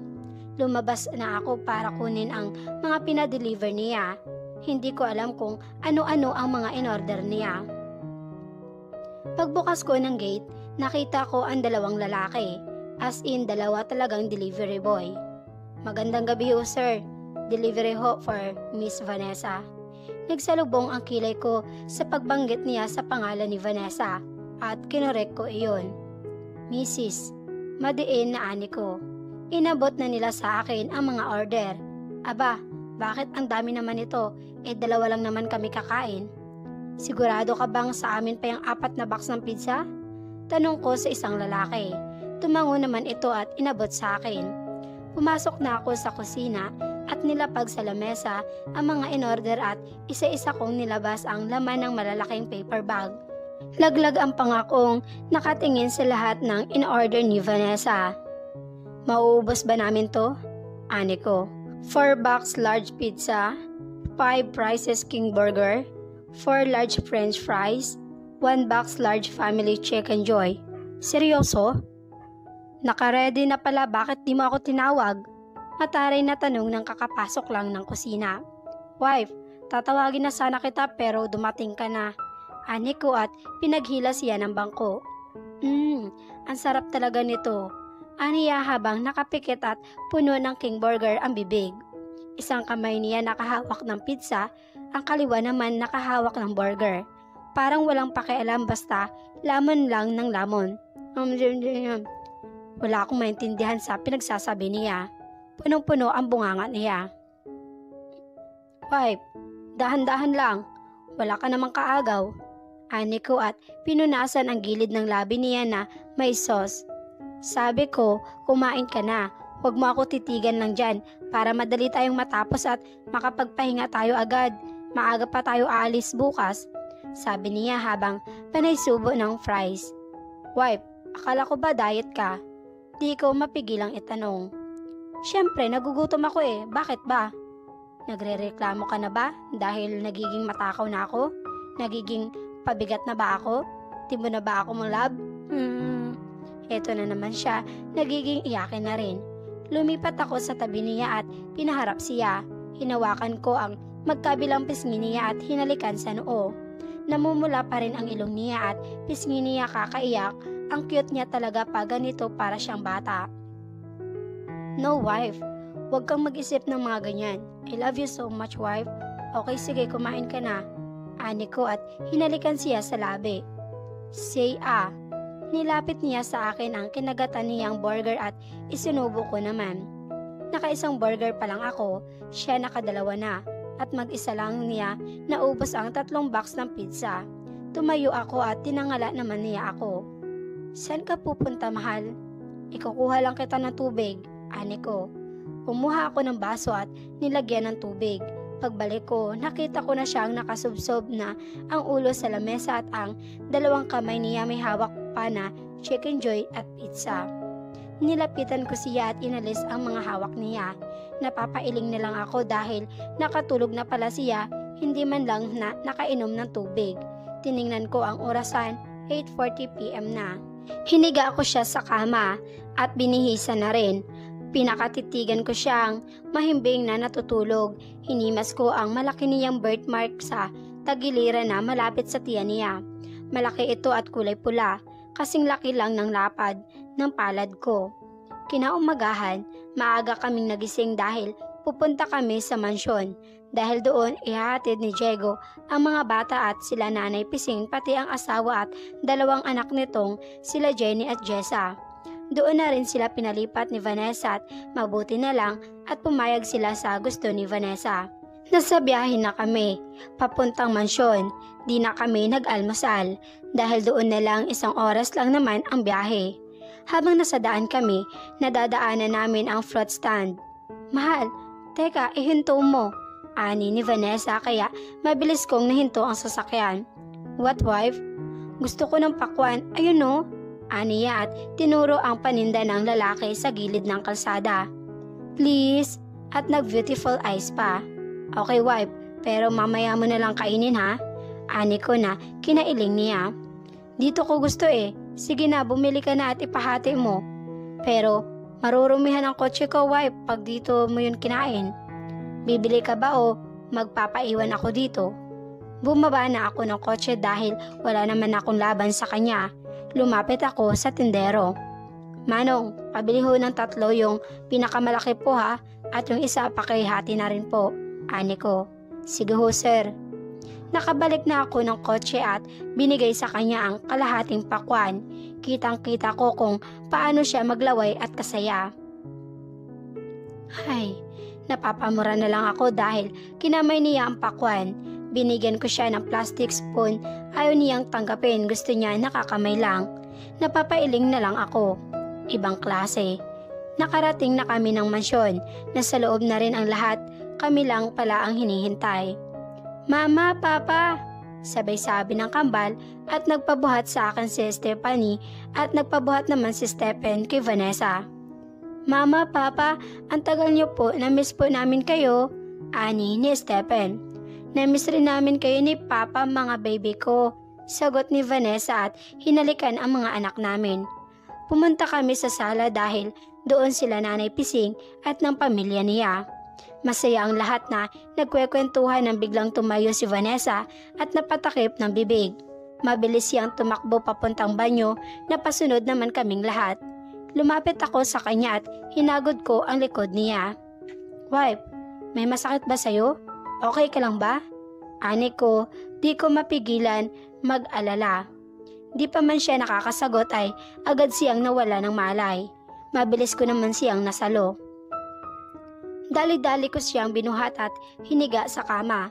Mabilis kong tinawagan ang pinsan kong doktor dahil sobrang pag-aalala ko. Ilang minuto lang ay dumating agad si Sofia at agad niyang sinuri si Vanessa. Nang matapos ay lumapit kami kay Sofia para malaman ang karamdaman ng mahal ko. She's okay Cass. Normal lang sa kanya ang pagsusuka niya at pagkahilo. Da- ha? Anong normal sa pagsusuka at pagkakahilo?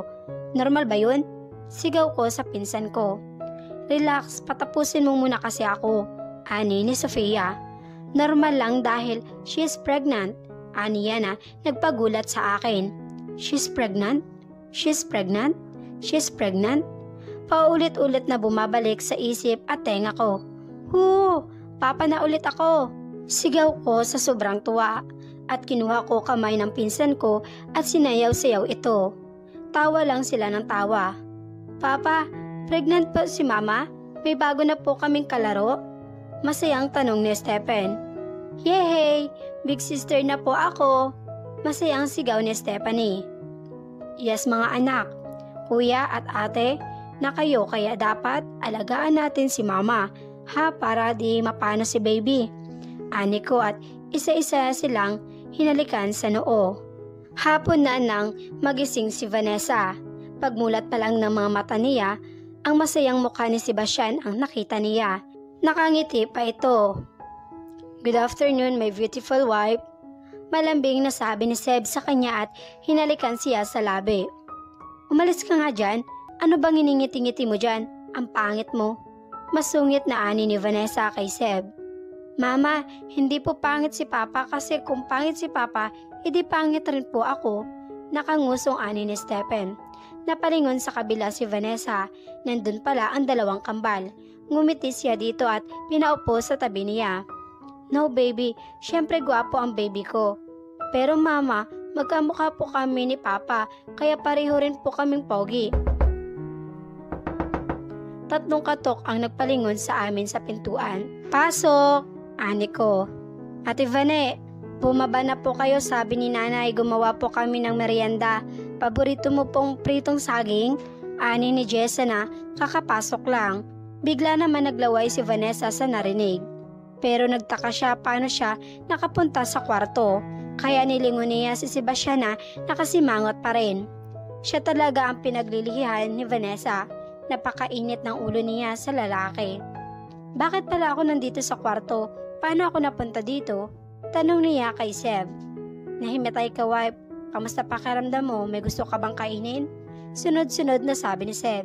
Kumunot naman ang noo ni Vanessa.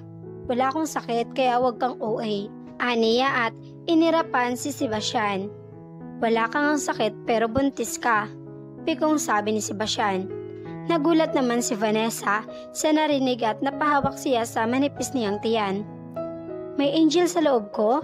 Aniyat, nagsimula na namang mamasa ang mga mata niya.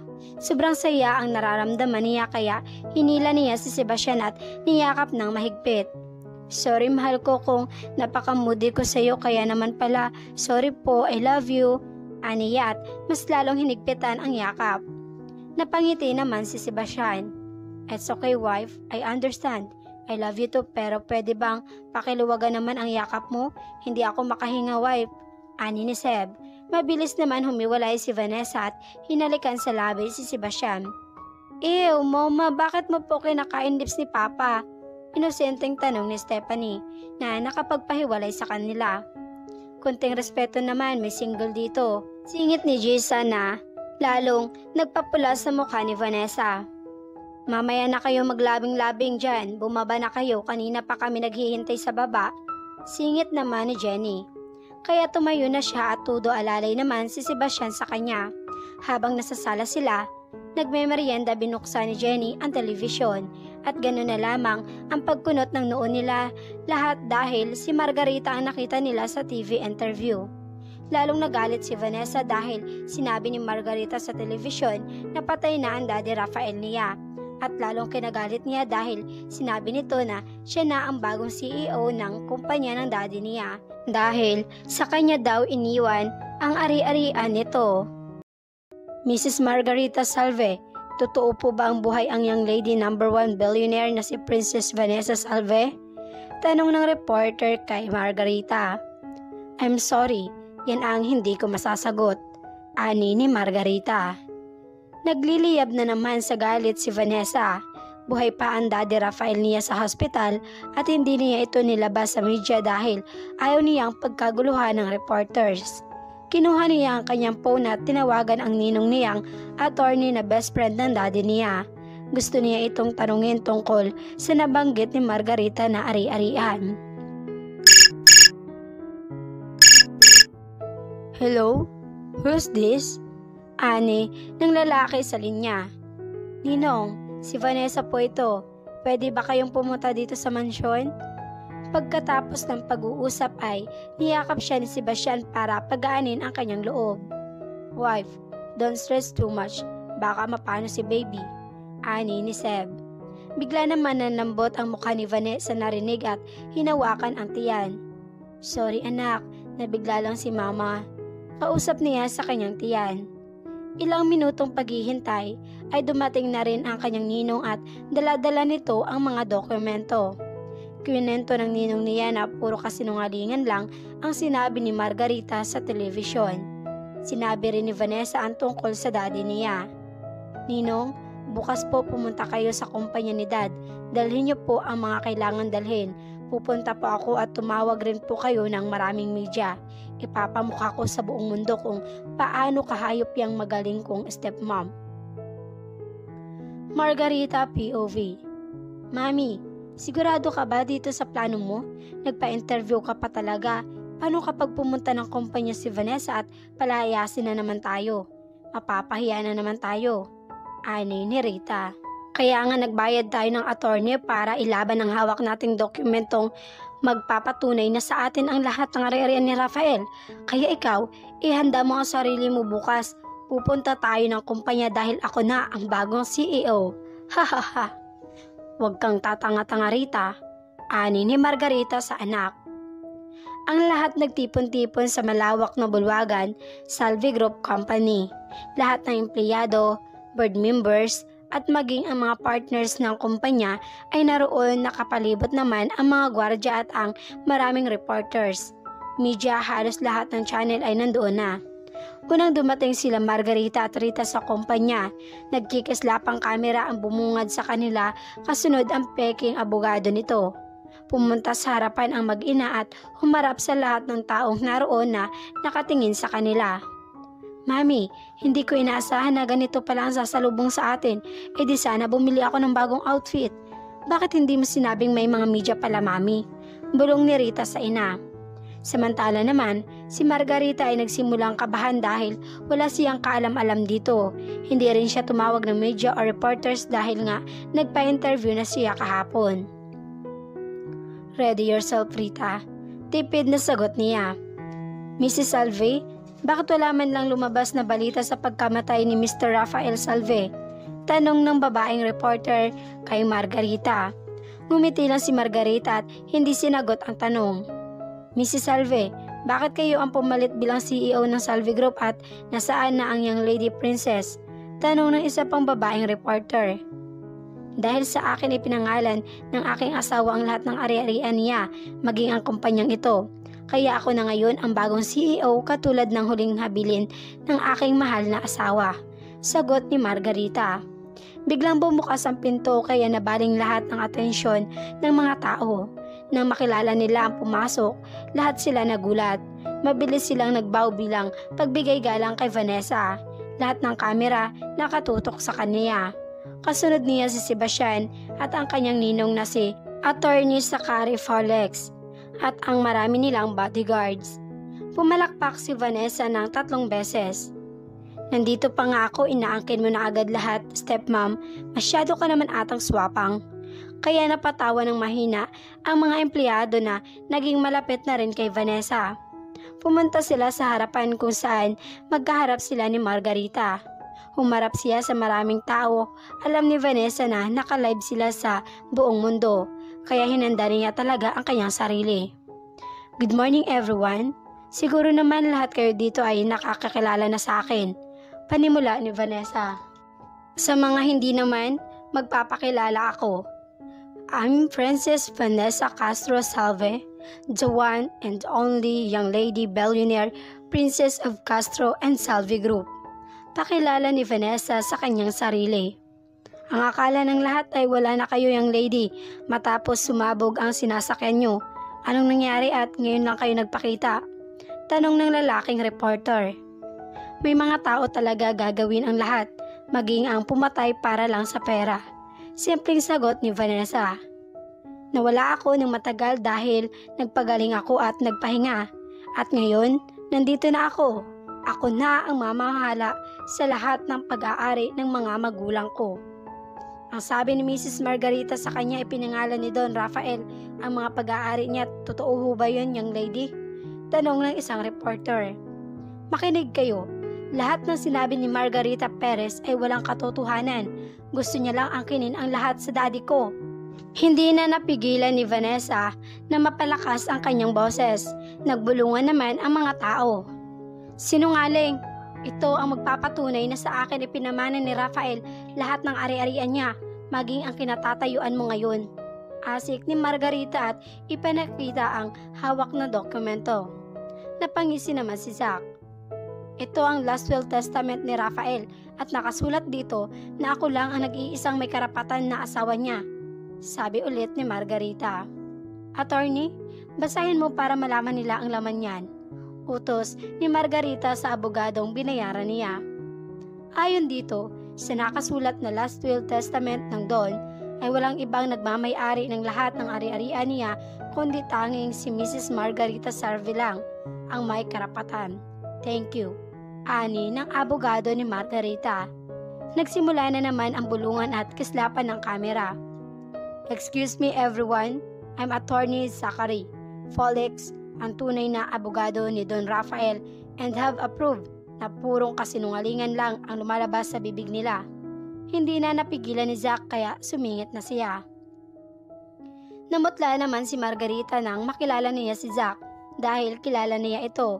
Ito ang matalik na kaibigan ni Rafael na abogado. Pwede ba namin makita lahat ang sinasabi mong proof attorney? Sabi ng lalaking may hawak ng kamera. Nilabas ni Zack ang dalawang dokumento at isang cellphone. Nakilala naman agad ni Vanessa ang cellphone na hawak ng ninong niya dahil pag-aari ito ng kanyang daddy. Nilabas ni Zack ang memory card ng cellphone at in-insert sa gilid ng flat screen. Biglang bumukas ang malaking TV screen at doon inopen ni Zack ang video ng Don. Lahat nakatutok sa malaking screen at nakikinig. Nakitang si Don ang laman ng video kaya lahat nakafocus manood. Ako si Don Rafael Montefalcon Salve, ang President and CEO ng All Companies of Salve Group. Ginawa ko ang video na ito para mapanood ng aking unika iha. Bago ko simulan, gusto ko lang humingi ng tawad sa aking princess. Iha, patawarin mo si daddy kung nawala ang mami mo na may sama pa rin ang loob sa akin. Hindi ko sinadyang saktan ang mami mo anak. Mahal na mahal ko ang iyong ina. Isang malaking kasinungalingan lang ni Margarita kaya sumama ang loob ng iyong ina sa akin. Kahit kailan, hindi ko magawang pagtaksilan si Romena. Siya lang ang babaeng minahal at minamahal ko anak. Ang mami mo lang ang minahal ko. Nagsinungaling si Margarita na may nangyari sa amin nung gabing malasing ako. Kwento niya sa mami mo na pinagsamantalahan ko siya kahit hindi naman totoo. Sana mapatawad mo ako anak. Mahal na mahal ka namin ng mami mo. Kung may mangyari man sa akin, ang video na ito ang magpapatunay. May hawak ako ngayon na dalawang dokumento. Ang isa ay nandito lahat. Ang ari-arian ng aking mahal na asawa na si Romena Camion Castro Salve. Ang isa naman ay nandito lahat ng ari-arian ko. Ang una kong babasahin ay ang lahat ng ari-arian ng ina ni Vanessa na si Romena. Merong 478 jewelry diamond gold shop sa iba't ibang bahagi ng bansa, 115 jewelry shop sa USA, 160 sa France, 120 sa Japan at 83 dito sa Pilipinas. At ang lahat-lahat ng jewelry shop na pag-aari ni Romena ay ipapamana ko sa aking prinsesang apo na si Stephanie Salvi Sandoval. Maging ang mansyon at shoes marketing ni Romena sa USA ay ipapamana ko sa mga mahal kong apo na sina Stephen at Stephanie Salvi Sandoval. Ang isa namang hawak ko ay nandito lahat ng ari-arian ko. Ang hasyenda ng Maisan at ng Tubuhan at mansyon ko sa Mindoro ay ipapamana ko sa mag-asawang Pising at Baldo bilang pasasalamat sa pag-alaga sa unika iha ko at ng mga apo ko. Ang aking dalawa ko pang hasyenda sa Davao at Bulacan ay ipapamana ko sa mga darating ko pang apo. Ang mansyon at RR Island ay regalo ko sa inyong dalawa bilang wedding gift, Sebastian at Vanessa. Ang aking 11 airplane at 8 helicopter ay papamana ko kay Sebastian. At ang huli ay ang lahat ng pera ko sa bangko at ang lahat ng kumpanya ko sa Japan, England, Singapore, Turkey, US at ang anim na kumpanya dito sa Pilipinas ay ipapamana ko sa nag-iisa kong anak na si Vanessa Castro Salve Sandoval. At syempre, 100 milyon para sa matalik kong kaibigan na si Zachary. Kung mawala man ang dalawang papel na ito, ay ang video na ito ang magpapatunay. Maraming salamat. Mahabang habili ng doon ang labis na nagpaiyak kay Vanessa. Panay pa rin ang kislapan ng mga kamera. You witch! Sigaw ni Rita kay Vanessa at tangkang bubuhusan niya si Vanessa ng kanyang hawak pero mabilis na hawakan ni Vanessa ang kamay ni Rita at kinuha ang hawak nito at tinapon sa mukha ni Rita. Ah! Malakas na sigaw ni Rita at napahawak siya sa kanyang mukha na umuusok na gano'n na lamang paglaki ng mata ni Vanessa dahil akala niya ay tubig lamang ang hawak ni Rita. Ngunit isa pala itong asido. Two months na rin ang lumipas magmula nang mangyari ang gulo sa kumpanya ng Salvi Group. Yun na ang huling beses na nakita ni Vanessa ang mag-ina matapos ang gulong yon. Nawala na lang ang mga ito. Isang linggo magmula nang magising si Don Rafael at apat na buwan na rin ang pinagbubuntis niya. Nasa Garden Hotel sila lahat dahil doon gaganapin ang birthday celebration ni Vanessa. Naroon ang nanay Pising, tatay Baldo, Jessa at Jenny na kasama ng mga kambal. Kasama rin ang daddy niya. Pati na rin ang mga magulang ni Sebastian. Maging ang mga kasambahay sa mansyon ay imbitado. Naroon rin mga ka-business partner ng pamilya nila, relatives at mga kaibigan. Napakaganda niya sa suot na golden gown. Kumikinang ang mga diamond design ng kanyang suot. Hindi halatang buntis siya, di pa naman gaanong kalakihan ang kanyang tiyan. Masaya ang lahat habang kumakain, sumasabay sa musika at kwentuhan ng mga bisita ang tanging naririnig. Palagi naman nasa tabi niya si Sebastian para alalayan siya. Magmula nang malaman nito na buntis siya, halos di na siya maiwan-iwan dahil todo alalay at bantay sa kanya si Seb. Napansin ni Vanessa na hindi niya nakikita ang dalawang mga anak kaya nilapit niya ang muka sa tenga ni Sebastian para tanungin ito. Nasaan ang mga kambal? Nagbanyo lang, nagpaalam rin sila kasama nila ang mga yaya nila. Sagot ni Seb. Natapos na ang kainan pero hindi pa rin mahagilap ng mata ni Vanessa ang mga anak. Kaya lumapit siya kila Jess at Jenny. Nakita niyo ba sila Stephen at Stephanie? Tanong niya. Hindi pa ba sila bumabalik? Di ba nagbanyo lang sila kasama ang mga yaya nila? Sagot ni Jessa. Pero kanina pa yon matatapos na ang party nasaan na ang mga anak ko. Nagsisimula na siyang magpanik. Tinawagan ni Sebastian ang mga tauhan para hanapin ang mga bata sa buong loob ng hotel. Nagsisimula na rin magtaka ang mga bisita, lumapit ang daddy ni Sebastian. San, ano nangyayari bakit napakaraming mga tauhan dito sa loob? Baka matakot ang mga bisita. Tanong ng daddy niya. Dad, ang mga anak ko, kanina pa sila hindi nakakabalik. Kanina pa namin sila hindi nakikita. Sagot ni Sebastian sa ama. Tumalikod ang daddy niya at kinuha nito ang cellphone at may tiningnan. San, alam ko na kung saan ang mga apo ko. Sabi ng daddy niya na nagpalingon sa kanilang lahat. Maging si Vanessa ay lumapit na rin. Dad, saan ang mga anak ko? Tanong ni Vanessa kay Simon. Palisin niyo muna ang mga bisita at mga media para hindi lalong magkagulo iha. Sumunod naman si Vanessa. Nakalis na ang mga bisita tanging sila lamang ang naiwan, pati na rin ang sila Jenny at mga magulang nito. Lahat nag-aalala para sa kambal. Nasa panganib ang mga apo natin Rafael. Natrack ko na kung nasaan sila dahil ang regalo kong kwintas kay Stephanie at relo ni Stephen ay nilagyan ko ng device. Mahabang paliwanag ng daddy Simon nila. Napaiyak si Vanessa sa sobrang pag-aalala para sa mga kambal. Mahal, ang mga anak natin, Daddy. Sabi ni Vanessa at parang batang naghihingi ng saklolo sa ama.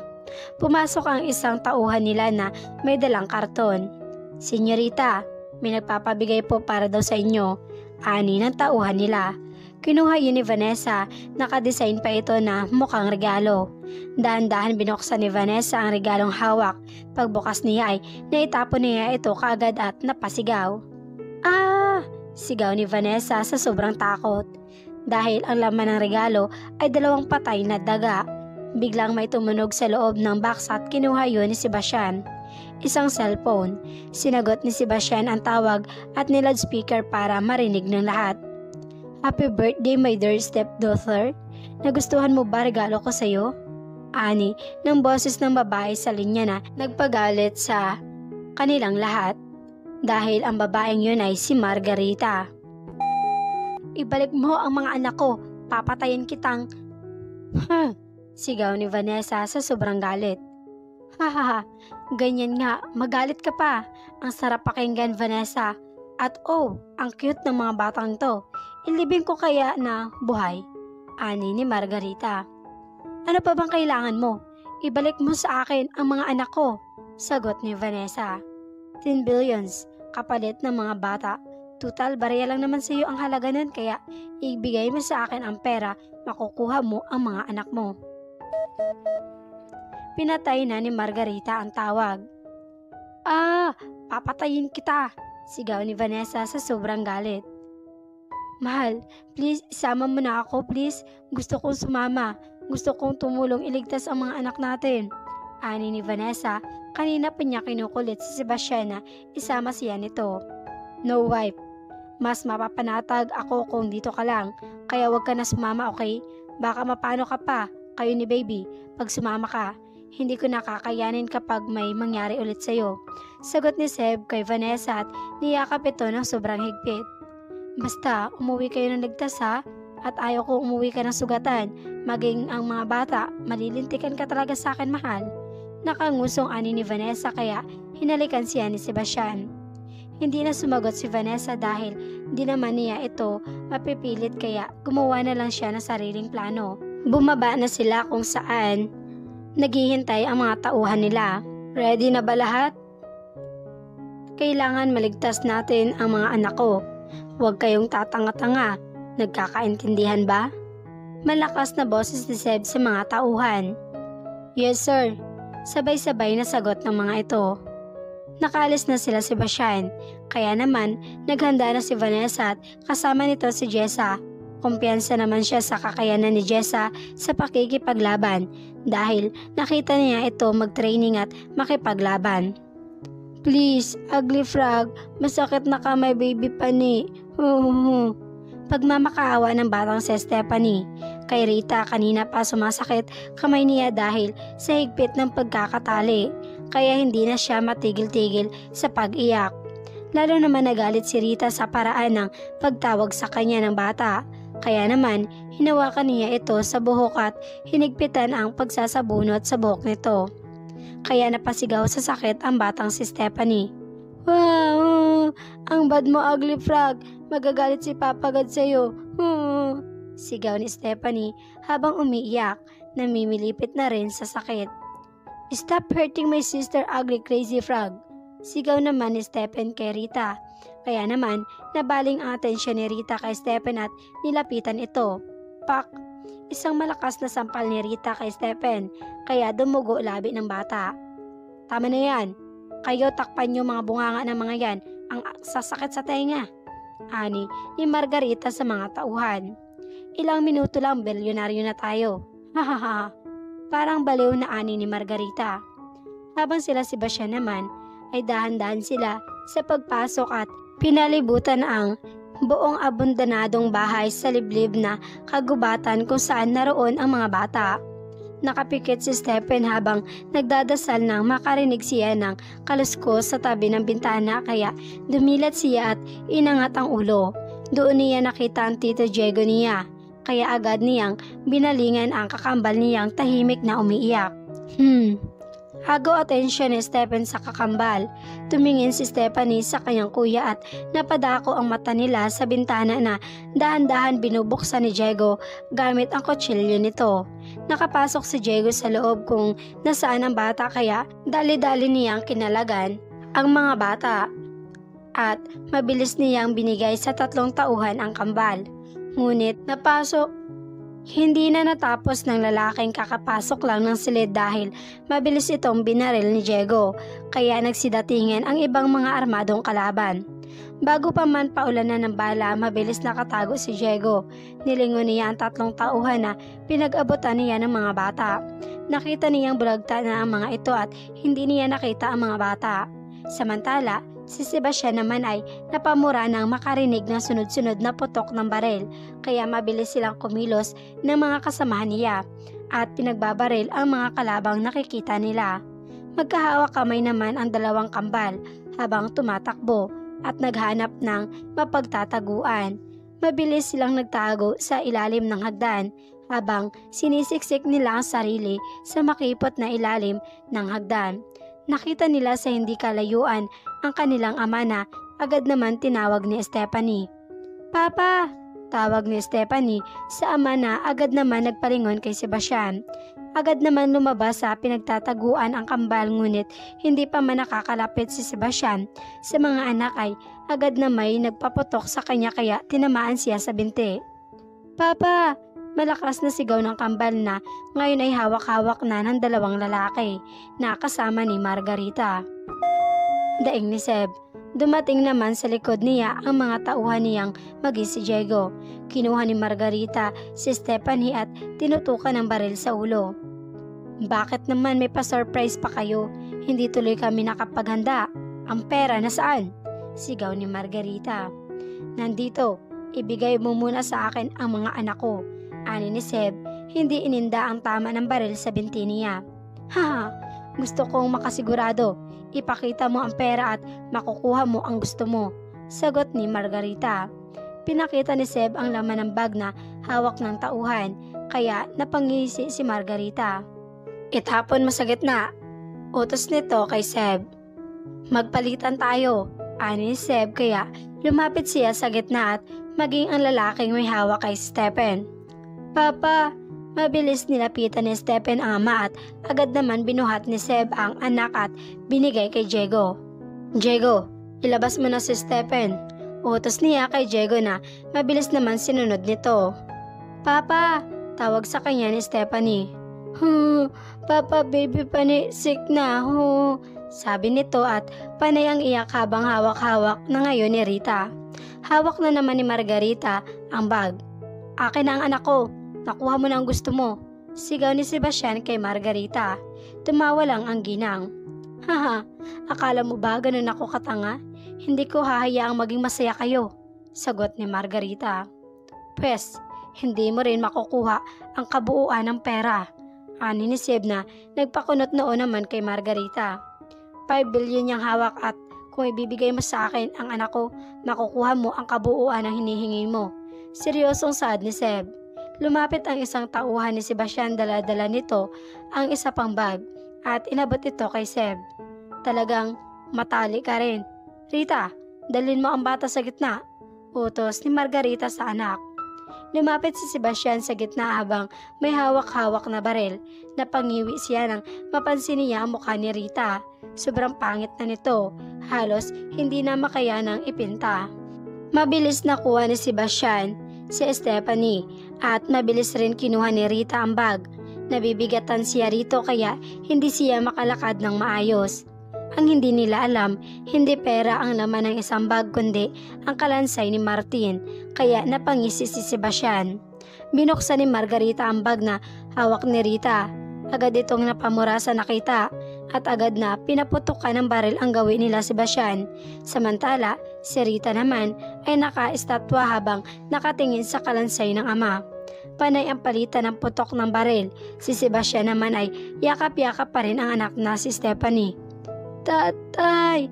Mahinang sambit ni Rita at mabilis na inagaw ang baril ng katabing tauhan. Ah! Pinatay yan tatay ko! Papatayin ko kayo! Sigaw ni Rita habang nakikipagpalitan ng putok ng baril. Samantala, mabilis naman hinili ni Margarita si Rita dahil kamuntika na itong matamaan. Tanga ka ba? Magpapakamatay ka ba? Sigaw ni Margarita sa anak na umiiyak pa rin dahil sa nangyari sa kanyang ama. Habang nakikipagpalitan ng potok ng baril ang magkabilang grupo, mabilis ang takbo ng mag-ina habang bit-bit nila ang isang bag na may lamang pera para tumakas. Pagbukas nila ng pinto sa likod ng abandonadong bahay ay ang nakangising mukha ni Vanessa ang kanilang nakita na may hawak na kumikinang na kutsilyo. Ang dalawang kamay na punong-puno ng dugo. Agad pinaputukan ni Margarita si Vanessa na mabilis naman kinailag panay ang pagpapaputok ni Margarita sa kanyang baril. Hindi niya matama-tamaan. Si Vanessa hanggang sa naubusan siya ng bala na lalong kinangisi ni Vanessa. Samantala, si Rita naman ay mabilis na nakatakbo habang bitbit ang bag na may pera. Nagtago siya sa matataas na dayami. Paano ba yan? Wala ka ng bala. Nakangising ani ni Vanessa kay Margarita. Ito, Kunin mo para patas. Itinapon ni Vanessa ang isang kutsilyo sa harap ni Margarita.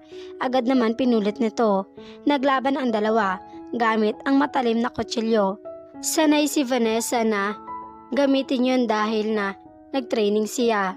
Kaya nakipaglaro muna siya kay Margarita ngunit mabilis sinipa ni Margarita ang kayang tuhod kaya hindi niya yun naingatan. Kaya napahiga siya at nabitawan ang hawak na kutsilyo. Mamatay ka na! Sigaw nito kay Vanessa. Akmang isasaksak na sa ulo ni Vanessa ang kutsilyo. Mabilis niya nahawakan ang kamay ni Margarita at naagaw ang kutsilyong hawak nito. Mabilis ang naging kilos niya at napadapa niya si Margarita at madiin niyang hinawakan sa ulo si Margarita at para sa mami ko na pinatay mo.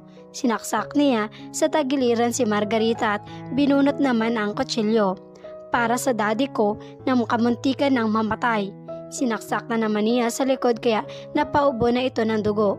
Binunot na naman niya ang kutsilyo. Para yan sa paulit-ulit na pagpapapatay sa akin. Sinaksak na naman niya sa balakang at binunot na naman ang kutsilyo. At ito para sa mga anak kong dinamay mo. Galit na sabi ni Vanessa at ginilitan niya sa leeg si Margarita na kinasirit naman ng dugo sa lalamunan nito. Na sa ganong tagpo ang nadat na ni Sebastian na tulala siya sa nakita kung paano kabrutal patayin ni Vanessa si Margarita. Masyadong madilim ang anyo ng mukha ni Vanessa. Parang hindi si Vanessa ang nasa harapan niya. Puno ito ng dugo at may talsik din ng dugo ang mukha nito. Wa- wife? Natatakot na ani ni Sebastian. Napaangat naman ang ulo si Vanessa at tiningnan si Seb. Mahal, sambit ni Vanessa. Tatayo na sana siya nang biglang bumagsak. Wife, sigaw ni Sebastian at mabilis na lumapit kay Vanessa na nawala ng malay. Kitang-kita ni Rita kung gaano gilitan ni Vanessa ang liig ng kanyang ina. Napatakip siya sa kanyang bibig habang humahagulgol. Magbabayad ka, Galit na galit na ani ni Rita. Lumipas ang limang buwan, wala na silang balita kay Rita. Marahil, nagpakalayo-layo na ito dahil sa limpak-limpak na perang dala nito. Naisipang bisitahin ni Vanessa si Seb sa opisina nito at dinala ng pananghalian. Kabuwanan na rin niya kaya hindi siya pinapatrabaho ni Sebastian. Si Seb na rin ang gumagalaw sa kumpanya nilang dalawa.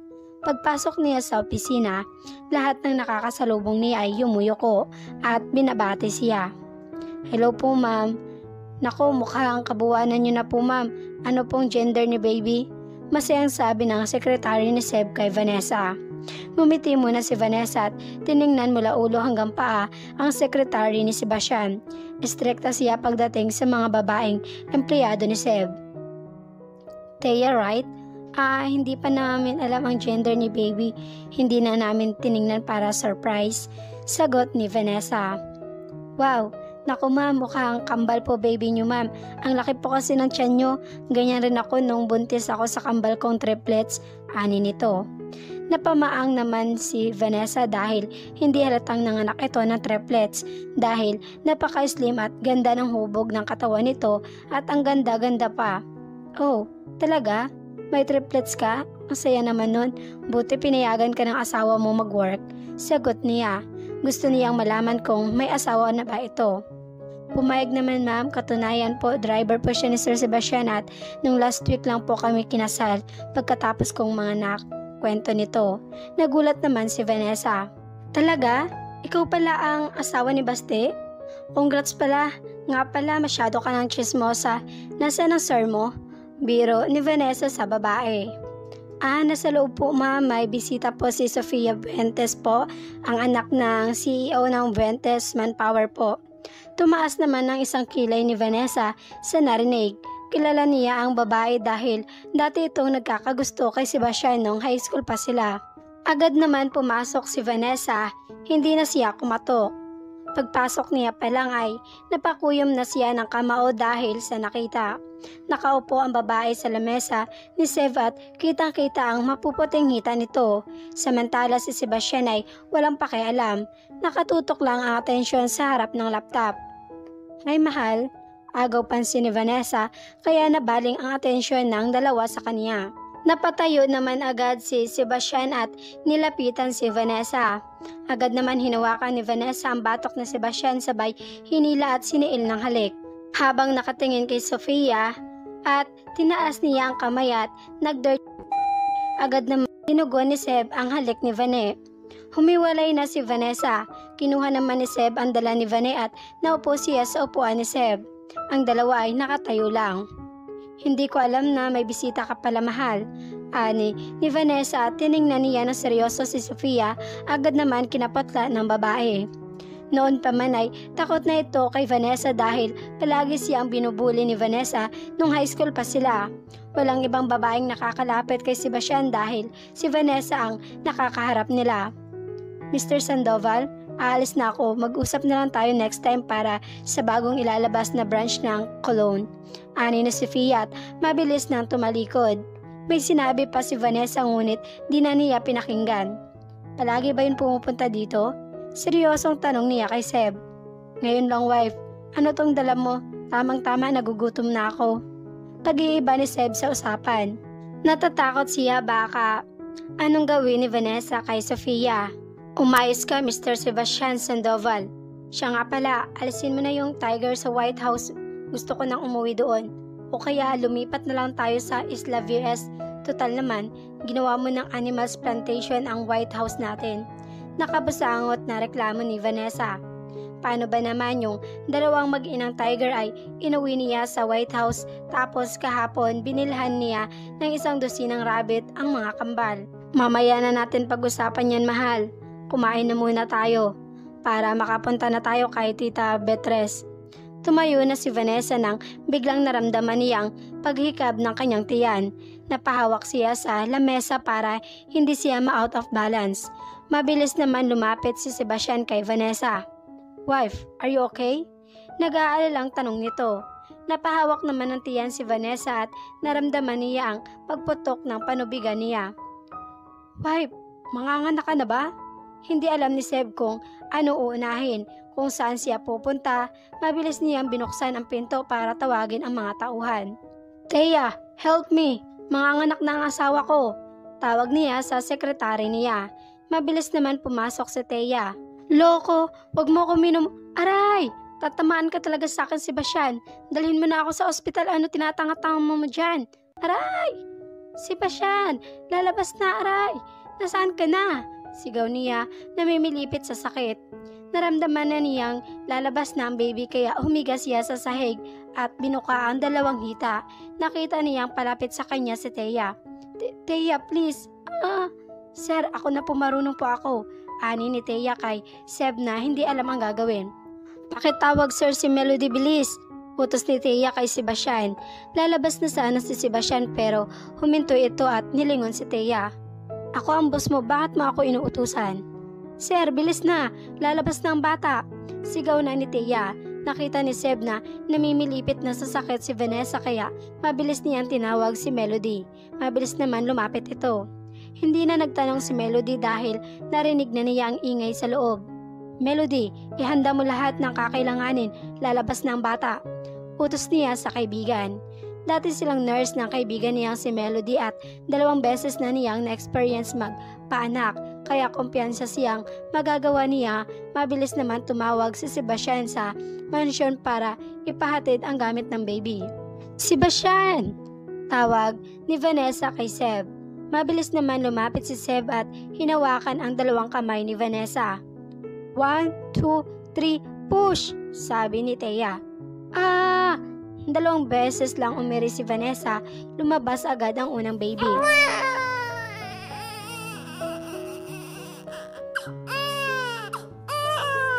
Malakas na iyak ng baby ang narinig na nagpaiyak naman kay Sebastian. Di niya mapigilan sa sobrang saya. Boy po sir, masayang sabi ni Thea. Aray, ah! Sigaw ulit ni Vanessa nang maramdaman niyang paghikab ulit ng kanyang tiyan. Mabilis naman binigay ni Thea ang bata kay Melody. One, two, three, push! Ah! Isang malakas na ere ang pinakawala ni Vanessa. Agad naman lumabas ang isa pang baby. Tinaas ito ni Thea at pinagpapalo sa puwet na kinaiyak ng bata.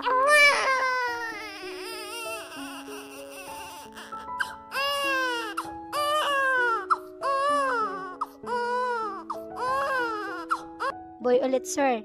Hindi nila naramdaman ang pagpasok nila Jessa, Jenny at ng kanyang daddy Rafael. Nasa likod nito ang nani Rosa niya.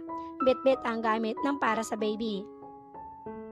Nanghihina na si Vanessa pero napasigaw na naman siya dahil naramdaman na naman niya ulit paghikab ng kanyang tiyan. Ah! Sigaw niya. Mabilis naman kinuha ni Jenny ang pangalawang bata kay Thea. Ma'am, meron pa po, sige po. One, two, three, push! Si Thea. Ah! Dalawang beses na pag ni Vanessa, lumabas agad ang pangatlong baby. Sobrang saya naramdaman ni Sebastian. Hindi niya ininda ang sakit ng kanyang kamay dahil sa sobrang lakas na pagpisil ni Vanessa na para bang doon siya kumukuha ng lakas.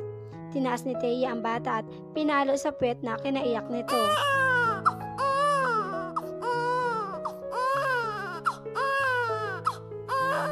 Ang Don Rafael naman ay kanina pa pumapahid ng luha dahil sa sobrang saya. Baby girl po, ani ni Thea. Pipikit na sana si Vanessa nang maramdaman niya ulit ang pagsakit ng tiyan niya. Napasigaw na naman siya na mamaos na rin. Mabilis siyang napahawak sa kamay ni Sebastian at napasigaw na naman. Kinuha naman agad ni Jessa ang pangatlong baby. Sige pa po ma'am, meron pa po. Ah! Isang malakas na ere ang ginawa niya na agad naman kinalabas ng bata. Hindi na niya narinig ang pag-iyak ng panghuling baby dahil nakatulog na siya. Baby boy po ulit, ani ni Thea. Wife, wife, Thea, anong nangyari? Bakit ayaw gumising ng asawa ko? Sigaw ni Sebastian. Nakatulog lang po siya sir dahil po sa sobrang pagod. Sagot ng babae. Mabilis na linisan ang mga babies. Sobrang saya nilang lahat dahil sa pagdating ng apat na kambal. Wow! Ikaw na ba yan, Bes? Napakabongga mo na talaga. Kamukhang kamukha mo ang young lady princess. Tili na kaibigan ni Rita na si Lily. Nagparitoke siya. Ginaya niya ang mukha ni Vanessa, maging ang buhok nito, at nagpa-injection rin siya para madagdagan ang kaputian niya. Kaya kuhang-kuha niya ang malagatas na kutis ni Vanessa. Ngayon, humanda ka. Kukunin ko ang lahat sa'yo. Nakangising ani ni Rita. Isang linggo na mula nang makapanganak ako parang kailan lang dalawa lang ang mga anak ko, ngayon anim na. Hindi ko inakala na makakaya kong manganak ng apat sa loob pa ng opisina ni Seb. Ang baby boy na unang lumabas ay pinangalanan kong Steven. Pinaghalong mukha namin ni Sebastian at mukhang masungit laging sa lubong ang kilay.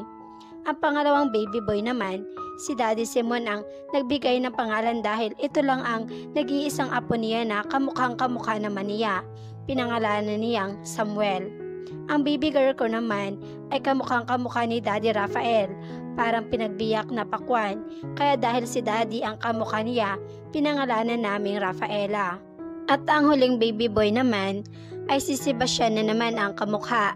Parang si Stephen lang kuhang-kuha niya ang lahat ng anggulo ng mukha ng papa nila. Pinangalanan naming Esteve. Nasa kwarto kami ngayon, inaayusan namin ang anim na mga anak ko dahil may family lunch kami sa mansyon. Maagang umalis si Sebastian dahil meron silang emergency meeting sa opisina. Ate Vane, tumawag ang daddy mo. Kanina pinapatanong kung anong oras ba daw tayo makakapunta. Ani, ni Jessa na ngayon inaayusan si Stephanie.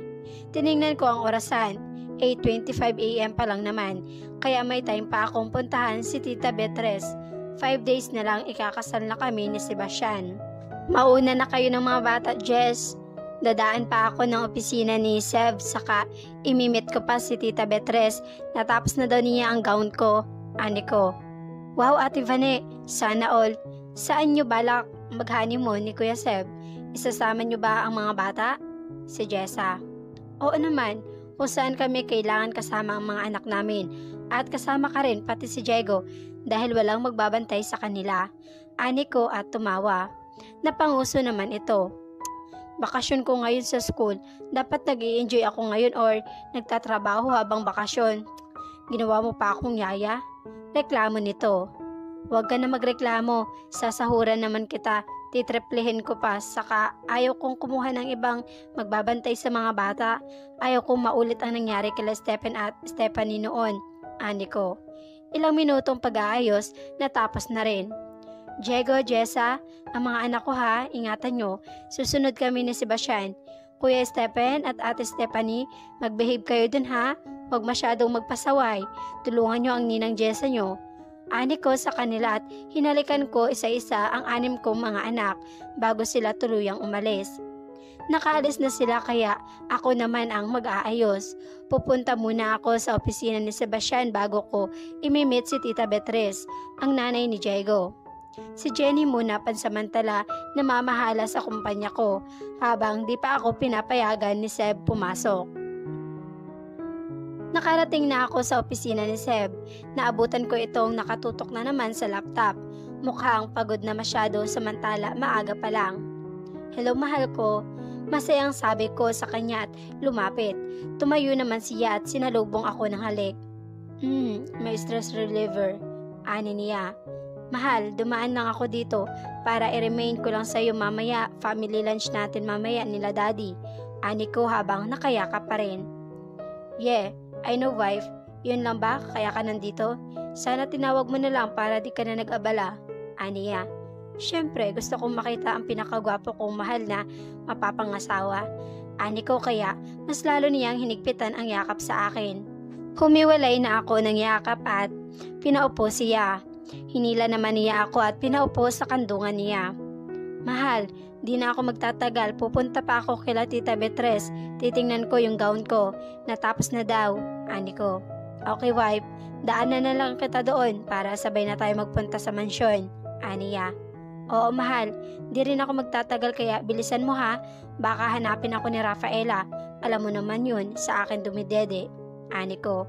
Sa anim na mga anak ko, si Rafaela lang ang dumidede sa akin, kaya hindi pa ako pinapayagan ni Seb bumalik sa trabaho. O alis na ako mahal, tawagan mo lang ako pag susunduin mo na ako ha. I love you mahal ko. Ani ko at hinalikan siya sa labi. I love you too so much my beautiful wife. Aniya. Lumabas na ako ng kumpanya at tinungo ang kotse kung saan naghihintay ang driver ko. Papunta na kami ng butik ni Tita Betres nang makaramdam ako ng kaba. Manong, wag niyo na pala ako sunduin mamaya dumiretso na kayo mamaya sa mansyon.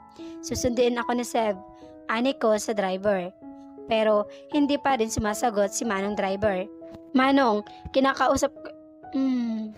Nagpupumiglas ako dahil may biglang lumabas sa likod ng upuan ko at tinakpan niya ng panyo ang ilong ko hanggang sa tuluyan na ako nawala ng malay. Sebastian POV Kanina ko pa siya tinatawagan pero hindi ko siya makontak. Tinawagan ko si Tita Betres, hindi pa raw dumarating si Vanessa. Tumawag ako sa mansyon, wala rin siya doon.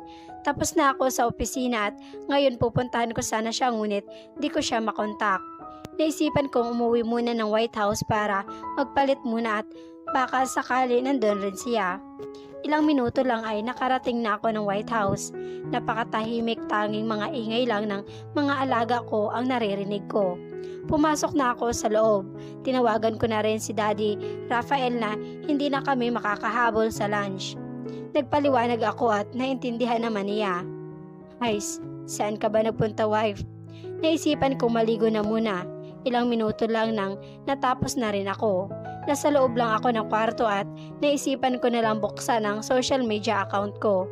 Kumunot ang noo ko dahil may bagong trending na lumabas at tiningnan ko yun at binasa. Young Lady Princess sinampal ang isang sales lady. Yung title ng trending at nakita ko sa time kaka-upload lang at may isang video kaya pinanood ko yun. Napakunot noo ako dahil ang babaeng nasa video ay kamukha ni Vanessa pero magkaiba sila ng boses at kasuotan. Hindi ko pa man natapos panoorin ang video, nakarinig ako ng tunog ng sasakyan sa labas kaya sinilip ko ito sa bintana.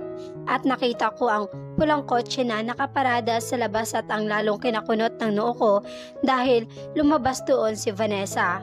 Mabilis akong bumaba para salubungin siya sa baba. Mabilis akong nakababa, nakita ko pa siyang palinga-linga sa paligid. Tumayo ako sa harapan ng pinto habang seryoso siyang tinitingnan. Napalingon siya sa akin kaya napahinto siya sa paglakad at ngumiti muna bago naglakad papunta sa akin. Saan ka galing? Seryosong tanong ko. Nagmo lang ako babe, sagot niya. Mas lalong kinakunot ng noo ko ang pagtawag niya sa akin pero di ko muna pinansin. Bakit nakapatay ang phone mo? Tinatawagan kita, di ba? Sabi ko, susunduin kita. Ani ko.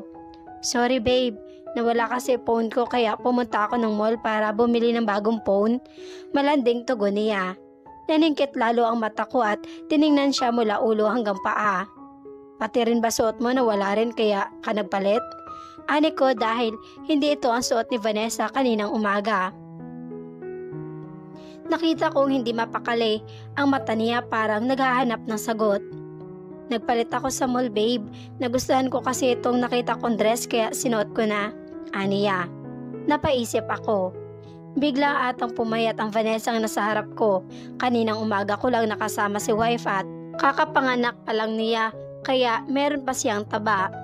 At ang buhok ng kaharap ko ngayon ang habang hanggang bewang at kulay itim. Samantala, kaninang umaga hanggang balikat lang buhok ni Vanessa dahil pinutulan niya nung birthday niya. At ang Vanessa ko hindi naglalagay ng kalorete sa mukha. Napangisi ako mukhang may mali. Wife, kailan ka pa natutong mag-lipstick ng ganyan kapula? Tanong ko. Ah, eh, sinubukan ko lang babe, este, habi. Sagot niya at niyakap ang kabilang braso ko. Babe, habi? Tanong ko. Ah, hehe, kasi naman wife tawag mo sa akin kaya habi na lang, tara na nagugutom na ako. Aniya mukhang iniiwasan niyang tanungin. Si Vanessa ang uri ng babae na hindi nakakalimot sa mga importanteng lakad, lalo na kung napaka-special sa kanya kaya imposible ring nakalimutan niyang puntahan si Tita Betres. Eh excited pa naman siyang makita ang wedding gown niya. Wife, bukas sasamahan kita kay Tita Betres, okay? Ani ko. Nakita ko naman alinlangan niyang pagngiti. Kung tama ang hinala ko, humanda ka kung sino ka man. Kapag mahal mo, makikilala at makikilala mo talaga. Vanessa POV Nagising ako dahil sa ingay ng mga lalaking nag-uusap. Nakikinig lamang ako habang nakapikit pa rin ang mga mata ko. Balita ko isang sikat na mayaman daw yung pinadukot ni madam sa atin. Ani, ng lalaking maliit ang boses. Alam mo ba ang magkano ang makukuha natin? Tanong ng isa pang boses ng lalaki. 100k daw, tayo isa-isa.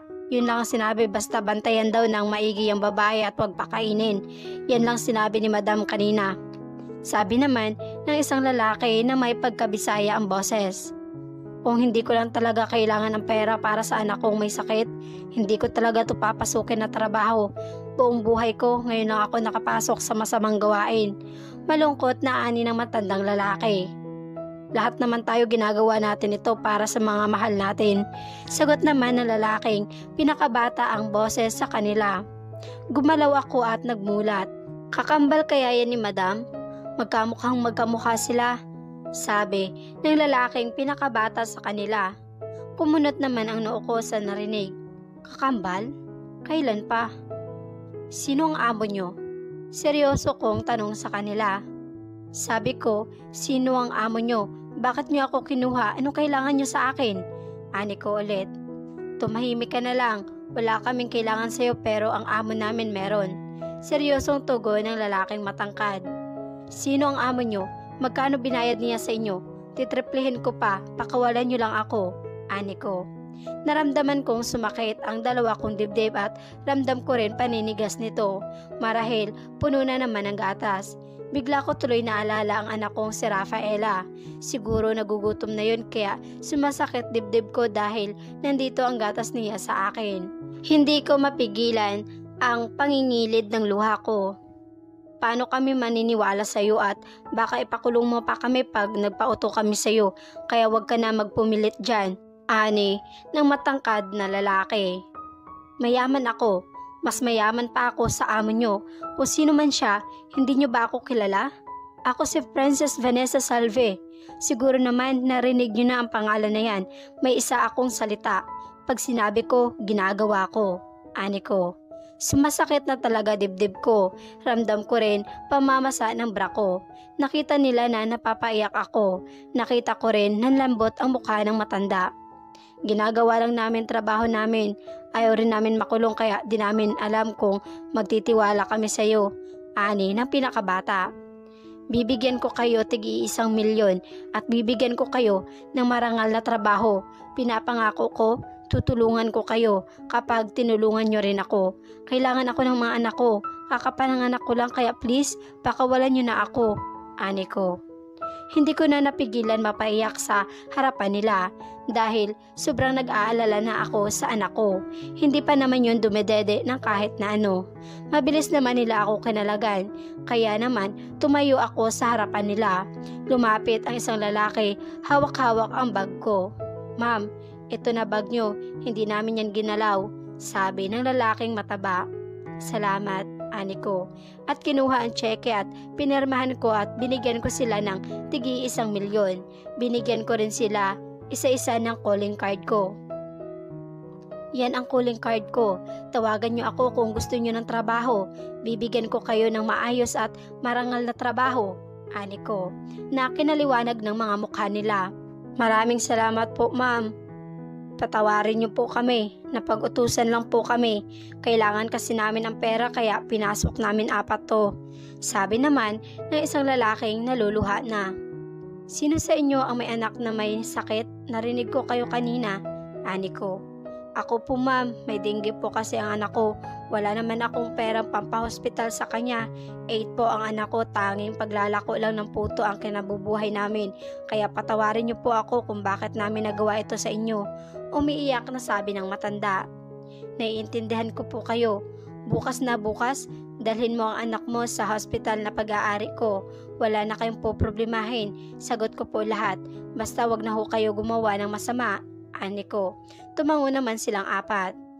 Matanong ko lang, sino ang nag-utos sa inyo dukutin ako? Seryosong tanong ko sa kanila. Kung sino man siya, humanda talaga siya dahil gagantihan ko siya. Si Madam Rita po ma'am, akala namin kapatid mo or kambal. Magkamukhang magkamukha kasi kayo. Sabi ng lalaking mataba. Napakuyom ako ng kamao. Peste talaga ng babaeng yon. Rita POV Tang na, hindi pwede to. Hindi pa ako pwedeng mabisto dahil nag-uumpisa pa lang ako. Ay nako, bakit di ko kasi naisip na aralin ang mga galaw at style ni Vanessa, maging ang mga gusto at ayaw nito? Wife, dumating na sila kaya bumaba ka na dyan. Ani ni Sebastian. Ang sarap naman pakinggan ang tawaging wife. Hindi ko papayagang may makasira sa mga plano ko. Papatayin ko muna kung sino man ang hahadlang. Nakarinig ako ng sasakyan sa baba, kaya mabilis akong bumaba. Nakasuot lang ako ng maikling short at nakasando kaya kitang-kita ang malalaki kong dibdib. Tingnan ko lang kung di ka pa maglaway sa katawan ko, Sebastian. Pagbaba ko, sumalubong agad sa akin ang dalawang bata, tumatakbo papalapit sa akin. Mama, Moma, sabay nilang tawag sa akin. Ito yung mga batang kinidnap namin. Buhay pa pala ang mga ito. Moma, asan kiss baby pani? Ani ng batang babae. Baby? Pani? Sino yun? Yumuko na lang ako at hinalikan silang dalawa sa pisngi kaya umalis na sila sa harapan ko at lumipat naman kay Sebastian. Ah, pani ba pangalan nila? Ang tsatsaka. Nakita kong pumasok ang babaeng mukhang tomboy na nakasombrero. Ang badoy? May bitbit na isang batang babae na mukhang kanina pa umiiyak. Meron rin siyang katabing lalaki. Kung hindi ako nagkakamali, ito yung pinsan ni Sebastian. May buhat ring bata. Napansin ko sa likod nila ang isa pang babaeng mukhang mataray, mukhang napaka-professional na suot na buhat rin ang bata. Ang katabi niya ang matanda ay kilala ko, si Manang Rosa, ang nani ni Vanessa. May buhat ring bata. Ba't ang daming bata naman dito? Bahay ampunan na ba ito? Ate Vane, kanina pa umiiyak si Rafaela. Nagugutom na. Padedeen muna ate. Sabi nung babaeng tomboy. What? Ako magpapadede? Mga anak ba yan ni Vanessa? Paano na yan? Sino ba ang mga to? Yaya ba ng mga bata? Ah, ah, eh, may trangkaso ako kaya hindi ako pwede magpadede baka mahawa si baby. Sige, magpapahinga muna ako. Ani ko at mabilis na akong tumalikod. Hay, munti na ako. Jessa POV Tumawag si Kuya Sebastian na umuwi na daw kami dahil nandito na raw si Vanessa, kaya umuwi na agad kami. Pagdating namin ng White House, papasok pa lang kami, nakita na namin sila Kuya Sev at nasa likod nito ang babae. Napakunot noo ako dahil bakit kamukha ni Ate Vanessa? Tiningnan ko mula ulo hanggang paa. Si Vanessa ba ito? Ang bilis naman atang humaba ang buhok niya. Kaninang umaga hanggang balikat lang. Ngayon nasa baywang na. At ang bilis naman niya atang pumayat. Kaninang umaga may taba pa siya. Galing sa panganganak. Napapansin kong ang lalim ata ng iniisip niya. Kaya nagsalita ako. Ate Vane, kanina pa umiiyak si Rafaela. Nagugutom na padedeen mo na ate. Ani ko. Nakita ko pagkagulat ng mukha niya. Mukhang may mali. Pagkarinig ko pa lang ng boses niya, alam kong hindi siya si Vanessa. Mabilis siyang nagpaalam at umalis sa harapan namin. Ang word naman ni Bishi, sabi ni Ate Jenny sa likod ko. Kuya, kami na magpatulog sa mga bata. Ani ko na tumango naman ito. Napatulog na namin ang mga bata. Si Manang Rosa nasa kusina para maghanda ng merienda. Si Ate Jenny naman ay nakatulog na sa tabi ng mga bata. Lumabas na ako papuntang kusina. Nasa tapat na ako ng hagdan nang makasalubong ko ang babaeng kamukha ni Vanessa. Mabilis siyang tumalikod kaya nagsalita ako na kinahinto niya. Sino ka? Seryosong tanong ko. Mukhang hindi niya ako kilala dahil kung si Ate Vanessa ito, kanina pa niya ako niyakap at nagkwento. What? Hindi mo ako kilala? Ako si Vanessa, ang asawa ni Sebastian. Bakit hindi mo kilala ang amo niyo? Ano daw, amo? Nagpapatawa ba siya? Eh, ikaw, kilala mo ba ako? Balik tanong ko sa kanya. Hindi ko na kailangan kilalanin ang mga yaya ng mga anak ko. Mataray niyang sagot. Kailan ko pa naging amo ang best friend ko? Hindi ikaw si Vanessa, sino ka? Ani ko. Be- best friend? Utal niyang sabi na nagpangisi sa akin. Kung sino ka mang impacta ka, ngayon pa lang umalis ka na at ilabas mo ang ate Vanessa ko, sabi ko. Sa tingin mo, may maniniwala sa iyo pag sinabi mo sa kanila na hindi ako si Vanessa? Paano mo nasasabing hindi ako si Vanessa? Alam mo bang kaya kitang ipakaladkad palabas? Aniya. Unang tingin ko pa lang sa iyo at unang rinig ko pa lang ng boses mo, alam kong hindi ikaw si Vanessa. Sa tingin mo ba, hindi nila mapapansin yun? Hindi ako magiging isang secret agent kung hindi ako marunong kumilatis. Mukha lang ng kuha mo kay Ate Vanessa, hindi ang pag-uugali at style niya. Ani ko na kinaputla niya. You witch! Ani niya at sasampalin niya sana ako. Mabilis kong nahuli ang kamay niya at pinilipit. You don't know me, bitch. Ani ko at malakas siyang tinulak sa hagdan. Nakasalubong ni Sebastian ang babaeng paikang-ikang maglakad. Nang makita siya ng babae, mas lalo itong umarte. Habi, help me please. Huh, my legs very misakit. Ani ng babae. I'm busy, kaya mo na ang sarili mo. Seryosong sabi ni Sebastian. Alam niya ang nangyari at narinig niya rin ang pagtatalo ni Jessa at ang impostor. Kaya tama nga ang hinala niyang hindi si Vanessa ang kasama nila. Nagtaka naman si Rita sa tinura ng lalaki. Ganito ba si Seb kay Vanessa? Tanong ng kanyang isip. Okay, sa kwarto lang ako habi magpapahinga. Ani ng babae, di na pinakinggan ni Sebastian. Pumunta na lang siya sa kwarto ng mga bata. Nadatna niya doon si Jenny at Jessa na seryosong nag-uusap. Oh, Kuya Seb, nandito ka na pala. May pag-uusapan tayo, si Jessa. Seb, wala ka bang napapansin sa kasama nating Vanessa? Parang ibang tao ang kasama natin, si Jenny. Yeah, I know. Kilala ko ang asawa ko. Maikling sagot ni Sebastian. Saka 'di ba, si Vanessa may malaking pulang birthmark sa bewang, si Jenny. Oo nga, nakita ko rin yun nung nasa Boracay pa kami. Kung ibang Vanessa ang kasama natin, nasaan ang totoong Vanessa, si Jessa? Paaaminin natin siya. Sagot ni Sebastian. Natapos ang kanilang pag-uusap, pumunta si Sebastian sa swimming pool at doon naisipan niyang maligo. Habang si Rita naman, nakangising nakatingin sa lalaking naliligo. Hinubad niya ang kanyang dress at nagsuot ng pulang ternong, tibak at manipis na bra, na halos ang kanyang nipple lang ang natatakpan. Pagkatapos niya magsuot, inayos niya ang kanyang sarili at sinuot naman ang roba bago bumaba. Nakitang ni Sebastian na papalapit na ang babae, mukhang maliligo rin ito. Aahon na sana si Sebastian nang huminto sa harapan niya ang babae at hinubad ang suot na roba. Kaya lumantad sa harapan ni Sebastian ang maputi at makinis na katawan ng babae. Napatingin si Sebastian sa dibdib ng babae. Napapailing lamang siya at napangisi. Hindi pa man nakakalapit si Rita kay Seb, dumating naman sila Jessa at Jenny na kinainis naman ng impostora. I knew it, si Jenny. Tama nga ang hinala namin, hindi ikaw si Vanessa, si Jessa. Ano bang pinagsasabi nyo? Ako si Vanessa. Habi, sino ba ang mga to? Paalisin mo nga ang mga yan.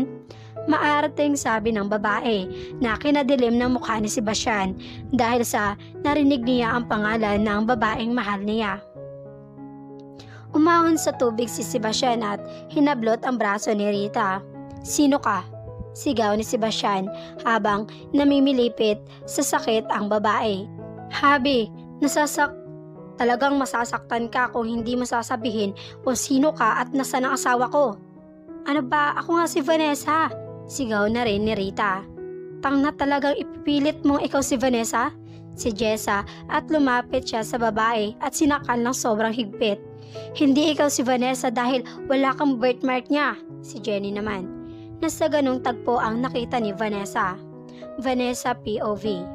Matapos akong ihatid ng apat na mga lalaki sa White House, nasa gate pa lang ako, nakakarinig na ako ng pagtatalo. Kaya pumasok na ako. Sinundan ko kung saan nanggagaling ang ingay. At doon ko nakitang sinasakal ni Jessa ang babaeng kamukha ko. Napangisi naman ako. Masyado niyong pinapadali ang buhay niya. Ani ko, napalingon naman silang lahat sa akin. Wife? Bishi? At Ivane? Sabay-sabay nilang sabi. Mabilis akong niyakap ni Sebastian at lumapit naman si Jenny. Si Jessa naman, hindi pa niya binibitawan ang impostor. Dumistansya ako kay Seb at lumapit sa babaeng sakal ni Jessa. Hi my dear stepsister, mukhang hindi ka na naman sinaswerte at nagpahuli ka pa. Ani ko. Va- Vanessa? Nahihirapang sabi niya dahil sakal pa rin siya ni Jessa. Pinaglaruan mo ang pamilya ko, gamit ang mukha ko, kaya ikaw naman ang paglalaroan namin. Anik ko at tinapik-tapik ang kanyang pulang pisngi. Pagkatapos nilang iakyat sa puno si Rita, pumasok na muna ako sa loob para ayusin ang sarili ko. Ang lagkit-lagkit ko na dahil sa tumutulong gatas pati ang bra ko pwede nang pigain. Hays, Mabilis akong naligaw pagkatapos ay inayos ko muna ang sarili ko bago lumabas ng kwarto. Dumiretso agad ako sa kwarto ng mga anak ko. Pagpasok ko pa lang si Nani Rosa na agad narinig ko. Kinakantahan niya si Rafaela habang nasakpo na ito. Nani, kamusta po kayo? Ani ko at niyakap ka agad. Senyorita, anak, ikaw na ba yan? Tanong ni Nani Rosa at sinuri ako mula hanggang paa. Tumango naman ako bilang sagot. Naku nak, sobra akong nag-alala. Lalo na si Senyorito Seb, palaging mainit ang ulo mula nang dumating yung impostor. Nasa na ba yun iha? Aniya. Hays, napakadaldal talaga kahit kailan ng nani Rosa ko. Huwag na po kayong mag-alala nani. Nandito na po ako at yung babaeng impostor, si Rita po yun nani. Ani ko habang nakayakap pa rin. Napatingin naman ako sa anak kong si Rafaela. Halatang katatapos lang nito umiyak. Bigla naman ako naawa sa anak ko at nangilid ang luha ko. Nani, ano po pinainom niyong gatas kay Rafaela? Di ko alam kay Jessa Iha, siya ang nagpatigil sa pag-iyak ni Rafaela. Aniya. Kinuha ko ang anak ko sa kuna at tinaas ko ang suot kong sando para lumantad ang dibdib kong punong-puno na ng gatas. Binigyan ako ni nani ng towel na basa at pinahid ko naman sa nipple ko. Gumalaw ang anak ko kaya napangiti ako dahil hinawakan niya ang mukha ko. Anak ko, sorry, natagalan si mama. Gutom ka na ba? Nandito na si mama. Dede ka muna bago matulog anak. I love you. Kausap ko sa anak kong 5 months old pa lang. Pagkatapos kong magpadede, nakatulog na rin si Rafaela. Nani, nasan po sina Stephanie at Stephen? Tanong ko. Ah, eha, nasa kabilang kubo. Kalaro ni Stephanie mga kaibigan niya. Tukoy niya sa isang dosenang mga kaibigan ni Stephanie ng mga rabbit. Eh si Stephen po asaan? Ani ko. Ah, kasama ng asawa mo iha. Pinasama niya sa mga kukwadra ng mga kabayo. Mukhang tuturuan niyang mga bayo si Stephen. Aniya. Napakunot naman ako. 3 years old pa lang si Stephen. Di pa niya kaya. Hays, malalagot talaga sa akin ang Sebastian na yun. Pati mga bata, sinanay niya sa mga alaga niya. Sila Steve, Steven at Samuel po, nasan mga anak ko nani? Kasama nila Diego sa itaas iha. Huwag ka mag-alala may mga tauhan rin silang kasama at nandyan rin si Jeric. Aniya na, nagpanatag sa loob ko. Tumayo ako dahil nakarinig ako ng sigaw. Marahil, gising na ang broha. Nay, pakibantayan po, dito lang po kayo, ani ko. Nagising si Rita dahil sa kate at sakit sa kanyang balat. Nararamdaman rin niya ang hangin na tumatama sa kanyang katawan. Nagmulat ng mata si Rita, sabay kamot sa kanyang balikat at likod. Nanlaki ang mga mata niya dahil sa sobrang daming langgam sa kanyang balikat, maging sa kanyang bandang tiyan, pati na rin ang mga hita niya may mga langgam rin. Ah! Tili niya at dali-dali niyang pinagpag ang sarili at mabilis na tumayo. Pero sa pagtayo niya, mabilis siyang napayakap sa kahoy ng puno dahil kamuntika na siyang mahulog. Doon niya napagtantong na sa taas pala siya ng puno. Inaalala niya kung bakit napunta siya sa taas ng puno. Flashback. Ate Vane, anong gagawin natin dito? Tanong ni Jessa kay Vanessa habang hawak-hawak na ito sa magkabilang kamay patalikod. Patulugin mo muna yan, may gagawin pa ako. Ani ni Vanessa at tumalikod na. Agad naman pinalo ng malakas ni Jessa si Rita sa batok dahilan ng pagkatulog nito. And flashback. Shit, inis na ani ni Rita nang maalala ang nangyari. Tang na, wala pala akong nagagawa, nabuko agad ako.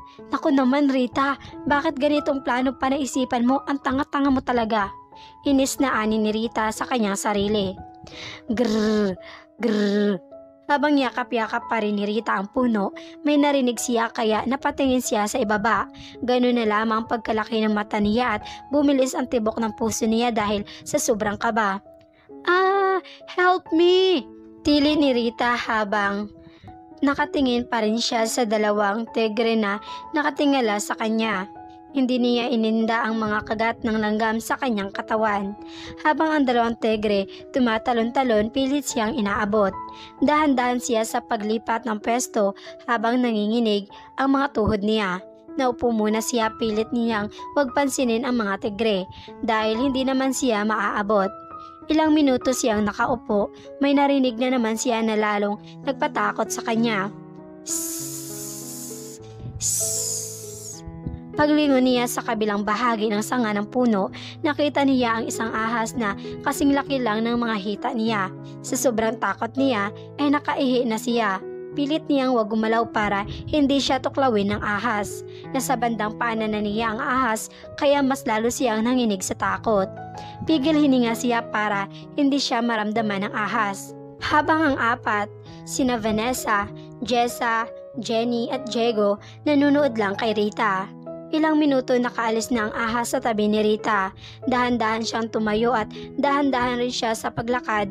May nakita siyang tubig kaya naisipan niyang maglakad pa sa kabilang sanga ng puno para makarating siya sa tapat ng tubig. Kung sa tubig siya tatalon, hindi siya makukuha ng mga tigre. Nasapat na siya ng tubig, ire-ready na sana niya ang kanyang sarili sa pagtalo nang biglang nagsilabasan ang walong ulo ng buhaya. Kamuntikan na siyang madulas sa kinatatayuan. Babalik na sana siya nang nakita niya ang kaninang ahas na papalapit sa gawin niya.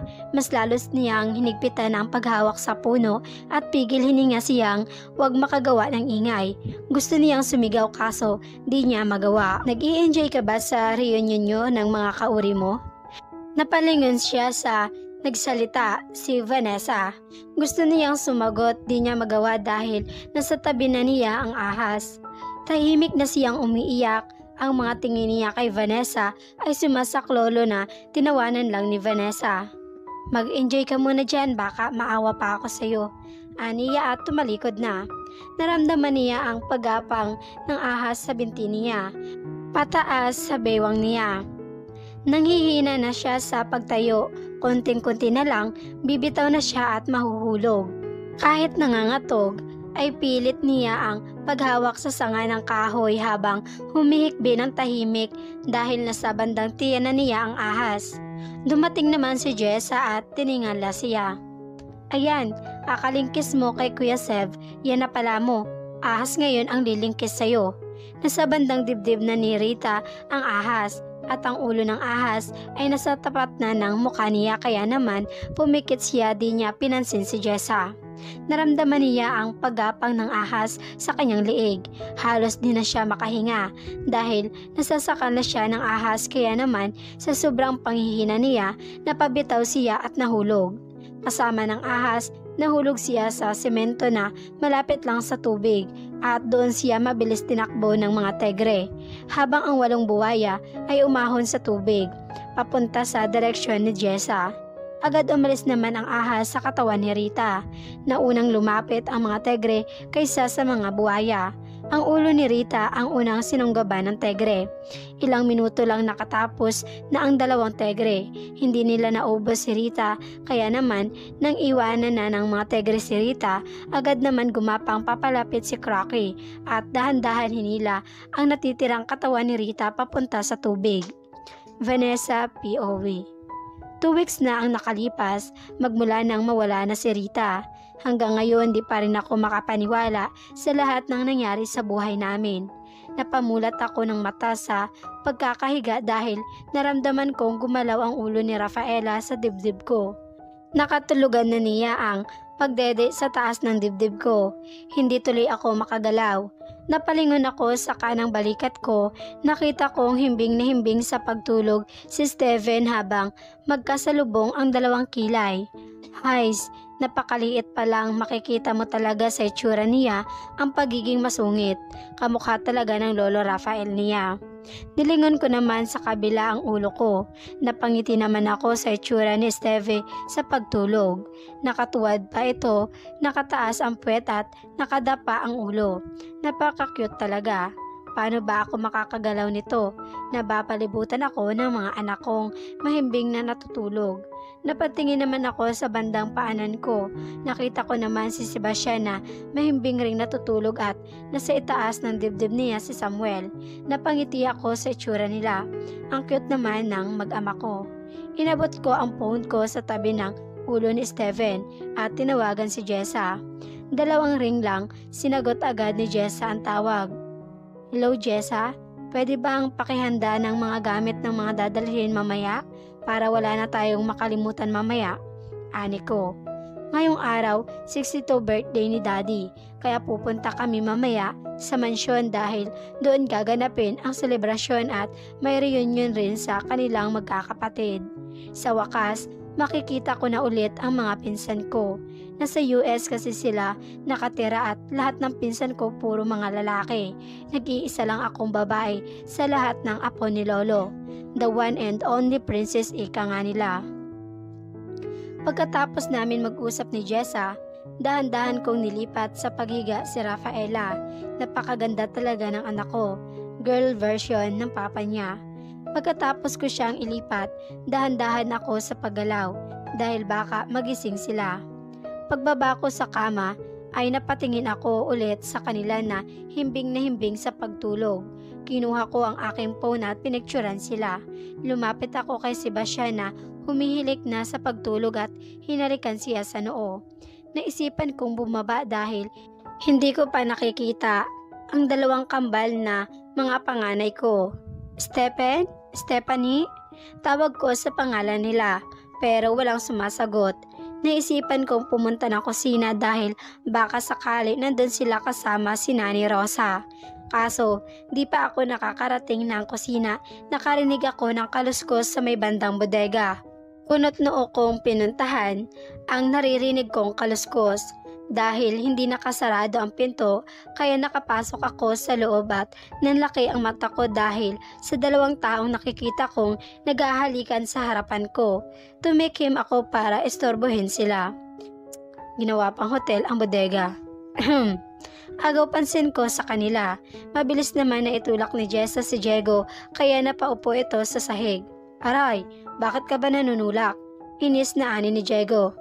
Kailan pa naging hotel ang bodega? Tanong ko. Napayo ko naman si Jessa. Kitang kita ko kung paano siya namula sa hiya. Jessa, sumunod ka sa akin. Anik ko at tumalikod na ako. Narinig ko nagsalita si Diego pero di ko naman naintindihan kaya hinayaan ko na lang. Nasa kusina na kami ni Jessa, nadat na namin si Nani Rosa na nagluluto. Nani, pwede hubang lumabas muna kayo? Ani ko at tumango naman ito at umalis na ng kusina. Kailan pa naging kayo ni Diego? Panimula ko. Hindi pa kami ate, nanliligaw pa lang siya. Aniya. Nanliligaw? Pero naghahalikan na kayo? Ako pa ginagago mo, Jessa? Ani ko, hindi naman ako galit kung may relasyon sila. Matagal ko nang napapansin na may relasyon sila. Ilang beses ko na rin silang nakikitang naghahalikan. Siya po ang naghahalik eh. Sorry ate. Pero gusto ko rin po si Diego. Aniya. Hindi ako tutol sa relasyon nyo, Jessa. Pero sana naman, ipaalam mo sa nanay at tatay mo ito. Hahaha. Stop, Taigi. Nakikiliti ako. Napalingon kaming dalawa ni Jessa sa boses ng anak kong si Stephen na malakas na tumatawa sa labas. Lumabas kaming dalawa ni Jessa at napaatras kami sa nakita namin. Nakadagan ang malaking tegre kay Stephen at dinidilaan siya nito sa mukha. Haha, tama na Taigi. Si Stephen na tawang-tawa pa rin dahil nakikiliti siya sa ginagawa ng malaking tegre sa kanya. Hehehe, come here my friend, kain ka na. Boses naman ni Stephanie, yun kaya napalingon naman kami sa gawi ng kulungan ng ahas. Halos manlambot ako sa takot dahil sa nakikita kong ginagawa ng mga anak ko.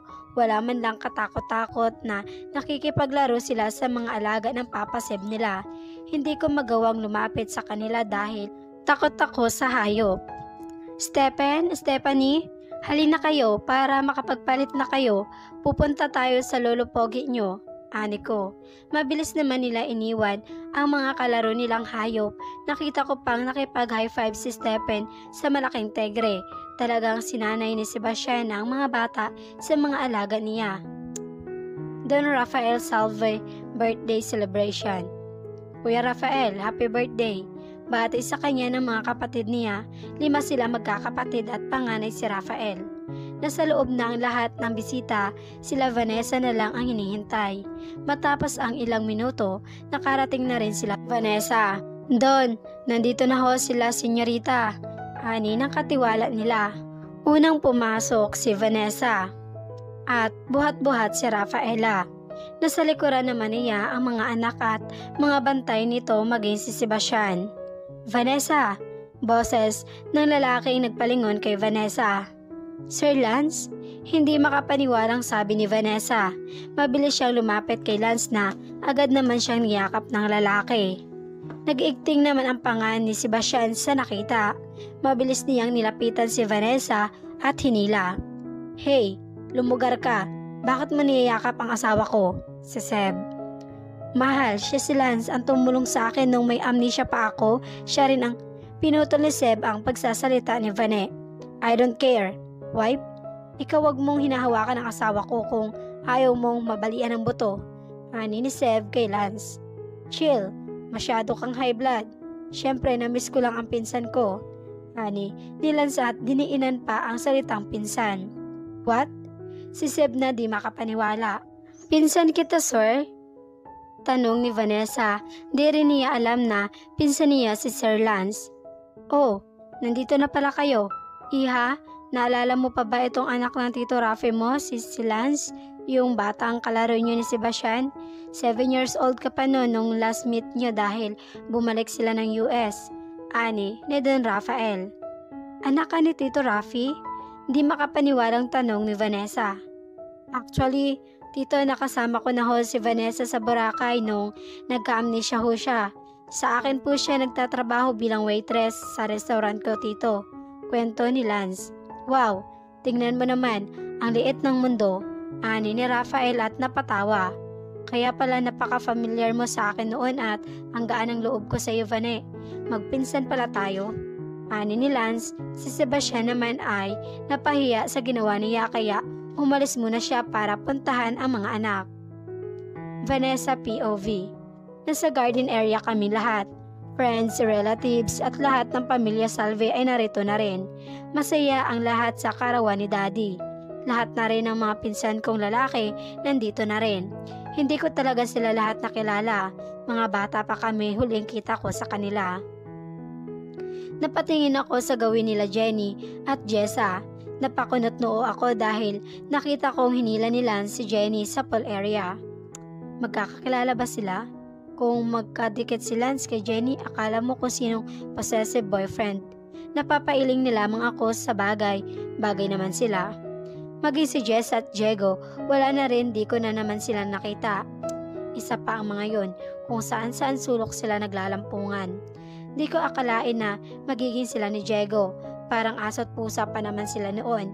Isang Diego lang pala ang magpapalambot sa isang boyes at tigasing agent na si Jessa. Mabuti pa si Kuya Rafael, meron ng anim na ah, mga apo. Ikaw ba Lawrence? Kailan mo ako bibigyan ng apo? Ani ni Tito Ruel, pangatlo sa magkakapatid na Salvi. Nakita kong nakatutok lang ang mata ni Kuya Lawrence kay Jenny. La, wag naman. Sana mali ang iniisip ko dahil ayaw kong mag-away ang magkapatid na Lance at Lawrence dahil lang kay Jenny. Sundad. Simpleng sagot ni Kuya Lawrence. Vanessa, iha, tuloy pa ba ang kasal niyo ni Sebastian? Palagi na lang nauurong ang kasal niyo ah. Ani ni Teta Ramon. Nagkatinginan naman kami ni Seb. Sa makalawa po tito, nakaredy naman po ang lahat, sagot ko. Sebastian POV. Kanina pa ako tahimik. Napahiya ako kanina di ko alam paano titingnan ang mga pinsan ni Vanessa. Nakita at naririnig nila yung ginawa ko kanina. Tumayo muna ako para silipin ang mga anak ko. Nakita ko namang kasama nila mami at daddy, kaya lumabas muna ako para tawagan ang mga tauhan ko. Hello, ready na ba lahat bukas? Okay, salamat. Yun lang sinabi ko sa kabilang linya. Excited na ako para sa anniversary namin ni Vanessa ko. Ang buong akala niya sa makalawa pa ang kasal namin. Pero hindi, binago ko. Gusto ko sa araw ng kasal namin ay masusurprise siya. Kinabukasan, maaga akong umalis ng bahay para pumunta na sa lugar kung saan gaganapin ang pinakamasayang araw namin ni Vanessa. Kinuntsaba ko na rin ang both parents namin, maging ang mga friends namin at relatives. Si Vanessa lang ang walang kaalam-alam. Pagdating ko ng simbahan, naka-ready na lahat. Naayos na lahat, nandito na rin ang mga ibang imbitado, maging ang mga reporters at mga media. Naka-live sa buong mundo ang kasal namin, maging sa radio, konektado rin. Kinuha ko ang phone ko at tinawagan si Jessa. Silang dalawa ni Jenny ang mag-aayos kay Vanessa para hindi na rin makahalata. Hello Jess, kamusta dyan? Ani ko. Kuya, inaayusan na ni Ate Jenny si Ate Vane. Tanong ng tanong, sinabi na lang namin para sa anniversary nyo. Medyo malungkot nga eh dahil hindi mo man lang daw siya binate bago ka umalis. Kwento ni Jessa. Okay Jessa, thanks. Basta kayo na bahala. Huwag kayo magpapahalata at magsasabi ng totoo. Sagot ko. Pinatay ko na ang call. Napalingon ako kay Manang Rosa kasama niya ang mga anak ko pati ang mga yaya nito. Meron pang dalawang oras, nandito na rin si Daddy Rafael, maging ang buong angkan ng pamilya Salve at ganon rin sa side ko. Nandito rin lahat ng pamilya at relatives ko. Vanessa POV Napabalikwas ako ng bangon dahil sa gulat ng tunog ng alarm clock na nasa tabi mismo ng tenga ko. Seryoso, alarm clock? Kailan pa ako nag-a-alarm? Malakas na sigaw ko. Sino ba naglagay ng alarm clock sa tabi mismo ng tenga ko? Halos mabingi na ako. Napatingin ako sa orasan, 5 a.m. Seryoso? Napatingin ako sa kama. Doon ko lang napansin na wala pala akong kasama. Nasaan si Seb? Nasaan ang mga anak ko? Mabilis akong nagilamos at nag-toothbrush lang. Mamaya na ako maliligo pagkatapos mag-almusal. Pero teka, bakit ang tahimik naman ata? Pagkatapos ko gawin ang morning routine ko, lumabas na ako at nilibot ang buong bahay. Mag-isa lang ako? Nasaan ang mga kasama ko? Jessa? Diego? Nani Rosa? Stephen? Stephanie? Mga anak, nasan kayo? Tawag ko sa kanila. Boses ko lang naririnig ko dahil umieko ang boses ko. Bigla naman akong nalungkot, naalala kong anniversary nga pala namin ni Mahal ngayon. Hindi man lang niya ako ginising, hindi man lang niya ako binati, hindi man lang sila nagpaalam. Paglabas ko ng pinto, nakita ko si Mang Ambo, ang katiwala dito na nag-aalaga sa ibang hayo. Ate Vane, yuhu! Boses yun ni Jessa. Beshi, si Jenny naman. Bumalik ako sa loob para puntahan kung nasan man sila. Nakita ko silang dalawa lang habang may bitbit na malaking maleta si Jenny. Seryoso, maleta? Jenny, maglalayas ka ba? Aalis ka? San ka pupunta? Sunod-sunod na tanong ko. Tumawa lang ang loko. Wala ito, Beshi. Pampaganda lang to. Aniya. Nalito naman ako sa sagot niya. Ikaw, Jessa, ano yung dala mo? Tatlong karton? Curious na tanong ko. O Ate Vene, ito para sa iyo, ito para sa akin at ito naman para kay Ate Jenny. Aniya, at nilapag ang dalang malaking kahon. Halika na, mag-aayos tayong tatlo. Ani ni Jessa na kinataka ko naman. Bakit? Bakit tayo mag-aayos? Anong meron? Kunot noo kong tanong. Hmm, may nililihim ang dalawang ito ah. Kasi 'di ba, anniversary niyo ni Kuya Seb. Tapos nagkasabay pa sa kasal ni Bea na pinsan ko. Kilala mo siya 'di ba? Inimbita niya tayo kaya pupunta tayo doon. Kaya mag-ayos ka na para isahan na lang ang lakad. Ani ni Jessa. Bea, di naman kami close noon. Nakisunod na lang ako sa kanila. Pansin ko, ako una nilang inaayusan. Bakit di pa kayo mag-ayos? Hayaan nyo na ako, kaya ko na sarili ko mag-ayos. Ani ko. Pero di ba di ka marunong mag-makeup ng sarili mo, kaya tatapusin ka lang namin bago kami. Si Jenny na mukhang excited. Kay Rita, pinagtitripan ata ako ng mga to. Pagkatapos nila akong ayusan, pinasuot naman ako ng puting gown. Puting gown? Seryoso, a-attend lang kami bakit ganito? Sabi niyo a-attend lang tayo, bakit ganito pinapasuot niyo sa akin? Basta, ganyan rin ang isusuot namin kahit tingnan mo pa, ani ni Jessa. At pinakita nga ang isusuot nila. Pareho rin ang suot ko kaya di na ako umangal. Matapos nila akong ayusan, tinakpan nila ng panyo ang mata ko. Kinataka ko naman lalo. Tapos, tinali ang kamay ko. Ano ba? Bakit may ganito? Malilintikan talaga kayong dalawa sa akin. Inis na sabi ko. Ate Vane, huwag ka kasing makulit. Sumunod ka na lang kasi. Tinali namin kamay mo para di mo matanggal ang pering mo sa mata. Ani ni Jessa. At naging sunod-sunuran ako sa dalawang to. Baliktad ata. Naramdaman kong nakasakay kami. Bakit may patakip pa ng mata? Di naman nila ako sinasagot. Teka, bakit wala akong maramdamang kasama? Manong driver, tayo lang po ba dalawa nandito sa sakyan? Tanong ko. Hindi rin sumasagot ang driver. Ilang minuto lang naramdaman kong tumigil na ang sasakyan. Rinig kong may nagbukas ng pinto ng kotse. May humawak sa akin, ramdam ko ang lambot ng kamay. Marahil baba ito. Ilang hakbang ng paglakad, naramdaman kong paakyat kami ng hagdan. Ilang step lang, tumigil na naman kami nakarinig ako ng pagbukas ng pinto at mahinang tawa ng mga tao. Nasaan na ba ako? Jessa, Jenny, nandito na ba tayo? Pwede ba tanggalin niyo na ito? Kanina pa ako naiirita sa inyo ha? Ani ko at napalakas ang boses ko. La, galit na si Mama. Rinig kong boses ng anak ko, si Stephanie. Papaanong, si Stephanie ba yun? Naramdaman kong pagtanggal ng tali sa kamay ko. Nang matanggal ang tali, naramdaman kong pag-alis ng tao sa tabi ko. Dahan-dahan kong inaalis ang takip sa mata ko. Sa una malabo nakikita ko kaya pumikit ulit ako. Pagmulat ulit ng mata ko, para akong naistatwa sa kinatatayuan ko. Nagsimula nang bumilis ang tibok ng puso ko. Napalingon ako sa babaeng lumapit sa akin. Si Jenny, ang ganda niya sa suot niya.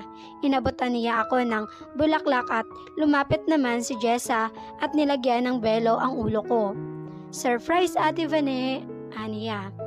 Umalis na sila sa tabi ko. Naiwan ako mag-isa. Napatingin ako sa mga tao, nakangiti lahat sila sa akin. Nagkikislapang mga kamera ang nagpasilaw sa akin.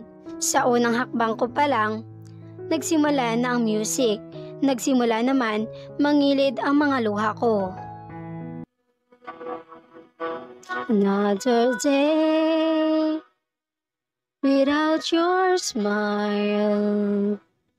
Another day just passes by. But now I know how much it means for you to stay right here with me. Muling bumalik lahat, ng mga masasayang alaala naming magkasama. Habang naglalakad ako, di ko mapigilang mapaiyak. Sobrang ganda ng kantang napili niya. Ito yung kantang kinanta niya nung first month sa rin namin magkarelasyon. The time we spent apart will make our love grow stronger. But it hurts so bad I can't take it any longer. I wanna grow old with you. I wanna die lying in your arms. I wanna grow old with you. I wanna be looking in your eyes. I wanna be there for you, sharing in everything you do. I wanna grow old with you. Maging si Sebastian ay nakangiti pa rin nakatingin sa akin habang umiiyak na rin. Pareho kaming nadadala sa saya, emosyon at bawat bigkas ng kanta sa kanya ko lang lahat gusto ko pang habang buhay hanggang sa pagtanda at sa huling hininga ng aking buhay. A thousand miles between us now. It causes me to wonder how our love tonight remains so strong. It makes our risk right all along. The time we spent apart will make our love grow stronger. But it hurts so bad I can't take it any longer. I wanna grow old with you. I wanna die lying in your arms. I wanna grow old with you. I wanna be looking in your eyes. I wanna be there for you. Sharing in everything you do. I wanna grow old with you. Things can come and go, I know, but baby, I believe. Something's burning strong between us, makes it clear to me. Wanna grow old with you. I wanna die lying in your arms. I wanna grow old with you. I wanna be looking in your eyes. I wanna be there for you. Sharing in everything you do. I wanna grow old with you. I wanna die lying in your arms. I wanna grow old with you. I wanna be looking in your eyes. I wanna be there for you. Sharing in everything you do. I wanna grow old with you. Natapos na ang kanta. Nasa harapan na ako ni Sebastian na nagpupunas pa rin ng luha. Paghawak niya sa kamay ko, hinalikan niya kaagad sabay sabing, I love you so much wife, at dahan-dahan kaming humarap kay father. Vanessa POV Nasa kusina ako ngayon, naghahanap ng pwedeng kainin. Marami namang pagkain pero hindi ko gusto. Meron akong hinahanap na di ko makita. Kanina pa ako hukay ng hukay. Senyorita, anak, ang aga mo naman nagising. Mas nauna ka pa sa akin. Si Nani Rosa na kakapasok lang ng kusina. Morning, Nani. Nani, kanina pa ako naghahanap ng isda na nasa lata yung walang tinik. Saan ba yun nakalagay? Anik ko, kumunot naman ang noon ni Nani. Anong isda na walang tinik? Takang tanong niya. Nani naman, yung palaging inaalmusal ni Sebastian, yung isdang walang tinik na nasa lata? Anik ko. Ah, tuna ba ang hinahanap mo? Teka, ito ba? Aniya at binuksan ang isang kabinet at pinakita ang hinahanap ko. Opo, Nani, the best ka talaga. Ani ko, sabay kuha ng hinahawakan niya. Pero anak, di ba di ka kumakain yan? Nandidiri ka dyan, di ba? Dahil malansa? Nani, basta gusto ko to. Dagdagan nyo pa po ng isa. Pahingi na rin ng ice cream, Nani, yung mangga po ang flavor. Nakangiting sabi ko. Lalo naman kinakunot ng noon niya. Ano gagawin mo sa ice cream at tuna, anak? Baka sumakit yan mo dyan. Aniya. Hindi po nani basta, dalhan niyo po ako ng ice cream sa sala po ngayon na. Manunood po ako ng Korean drama, bilisan niyo na po ha. Ani ko at lumabas na ng kusina. Nasa sala na ako, habang hawak-hawak ang mangkok na nilagyan ko ng dalawang latang tuna. Ilang minutong paghihintay, dumating na rin si Nani, may dalang ice cream. Salamat po Nani, I love you. Siya nga pala, pakigising nilang po ang dalawang kambal. May pasok pa po kasi sila. Ani ko. At tumango naman siya at umalis na. Pinaghalo ko ang ice cream at tuna. Tuwang-tuwa ako habang pinaghahalo. Three years na rin. Magmula nang ikasal kami ni Seb. Sobrang saya lang dahil isang taon nang masaya palagi ang pamilya namin. Wala na ring gulo. Si Daddy Rafael, lalong bumabata ng sampung taon paano ba naman, palagi siyang napapasaya ng mga apo niya. Halos araw-araw na nandun ang mga anak ko. Pag di niya nakikita ng isang araw, pinapasundo niya agad ang mga bata. Hindi siya pumupunta dito dahil baka atakihin daw siya sa puso dahil sa mga alaga ni Seb. Si Jessa naman ay may trabaho na, isa na siyang ganap na police agent. Naghiwalay na rin sila ni Diego dahil sa pagbalik ng ex-girlfriend ni Diego, kaya nasira ang relasyon nila. Si Jenny naman, wala na akong balita sa kanya, isang taon na rin. Nagpakalayo-layo muna siya. Hindi ko maiwasang hindi magalit sa kanya dahil nag-away ang dalawa kong pinsan na magkapatid dahil lang sa kanya. Napag-alaman kong unang naging boyfriend niya si Kuya Lawrence. Naghiwalay lang sila dahil tutol si Lola sa kanila. Hindi ko alam ang buong story nila. Hays, napaka-komplikado tapos ngayon nabalitaan kong buntis na siya at si Lance ang ama. At ito ako ngayon, 4 months nang buntis at triplets pa. Good morning, wife. Mwah.